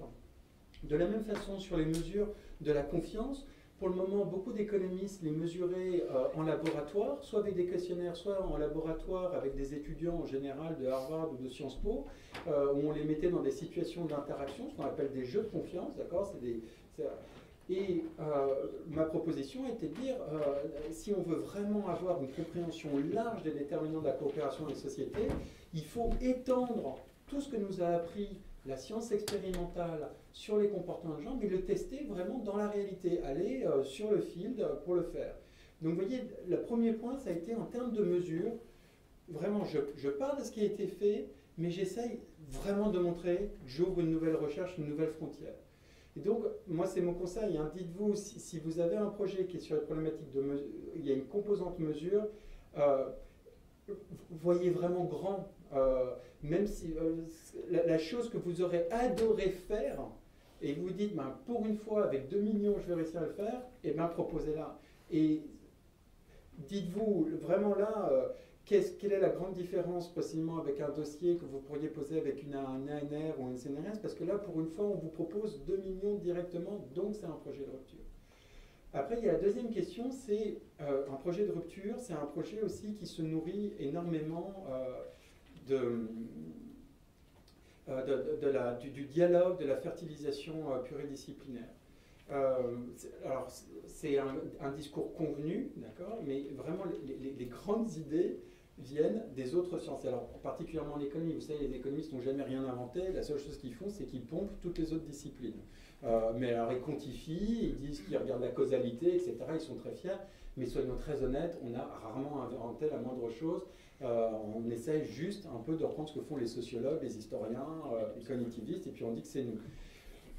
Donc, moi, c'est exactement ce que j'ai fait. Lorsqu'il faut mesurer la confiance, lorsqu'il faut mesurer le bien-être, ben, vous voyez, il y a énormément de travaux en sciences cognitives sur la perception de l'autre, la perception de l'image. Comment est-ce que je différencie, par exemple, la confiance que j'ai dans l'autre, mon degré de coopération, véritablement mon empathie, avec mon aversion pour le risque? D'accord? C'est une autre dimension, l'aversion pour le risque l'aversion à être trahi par les autres et l'aversion au risque juste de prendre euh, des décisions qui peuvent euh, vous mettre dans des situations difficiles.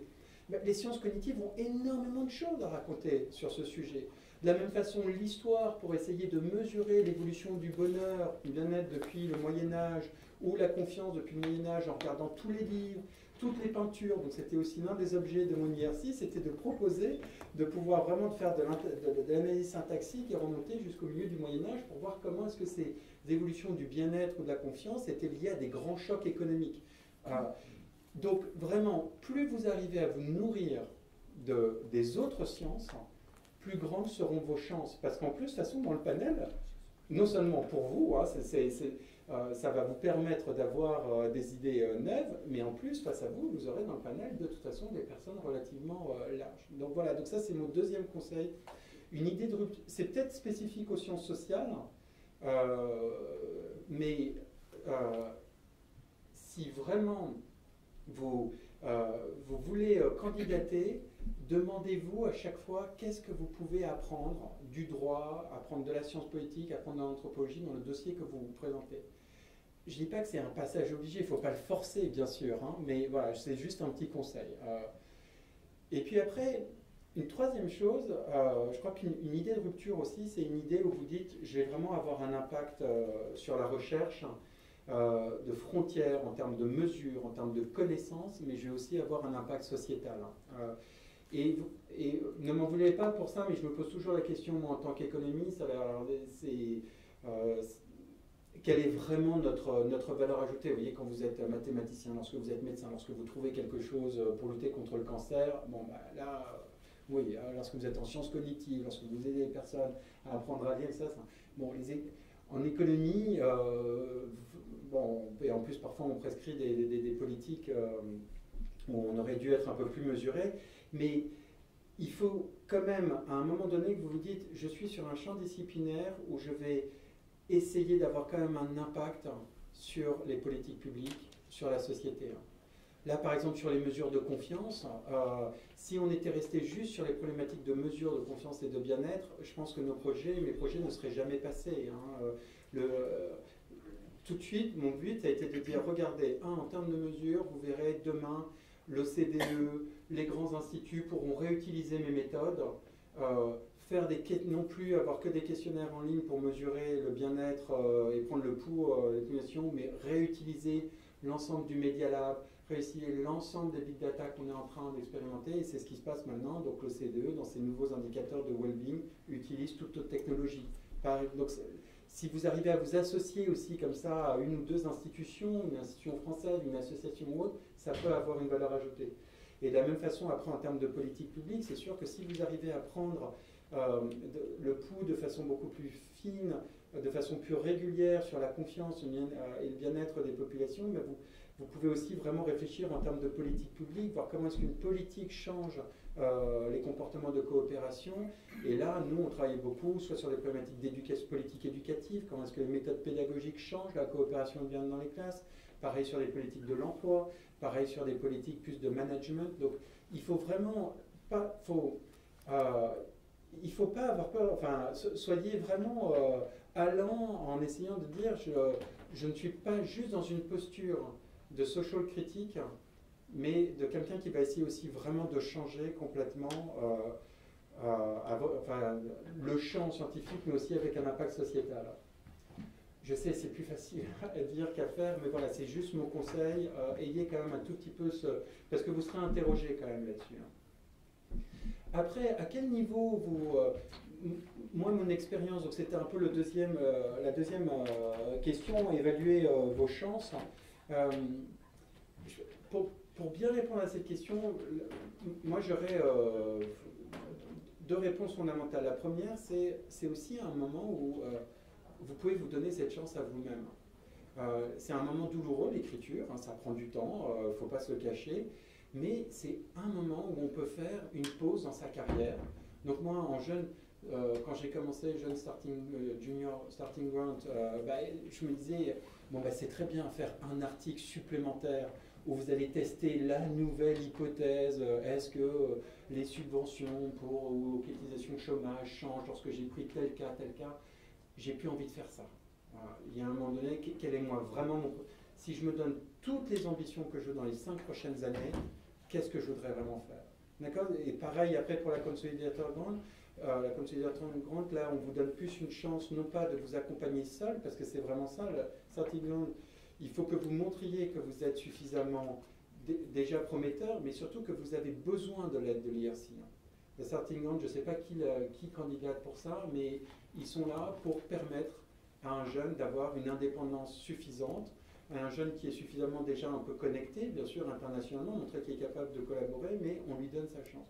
Consolidateur, c'est aussi là, c'est une deuxième étape euh, dans la vie d'un chercheur où euh, euh, vous avez, ça y est, quelques premiers résultats, mais vous montrez que vous êtes capable de manager une équipe, de pouvoir co-encadrer des PhD, des jeunes prometteurs en maître de conf, tenure track et ce, moment du consolidateur, moi honnêtement, si, si j'avais pas eu cette IRC, je pense que le fait de l'écrire euh, aurait quand même changé vraiment euh, mes publications et ma carrière de chercheur. Donc franchement, accordez-vous cette chance et ne le faites pas au dernier moment. Quand tout à l'heure il y avait une intervention en disant euh, ça prend 4 mois, je ne pense pas que ce soit juste l'écriture en elle-même qui prend 4 mois. 4 mois, c'est le temps que vous autorisez pour dire, ben voilà, qu'est-ce que je veux faire, moi, dans la deuxième étape de ma carrière de chercheur, si je veux vraiment avoir un impact sur la science et sur la société.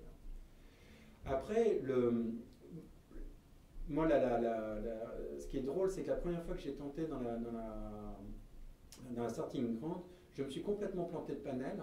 C'était l'un des premières IRC, donc j'ai candidaté en SH2, euh, donc plus en sociologie, parce qu'il y avait marqué valeur, culture, bien-être. Euh, je l'ai eu. Euh, la deuxième fois, c'était plus en économie. Cette fois-ci, je l'ai eu aussi. Donc, ne, ne, vous, ne vous bridez pas là-dessus en vous disant, mais mince, est-ce qu'en sciences sociales, ils vont être plus critiques vis-à-vis des Français, etc. Vous, vous inquiétez pas là-dessus. Si votre projet est vraiment bien, il passera.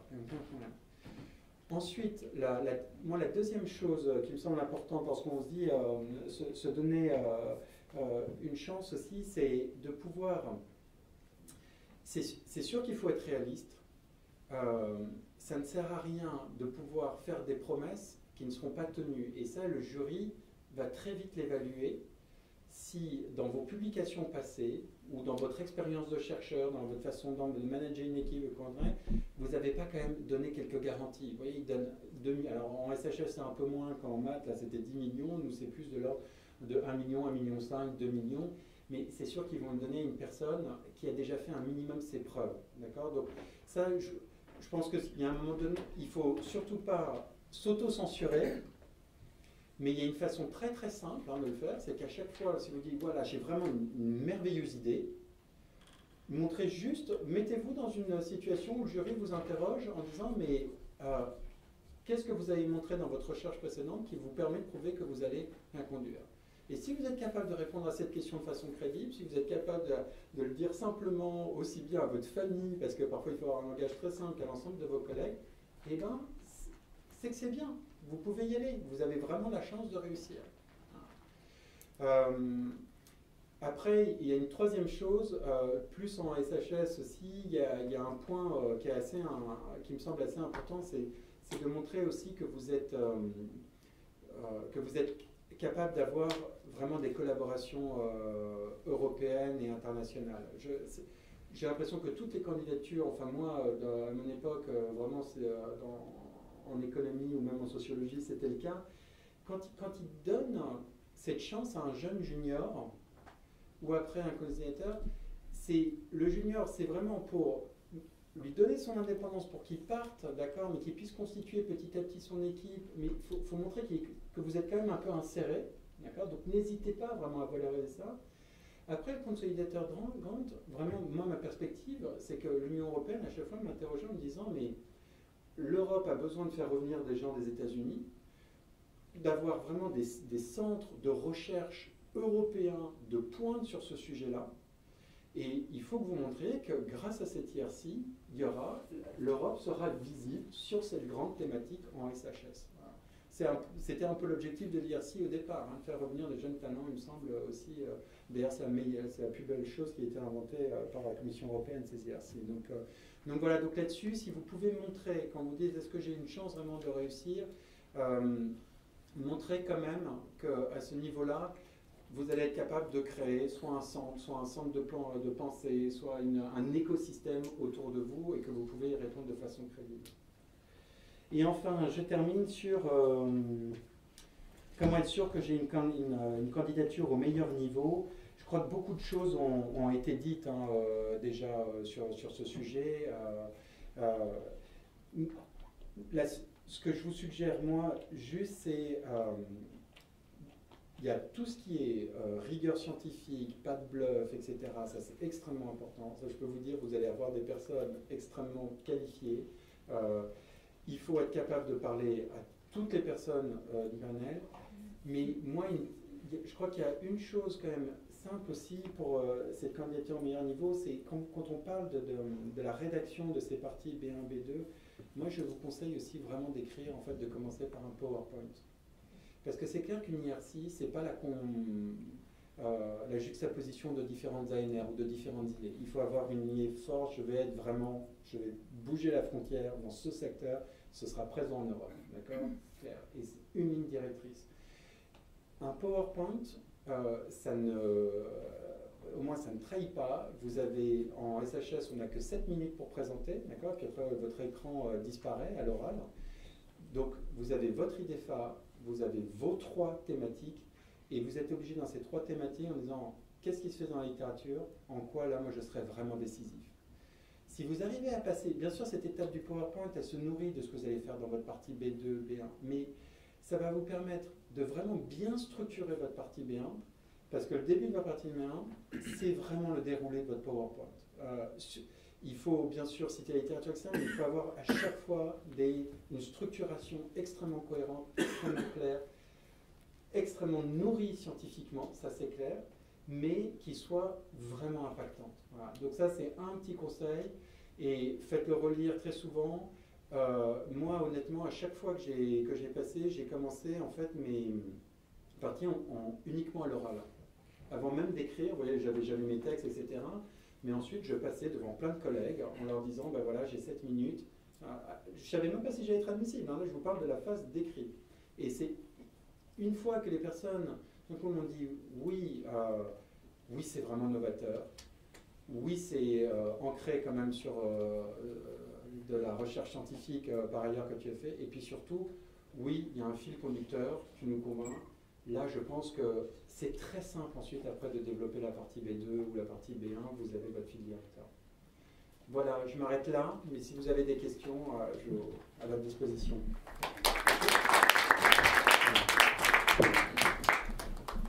Du coup, on a le temps pour des questions. Oui, oui je voulais revenir sur le panel. Ça a déjà été évoqué tout à l'heure, mais vous, là, vous les adoucissez assez pour le choix du panel. Quand on dit justement, quand on veut briser un peu la glace, qu'on est, on est plus ou moins un panel, est-ce qu'il faut choisir le panel finalement Il euh, faut garder son panel d'origine faut, faut, Parce que c'est difficile souvent de. on ne connaît pas forcément. là où on va, justement, c'est quelque chose de novateur, mais on ne maîtrise pas forcément euh, toute cette. Euh, alors, culture. je sais. Je, vais peut-être mettre les pieds dans le plat, mais en même temps, je, je, je, veux surtout me fâcher avec personne. Je vous dis juste, moi, le sentiment que m'a donné quand même cette IRC, c'est de pouvoir mettre des chercheurs de toute l'Europe et de disciplines quand même, ou en tout cas de sensibilités différentes, faisait que les microcosmes en sciences politiques, en sociologie, en économie, etc., que vous pouvez avoir en France, explosent complètement. Mais vraiment. Dans le premier panel, par exemple, en, sciences, euh, donc moi je ne l'avais pas du tout choisi par la discipline, mais uniquement par la thématique. Donc les thématiques plus culture, confiance, bien-être apparaissaient dans SH2, donc j'ai même pas réfléchi. Voilà, c'était.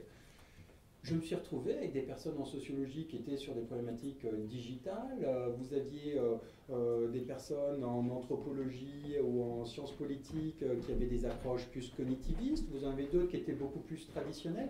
Mais peu importe, ils étaient vraiment réunis juste là pour la science. Donc euh, je ne me suis jamais senti en insécurité ou en me disant oh là là, euh, mince, euh, quel mot je dois prononcer. Vous voyez un peu comment ça peut être un peu plus dans un milieu franco-français d'une certaine façon.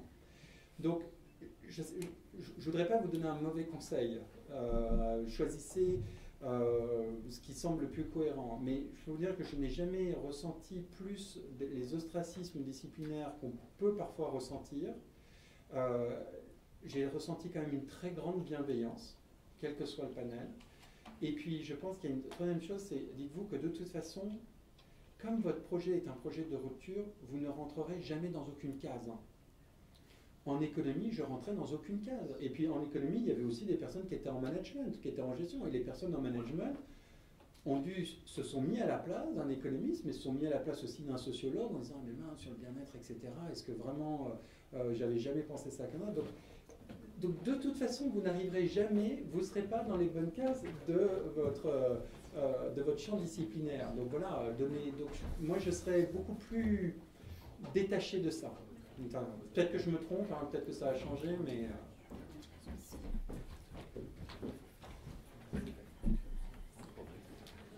S'il n'y a pas d'autres questions, on va remercier. Euh, Merci beaucoup. Merci.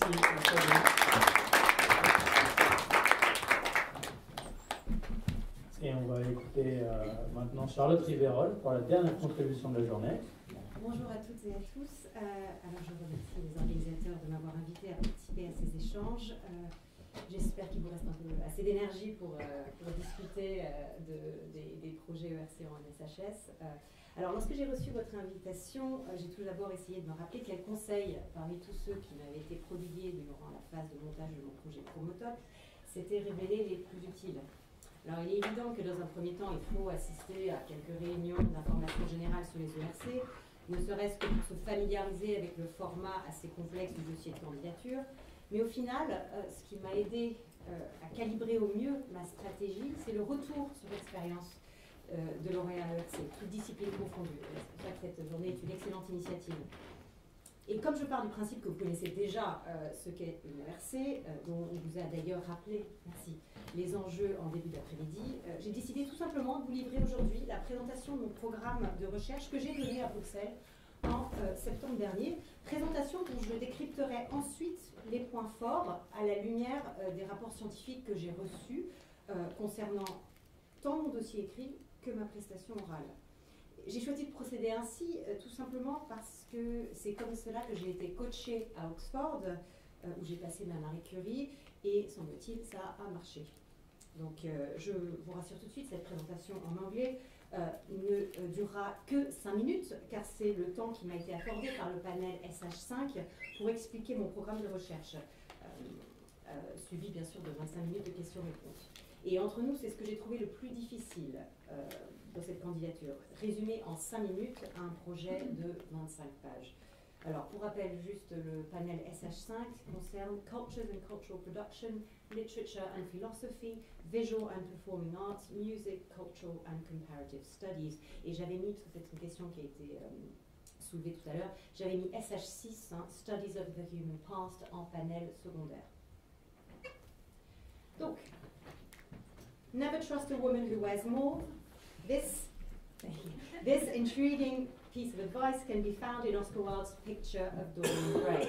Now, why mauve? Because in 1890, mauve was still viewed as a new colour, derived from morphine, the dye which the chemist William Perkin patented in 1859, the year the French word mauve entered the English language. So for Wilde, not only was this new colour artificial, it was also potentially vulgar because cheap and mass-produced for an expanding textile industry, hence his distrust. Now, I chose to start with this quotation to show how the new forms of chromatic materiality, which appeared during the Industrial Revolution, affected the terminology of writers and shaped their ways of thinking about colour. Far from being anecdotal, this reference to mauve reveals how colour became what I call a chromotope, uh, in the second half of the 19th century. That is to say, a cultural construct linked to a specific time and place. Now, the crucial question I intend to address in this ERC project is why and how colour became modern during that pivotal period and what insight this gives us into neglected aspects of 19th century cultural history. I specifically locate this chromatic turning point in Victorian England, as it was there that new conceptions of colour first appeared following the invention of aniline dyes and key investigations into colour vision. My ambition is to show how this colour revolution and the nostalgia for antique and medieval chromatic practices, which it often triggered, influenced the works of major writers and artists throughout Europe and beyond. So my project will focus on three, sorry, three objectives. Uh, firstly, to reveal the literary impact of new scientific approaches to chromatic materialities. Secondly, to highlight 19th century international exhibitions as the colorscapes of modernity. And finally, to understand how industrial colours required new forms of colour pedagogy. Now, each of these objectives will lead to high impact outputs addressed to a multidisciplinary scientific community as well as to the general public. In particular, thanks to the exhibition on Victorian uh, colour which I will curate at the Ashmolean Museum in 2022. Now, one of the key artworks of this show will be the Great Bookcase, which you can see here, designed by the chromophile William Burgess for the 1862 London exhibition. Now, in parallel with the pigment analysis carried out on this exceptional case study, I will constitute with my team a database on 19th century colour, which will further showcase our innovative methodology articulating artistic practice, scientific data, and textual analysis. Now, this database will equally make use of the classification of 2,424 pigment samples in the Conservatoire National des Arts et Métiers, which my team will produce. Now, to reach these ambitious objectives, I will draw on my growing network in the field of colour studies. I've indeed been exploring colours for several years now, Now, but since 2014, my work has taken on an even more interdisciplinary dimension, which uh, attained international recognition thanks to the 1 million euro program Polir. However, this ERC project would enable me to take this research to a whole new level.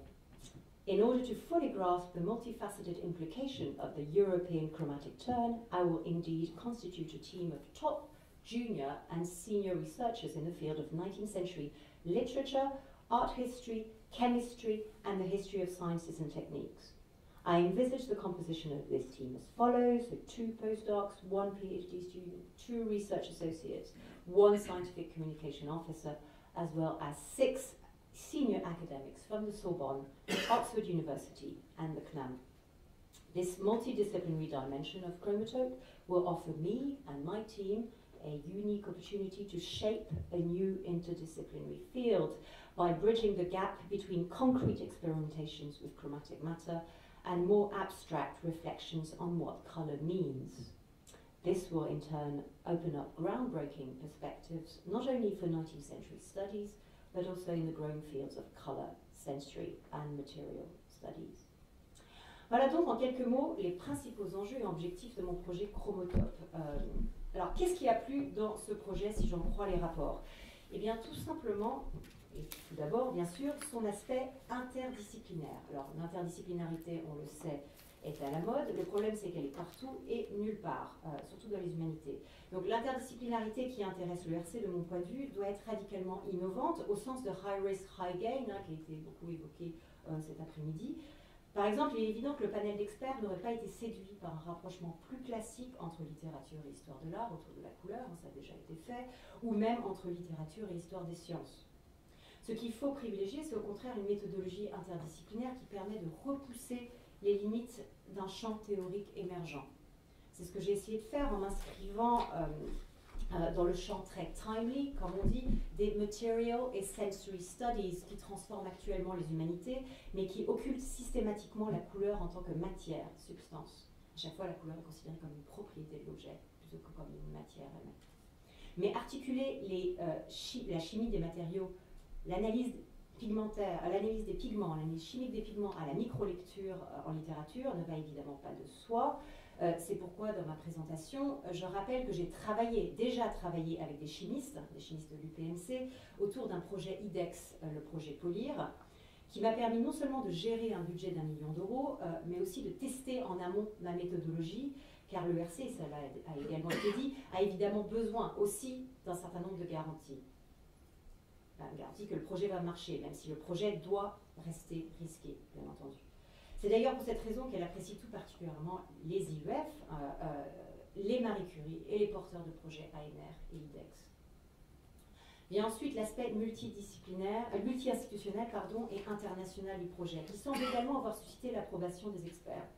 Alors dans mon projet, l'internationalisation se joue à la fois au niveau des projets scientifiques et au niveau de sa mise en œuvre. Alors au niveau scientifique, tout d'abord, car au XIXe siècle, les débats chromatiques se font écho partout en Europe et même au-delà, puisque les colorants de synthèse, euh, les colorants d'aniline hein, fabriqués en Europe, notamment en Angleterre et en Allemagne, vont mettre à mal les importations de colorants naturels venus des colonies. Le panel a, semble-t-il, été très sensible à cette dimension global history à laquelle je vous invite à réfléchir, car une problématique trop nationale risque de ne pas retenir leur attention. D'ailleurs, à, l'oral, on m'a posé énormément de questions sur l'Inde et le Japon, qui n'était pas forcément au centre de mon projet. Donc vraiment, un global history très important. Euh, mais l'internationalisation peut également concerner la mise en œuvre du projet lui-même, euh, si l'on multiplie par exemple les partenaires dans différents pays, ce qui n'est bien évidemment pas une obligation, hein, ça dépend du projet lui-même bien sûr. Alors pour ma part, j'ai profité des trois derniers mois, c'est même trois mois, euh, de ma Marie Curie Fellowship à Oxford, dont j'étais déchargée à 100%, hein, donc c'est trois mois à temps plein, pour monter un partenariat entre Oxford, le CNAM et la Sorbonne.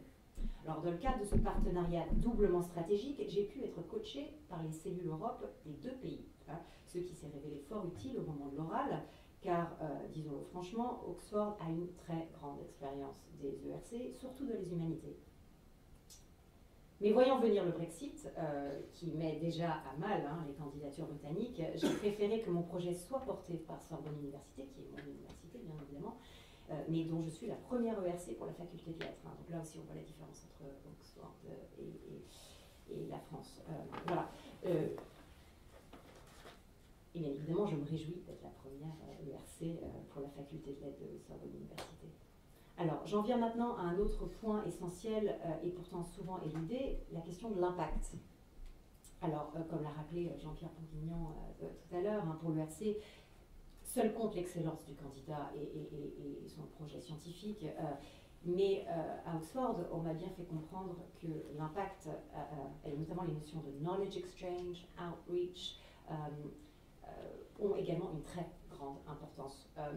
Et, j'ai pu en effet m'en rendre compte au moment de l'entretien à Bruxelles, où on m'a posé beaucoup de questions au sujet de mon exposition à la Schmölln Museum d'Oxford hein, en 2022. Exposition qui présentera 150 œuvres d'artistes victoriens majeurs et qui devrait accueillir jusqu'à 100 000 visiteurs, euh, ce qui constitue bien évidemment une vitrine extraordinaire, euh, tant pour mon projet euh, que pour le financement européen dont j'ai bénéficié. En revanche, je tiens à préciser que les frais d'assurance euh, et de transport des œuvres ne font pas partie des coûts éligibles. hein. Euh, mon budget, c'est mon équipe, hein, c'est les colloques que j'organise. Alors bien évidemment, je ne dis pas qu'il faut organiser une exposition hein, pour obtenir une ERC, euh, mais euh, je pense qu'il faut réfléchir à la manière dont votre projet peut avoir des répercussions au-delà de la communauté universitaire. Et c'est d'ailleurs euh, un critère fondamental dans les candidatures Marie Curie, qui peuvent aussi constituer un excellent tremplin vers l'ERC, en plus, j'entends, de l'IEF. Dans la mesure où les, candidatures Marie Curie, hein, et j'ai eu, donc une Marie Curie Fellowship pendant deux ans, euh, permettent aux chercheurs de consolider son réseau international, tout en disposant du temps nécessaire, hein, des charges à 100% cette fois, euh, euh, pour peaufiner au mieux sa candidature auprès, des principaux acteurs du champ. Alors, et pour finir cette courte présentation et, laisser du temps pour les questions, euh, j'aimerais juste revenir à la citation d'Oscar Wilde que j'ai utilisée euh, en ouverture de ma présentation. Alors, c'était Never trust a woman who wears mauve, ce qui vous a fait sourire. Et c'était mon but. Euh, euh, c'était mon but à Bruxelles parce qu'on m'avait bien dit, et ça a été dit aussi beaucoup cet après-midi, les, experts lisent énormément de projets, euh, des projets des fois où il y a très peu d'images. Alors moi j'ai mis des couleurs forcément, Euh, mais, euh, c'est vrai que c'est très très lourd euh, euh, je pense qu'il faut aussi avoir un peu de compassion pour les experts. Et, euh, et, et on m'avait dit à Oxford, et c'était un des conseils qui m'a été le plus utile, c'est la première minute qui compte, c'est la première page du projet qui compte, et c'est la première minute de l'oral qui compte. Alors, euh, les Anglais sont très forts pour ça, mais euh, souvent, vous pouvez aller à des conférences en Angleterre ou aux États-Unis. Euh, le, speak euh, peut commencer par faire rire son auditoire. Et c'est vrai que ça capte tout de suite, ça c'est la captatio benevolentiae, on capte tout de suite l'attention de l'auditoire. Et tout le monde arrive avec Never Trust a Woman Who Wears Mauve. Euh, c'est une citation très drôle, elle est anecdotique, mais elle est faussement anecdotique, parce qu'on peut en dire énormément de choses, mais c'est une citation très simple, très courte. Euh, à l'image de ce que doit être aussi un projet ERC, il faut s'exprimer dans une langue fluide, là aussi ça a été déjà dit, et je savais qu'avec Wilde, euh, c'était un nom fédérateur, un nom euh, d'un écrivain extrêmement connu, qui serait connu non seulement des littéraires, il n'y en avait qu'une hein, littéraire dans mon panel, donc euh, je, je m'appuyais beaucoup sur elle, mais je savais qu'il fallait aussi que je m'adresse aux historiens de l'art, aux anthropologues et aux philosophes. Et mon idée étant de montrer qu'avec une thématique de rupture, ici le prisme de la matérialité chromatique, on peut relire de manière radicalement nouvelle un texte canonique. hein. The Picture of Dorian Gray est enseigné en lycée, c'est enfin, un texte très très connu. Donc là aussi, ça, ça pose la question de l'impact. Euh, mais Wilde, c'était aussi un message subliminal que j'essayais d'envoyer un peu à mon jury, euh, parce que Wilde, c'est un europhile convaincu, bien évidemment. hein. En période de Brexit, c'est toujours utile de montrer qu'il y a quand même des Anglais qui tiennent à l'Europe. Euh, et Wilde fait le lien entre l'Angleterre, la France, hein, il est mort à Paris, il au Père Lachaise, bien évidemment, euh, l'Italie, euh, euh, où il a passé de longues années de sa vie, l'Allemagne et même les États-Unis, euh, où il a eu énormément d'influence. Et, c'est ce que j'essayais aussi de montrer au sujet de la couleur. hein. Les idées sur la couleur circulent partout en Europe et au-delà. Mais Wilde aussi, et c'est un point qui n'a pas été évoqué, euh, euh, cet après-midi, Wilde nous parle des femmes, hein. Never trust woman who mauve, euh, rappelant euh, un point essentiel, c'est que la couleur a toujours été reléguée au second plan parce qu'elle elle était considérée comme trop féminine. La couleur, c'est les cosmétiques, c'est les fards que, dont usent les femmes. Euh, et euh, donc la couleur moi, la couleur que j'essaie de remettre au centre des débats, hein, c'est le jeu de mots avec mon acronyme aussi. L'acronyme est très très important. Hein. Chromotope, hein, c'est le chronotope de Bakhtin, mais c'est aussi chromo on top. C'est la couleur on top, c'est la couleur au, centre des débats. Euh, voilà, euh, la couleur c'est secondaire, parce que la couleur est genrée. Or, l'ERC est extrêmement sensible à ces enjeux de genre, euh, c'est d'ailleurs clairement explicité dans les textes, mais ces enjeux de genre qui se jouent aussi bien au niveau scientifique, hein, le projet scientifique doit aborder la question du genre, euh, qu'au niveau de la composition des équipes. Moi, j'ai vraiment tenu, et, c'est quelque chose qui a été relevé dans, l'évaluation, que soi-disant cette slide était très belle, donc voilà, donc je vous la montre, hein, semble-t-il qu'elle a plu, mais que voilà, euh, j'ai bien insisté sur le fait que je travaille avec des chimistes et des littéraires qui euh, même s'il y a un peu plus d'hommes dans la, partie senior, j'ai dit dans mon projet que je comptais avoir un équilibre parfait, 50-50, hommes-femmes dans mon équipe, et, j'y tiens. Et euh, donc n'oubliez pas cet aspect non plus quand vous montez vos dossiers. Voilà. Et j'espère, bah, je finis cette question de genre aussi parce que j'espère que ma présentation pourra encourager aussi d'autres candidatures féminines en humanité. Merci.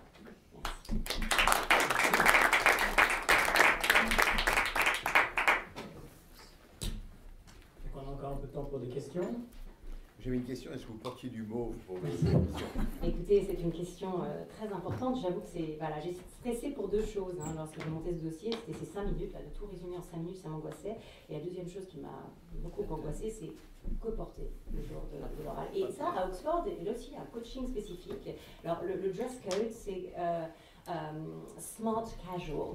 Donc, voilà, des, pour les hommes, chemise, mais pas de, forcément de cravate pour les femmes, il n'y a pas beaucoup d'indications, hélas. Euh, non, j'ai porté un, haut, une veste, euh, une veste forcément hein, pour un peu élégante, mais euh, un, haut qui était bleu, bleu, un bleu outre-mer. je parle beaucoup du, du lapis lazuli et de l'outre-mer dans mon projet, mais c'était bien évidemment un clin d'œil au bleu de l'Europe, en espérant que, voilà, encore une fois, ça allait les convaincre de le financer. Ce qui a marché aussi. Alors, merci beaucoup pour cette présentation très inspiring, I. Et dommage que la, seule femme et la plus jeune ait parlé l'an dernier, quand beaucoup de gens étaient partis. Euh, j'ai deux questions qui sont vraiment euh, de caractère général, c'est-à-dire est-ce que, euh, que vous avez soulevé effectivement, est-ce qu'il faut vraiment avoir des, des, livrables, comme on dit dans les ANR, donc dans votre cas l'exposition, etc., les databases, etc. et est-ce que l'équipe doit être déjà constituée? D'une certaine manière. Parce que moi, j'ai toujours pensé que les, projets européens étaient des projets d'équipe. En fait, là, je découvre que les ERC ou ERC sont des projets euh, individuels, mais il y a des équipes qui sont déjà présentées. Mhm. Où il suffit de dire j'aurai une équipe. Alors, je pense que bah, euh, chacun constitue son équipe euh, comme il ou elle le souhaite, bien évidemment. bon, j'ai mentionné l'importance de la Marie Curie dont j'ai bénéficié en plus de l'IUF parce que de passer évidemment deux ans à Oxford m'a permis de rencontrer un certain nombre de personnes très importantes dans mon champ euh, et qui m'ont aidé aussi à, calibrer mon projet. Et j'ai tenu à leur rendre justice euh, en, insistant bien sur le fait que j'allais collaborer avec ces personnes. Euh, alors déjà, c'est des noms très importants dans mon champ, donc c'était aussi un argument de poids hein, pour, pour, que, pour, le, le, jury finance mon projet, mais c'était aussi un moyen de montrer que la réflexion était déjà avancée euh, et, euh, et, et, que euh, voilà, le budget permet, on oublie ça, je sais quand j'en parlais avec un, collègue, voilà, qu'est-ce que tu finances avec 2 millions d'euros en humanité? C'est une des questions qu'on se pose souvent, pas besoin d'équipement, voilà, on a tendance à travailler seul en bibliothèque, je dis pourquoi, pourquoi avoir demandé tout cet argent?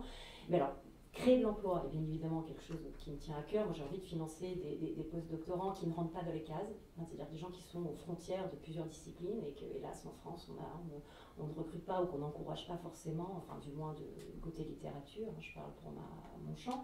Mais euh, l'avantage euh, avec un budget ERC, c'est qu'on peut aussi financer des décharges, des décharges de collègues et euh, ça aussi, c'est un argument de poids pour convaincre des grands pontes euh, de l'université d'Oxford en particulier de, faire partie euh, de cette équipe. Et c'est des gens qui vont vraiment se consacrer, du moins c'est ce qu'ils m'ont promis, à, mon projet. Donc oui, je pense qu'il faut essayer de balancer, parce que ça rassure, à mon avis, l'ERC, de savoir qu'il y a voilà, des grandes personnalités, des gens qui ont marqué déjà le champ, qui vont se lancer dans une thématique vraiment de rupture. Donc voilà, c'est le PI, mais un PI appuyé par des, par des grands.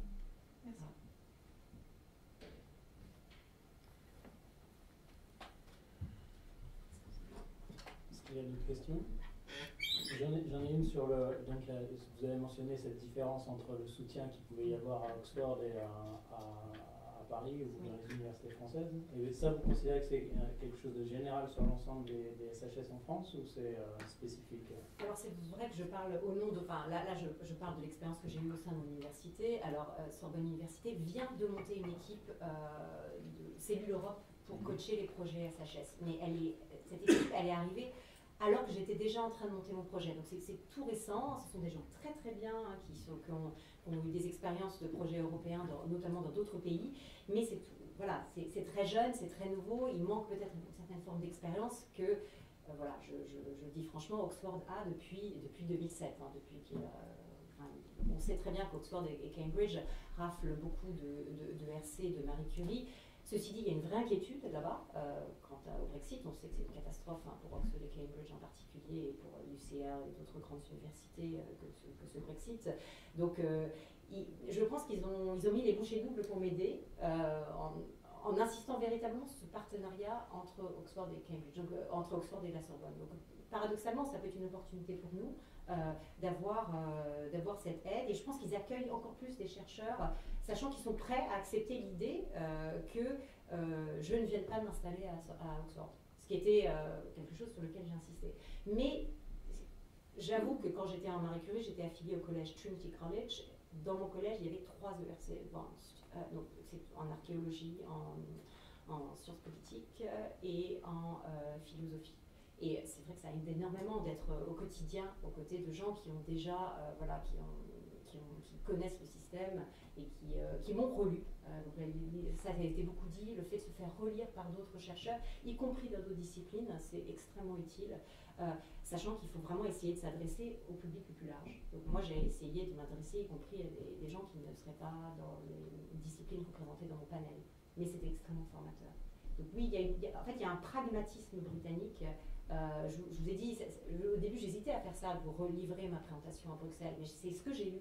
Et c'est très très utile parce qu'on voit exactement la manière de construire. Cinq minutes, il faut dire l'essentiel, et j'espère que vous avez compris mon projet, parce que c'était- un petit peu mon but, et j'en suis certaine. Et ça, j'ai voilà, des collègues en, philosophie euh, euh, byzantine qui m'ont présenté leur projet, et j'ai- compris que les projets que je comprenais étaient ceux qui, étaient, qui étaient les meilleurs, et qui étaient ceux que le RC était prêt à financer, parce que c'est des projets qui doivent aller au-delà du strict champ disciplinaire, qui doivent être vraiment frontier. Et Oxford, est, par la structure même d'Oxford, qui est interdisciplinaire, fédérale, qui, où toutes les disciplines, sciences dures, euh, euh, sciences humaines sont mêlées, euh, permettent ce genre d'échange et de circulation d'idées. Là où je pense qu'on doit encore un peu travailler là-dessus euh, en France. Très bien. D'autres questions? Oui.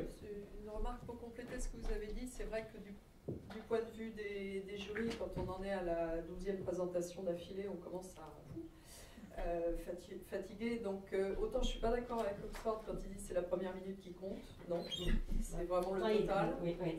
Mais par contre, d'avoir des flashs Mm. de respiration, d'une une petite pointe d'humour sur le mauve ou euh, quelque chose, ça vous aide à mémoriser.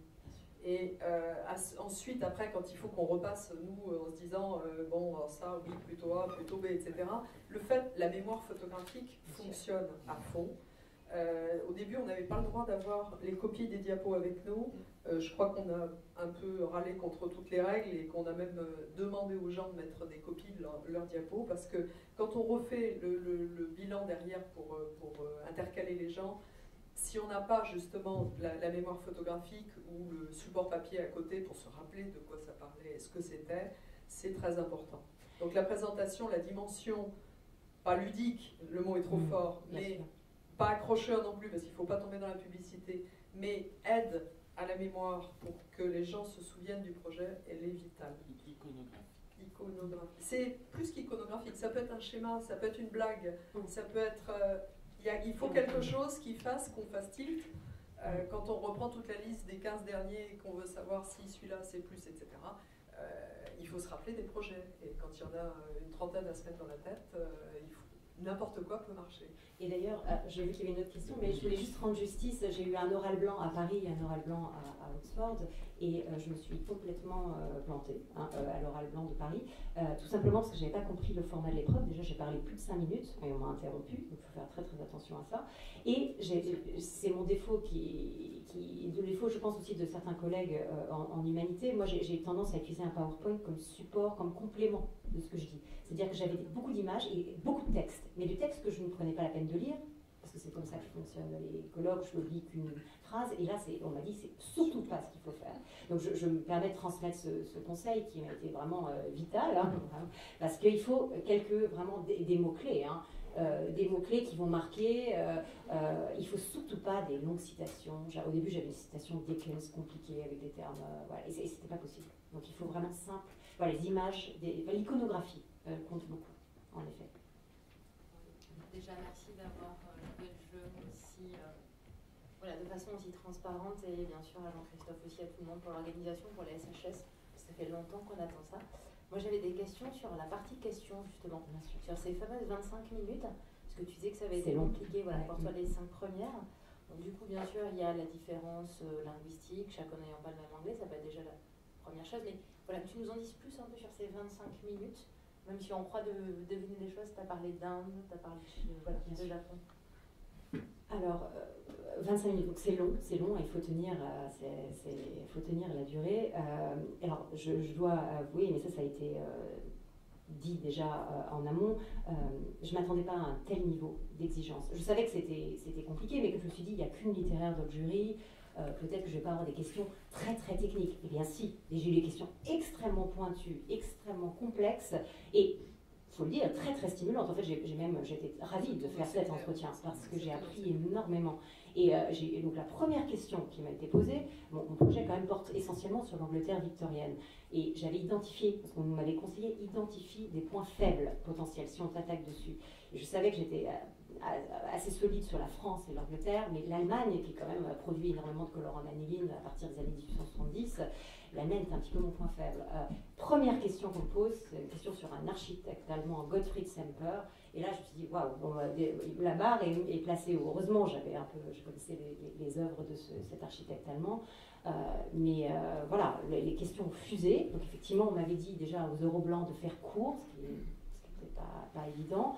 Donc des réponses euh, assez, euh, assez pointues. La question sur le Japon était intéressante euh, parce qu'on l'avait déjà posée en fait à, l'oral blanc. On m'a dit, et pourquoi vous devez aller au Japon dans votre projet? Parce que j'ai mis effectivement que je voulais aller au Japon. On m'avait conseillé de bien préciser tous les endroits où je devais aller pour justifier effectivement les fonds dont j'avais besoin.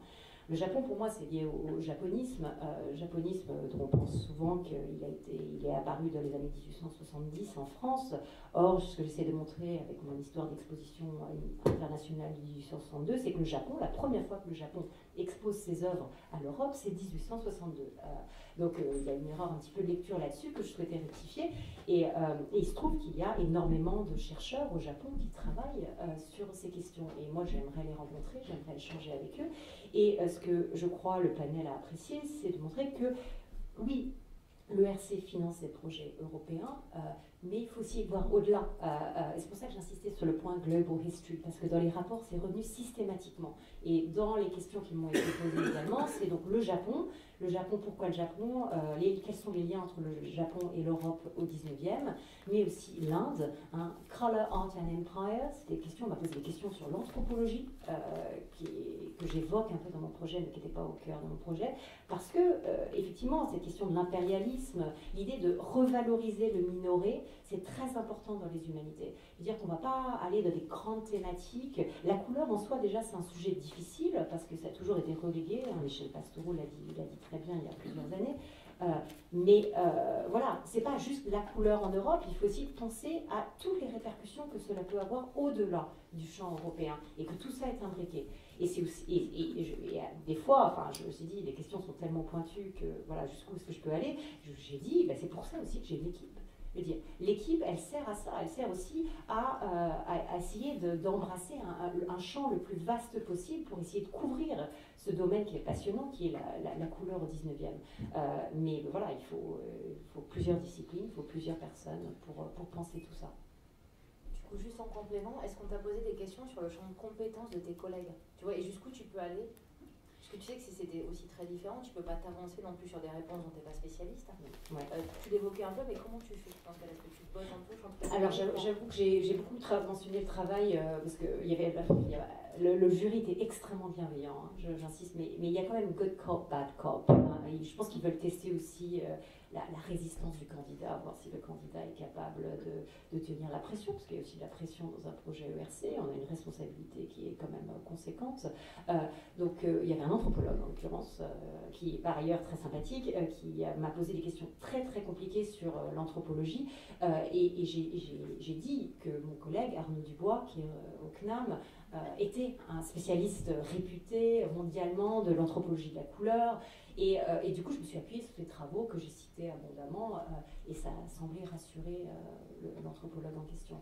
Donc euh, oui, oui, mais je ne pouvais pas non plus euh, parler à la place de mes collègues, donc il faut trouver un équilibre pour... Il ne faut pas hésiter à dire ça. Je... voilà, exactement. Ça, je ne connais pas. oh, voilà, exactement. Tout à fait. Très bien. Ben, merci. Euh, Merci à vous. Donc je voulais vous, remercier pour euh, l'invitation et aussi de m'avoir permis de, de nouveau de fréquenter des lauréats ou lauréates de l'ERC, parce que c'est, un des privilèges de, ma fonction. Euh, ce qui m'intéresse toujours, c'est l'extrême diversité des situations, l'extrême diversité des approches. euh, et la seule façon dont on arrive à le faire à l'ERC, c'est que évidemment le- tout le pouvoir est donné au panel. Donc du coup, la localisation, enfin thématique, méthodologique, etc., elle est faite par les panels. Et nous, au niveau du conseil scientifique, euh, effectivement, on a la responsabilité de choisir les membres des panels, ce qui est un travail pas complètement banal, puisqu'on doit trouver 500 personnes par an, pas complètement au hasard, comme vous imaginez, puisqu'on doit const- constituer des ensembles vraiment hein, qui ont une certaine cohérence, mais une certaine diversité en même temps. Et, et donc, euh, ça, c'est une des choses fondamentales pour le RC, c'est que le pouvoir est donné au panel. C'est-à-dire qu'une fois qu'ils sont nommés, c'est eux qui sont responsables et on n'intervient jamais. Mais peut-être ça me donne l'occasion, et je vais finir là-dessus, euh, de dire que justement le, la, le- la session de travail que- à laquelle euh, Isabelle a participé, les 22, le 20 le 21 22 février, où on avait réuni toutes les panel chairs de 2017-2018, euh, donc euh, 150 personnes à peu près, a été pour nous une occasion de tester des évaluations, des évolutions pardon, éventuellement considérables de- des méthodes de- d'évaluation. Ce qui m'a frappé, euh, Isabelle le prendra pas mal, c'est la résistance incroyable des collègues qui étaient là à tout changement. Euh, J'étais assez sidéré. Bon, je sais que le monde euh, académique, dans lequel je me reconnais tout à fait, est d'un conservatisme bien connu. En tout cas, là, c'était spectaculaire. Alors, le premier argument était quand même bon, c'était de dire Mais pourquoi vous voulez changer quelque chose qui marche Qui est bon, plutôt rassurant en ce qui nous concerne. Mais la vraie raison, c'est qu'il y a vraiment des, défis. Par exemple, celui du fait que pour le moment, on n'a pas résolu correctement la question de l'interdisciplinarité et qu'on a essayé diverses choses, mais chaque fois on continue à avoir un décalage, et ça c'est pas normal, et il faut qu'on arrive à évoluer.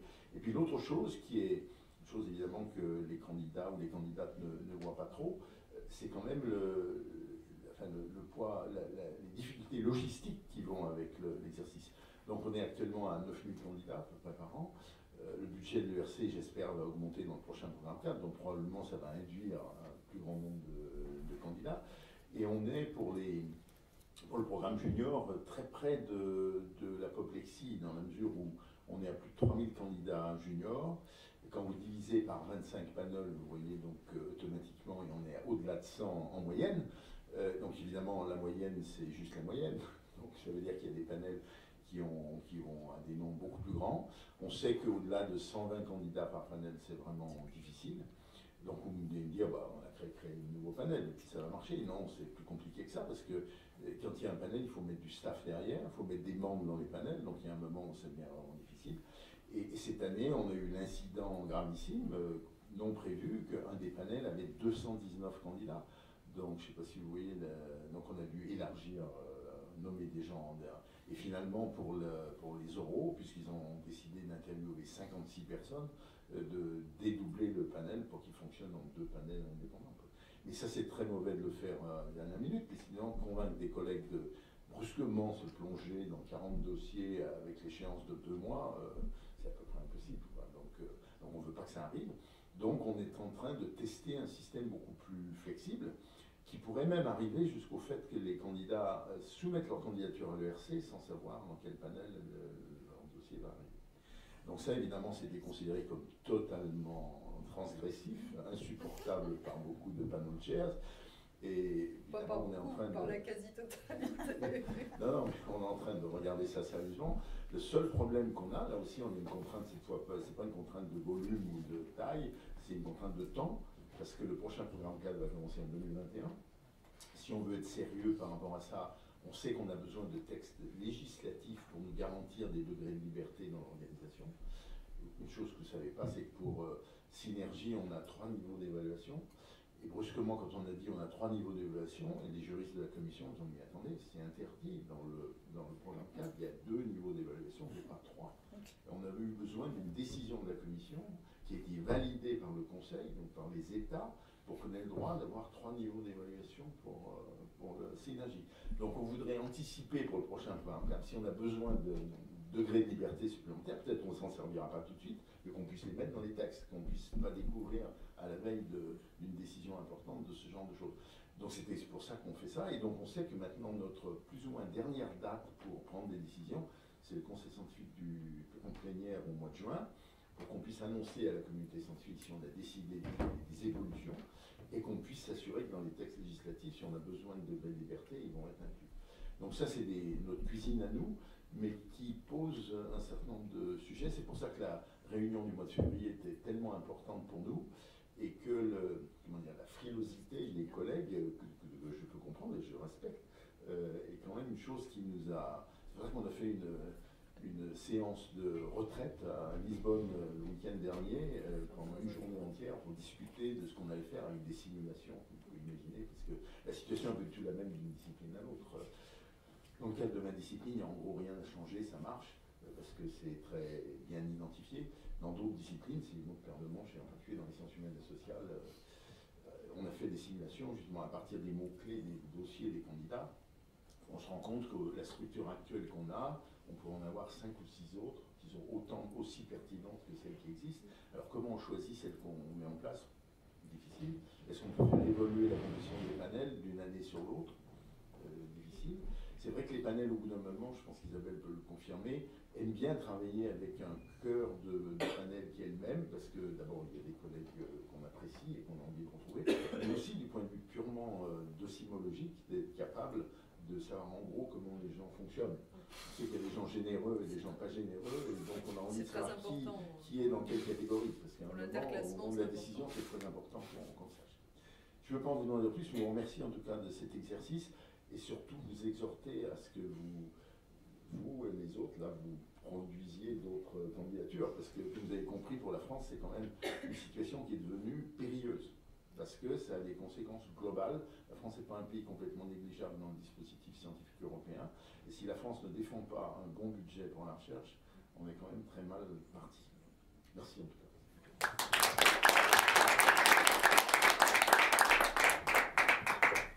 Oui, donc juste pour, euh, conclure euh, un dernier mot, donc euh, ce qui est prévu, a priori, c'est que les, transparents des présentations, donc pour, les intervenants qui, l'acceptent, seront mis à disposition probablement sur le site de l'IUF.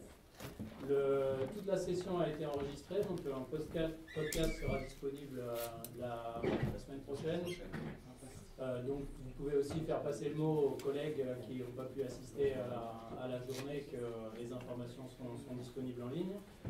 Euh, au niveau d'organisation, du coup, je voudrais remercier Nicole, Marc-Antoine et Augustine pour tout le, soutien sur, le, sur, le, sur l'organisation de la journée. Une petite conclusion aussi juste au niveau de, des prochaines séances ou sessions qu'on peut faire.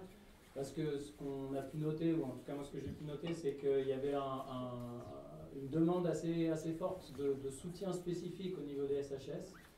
Euh, et donc euh, peut-être que la prochaine, la prochaine séance ou session qu'on colloque qu'on organisera, euh, peut-être qu'une idée ce serait de le focaliser spécifiquement sur, sur les, moyens qu'on peut mettre en œuvre pour le, soutien aux, candidats possibles en SHS euh, tout en continuant après, évidemment, de fournir du soutien aux, candidats des autres, euh, des autres disciplines. Euh, voilà, bah, je vous remercie, j'espère que ça a été utile pour tout le monde, et, euh, et ben, à la prochaine fois, du coup.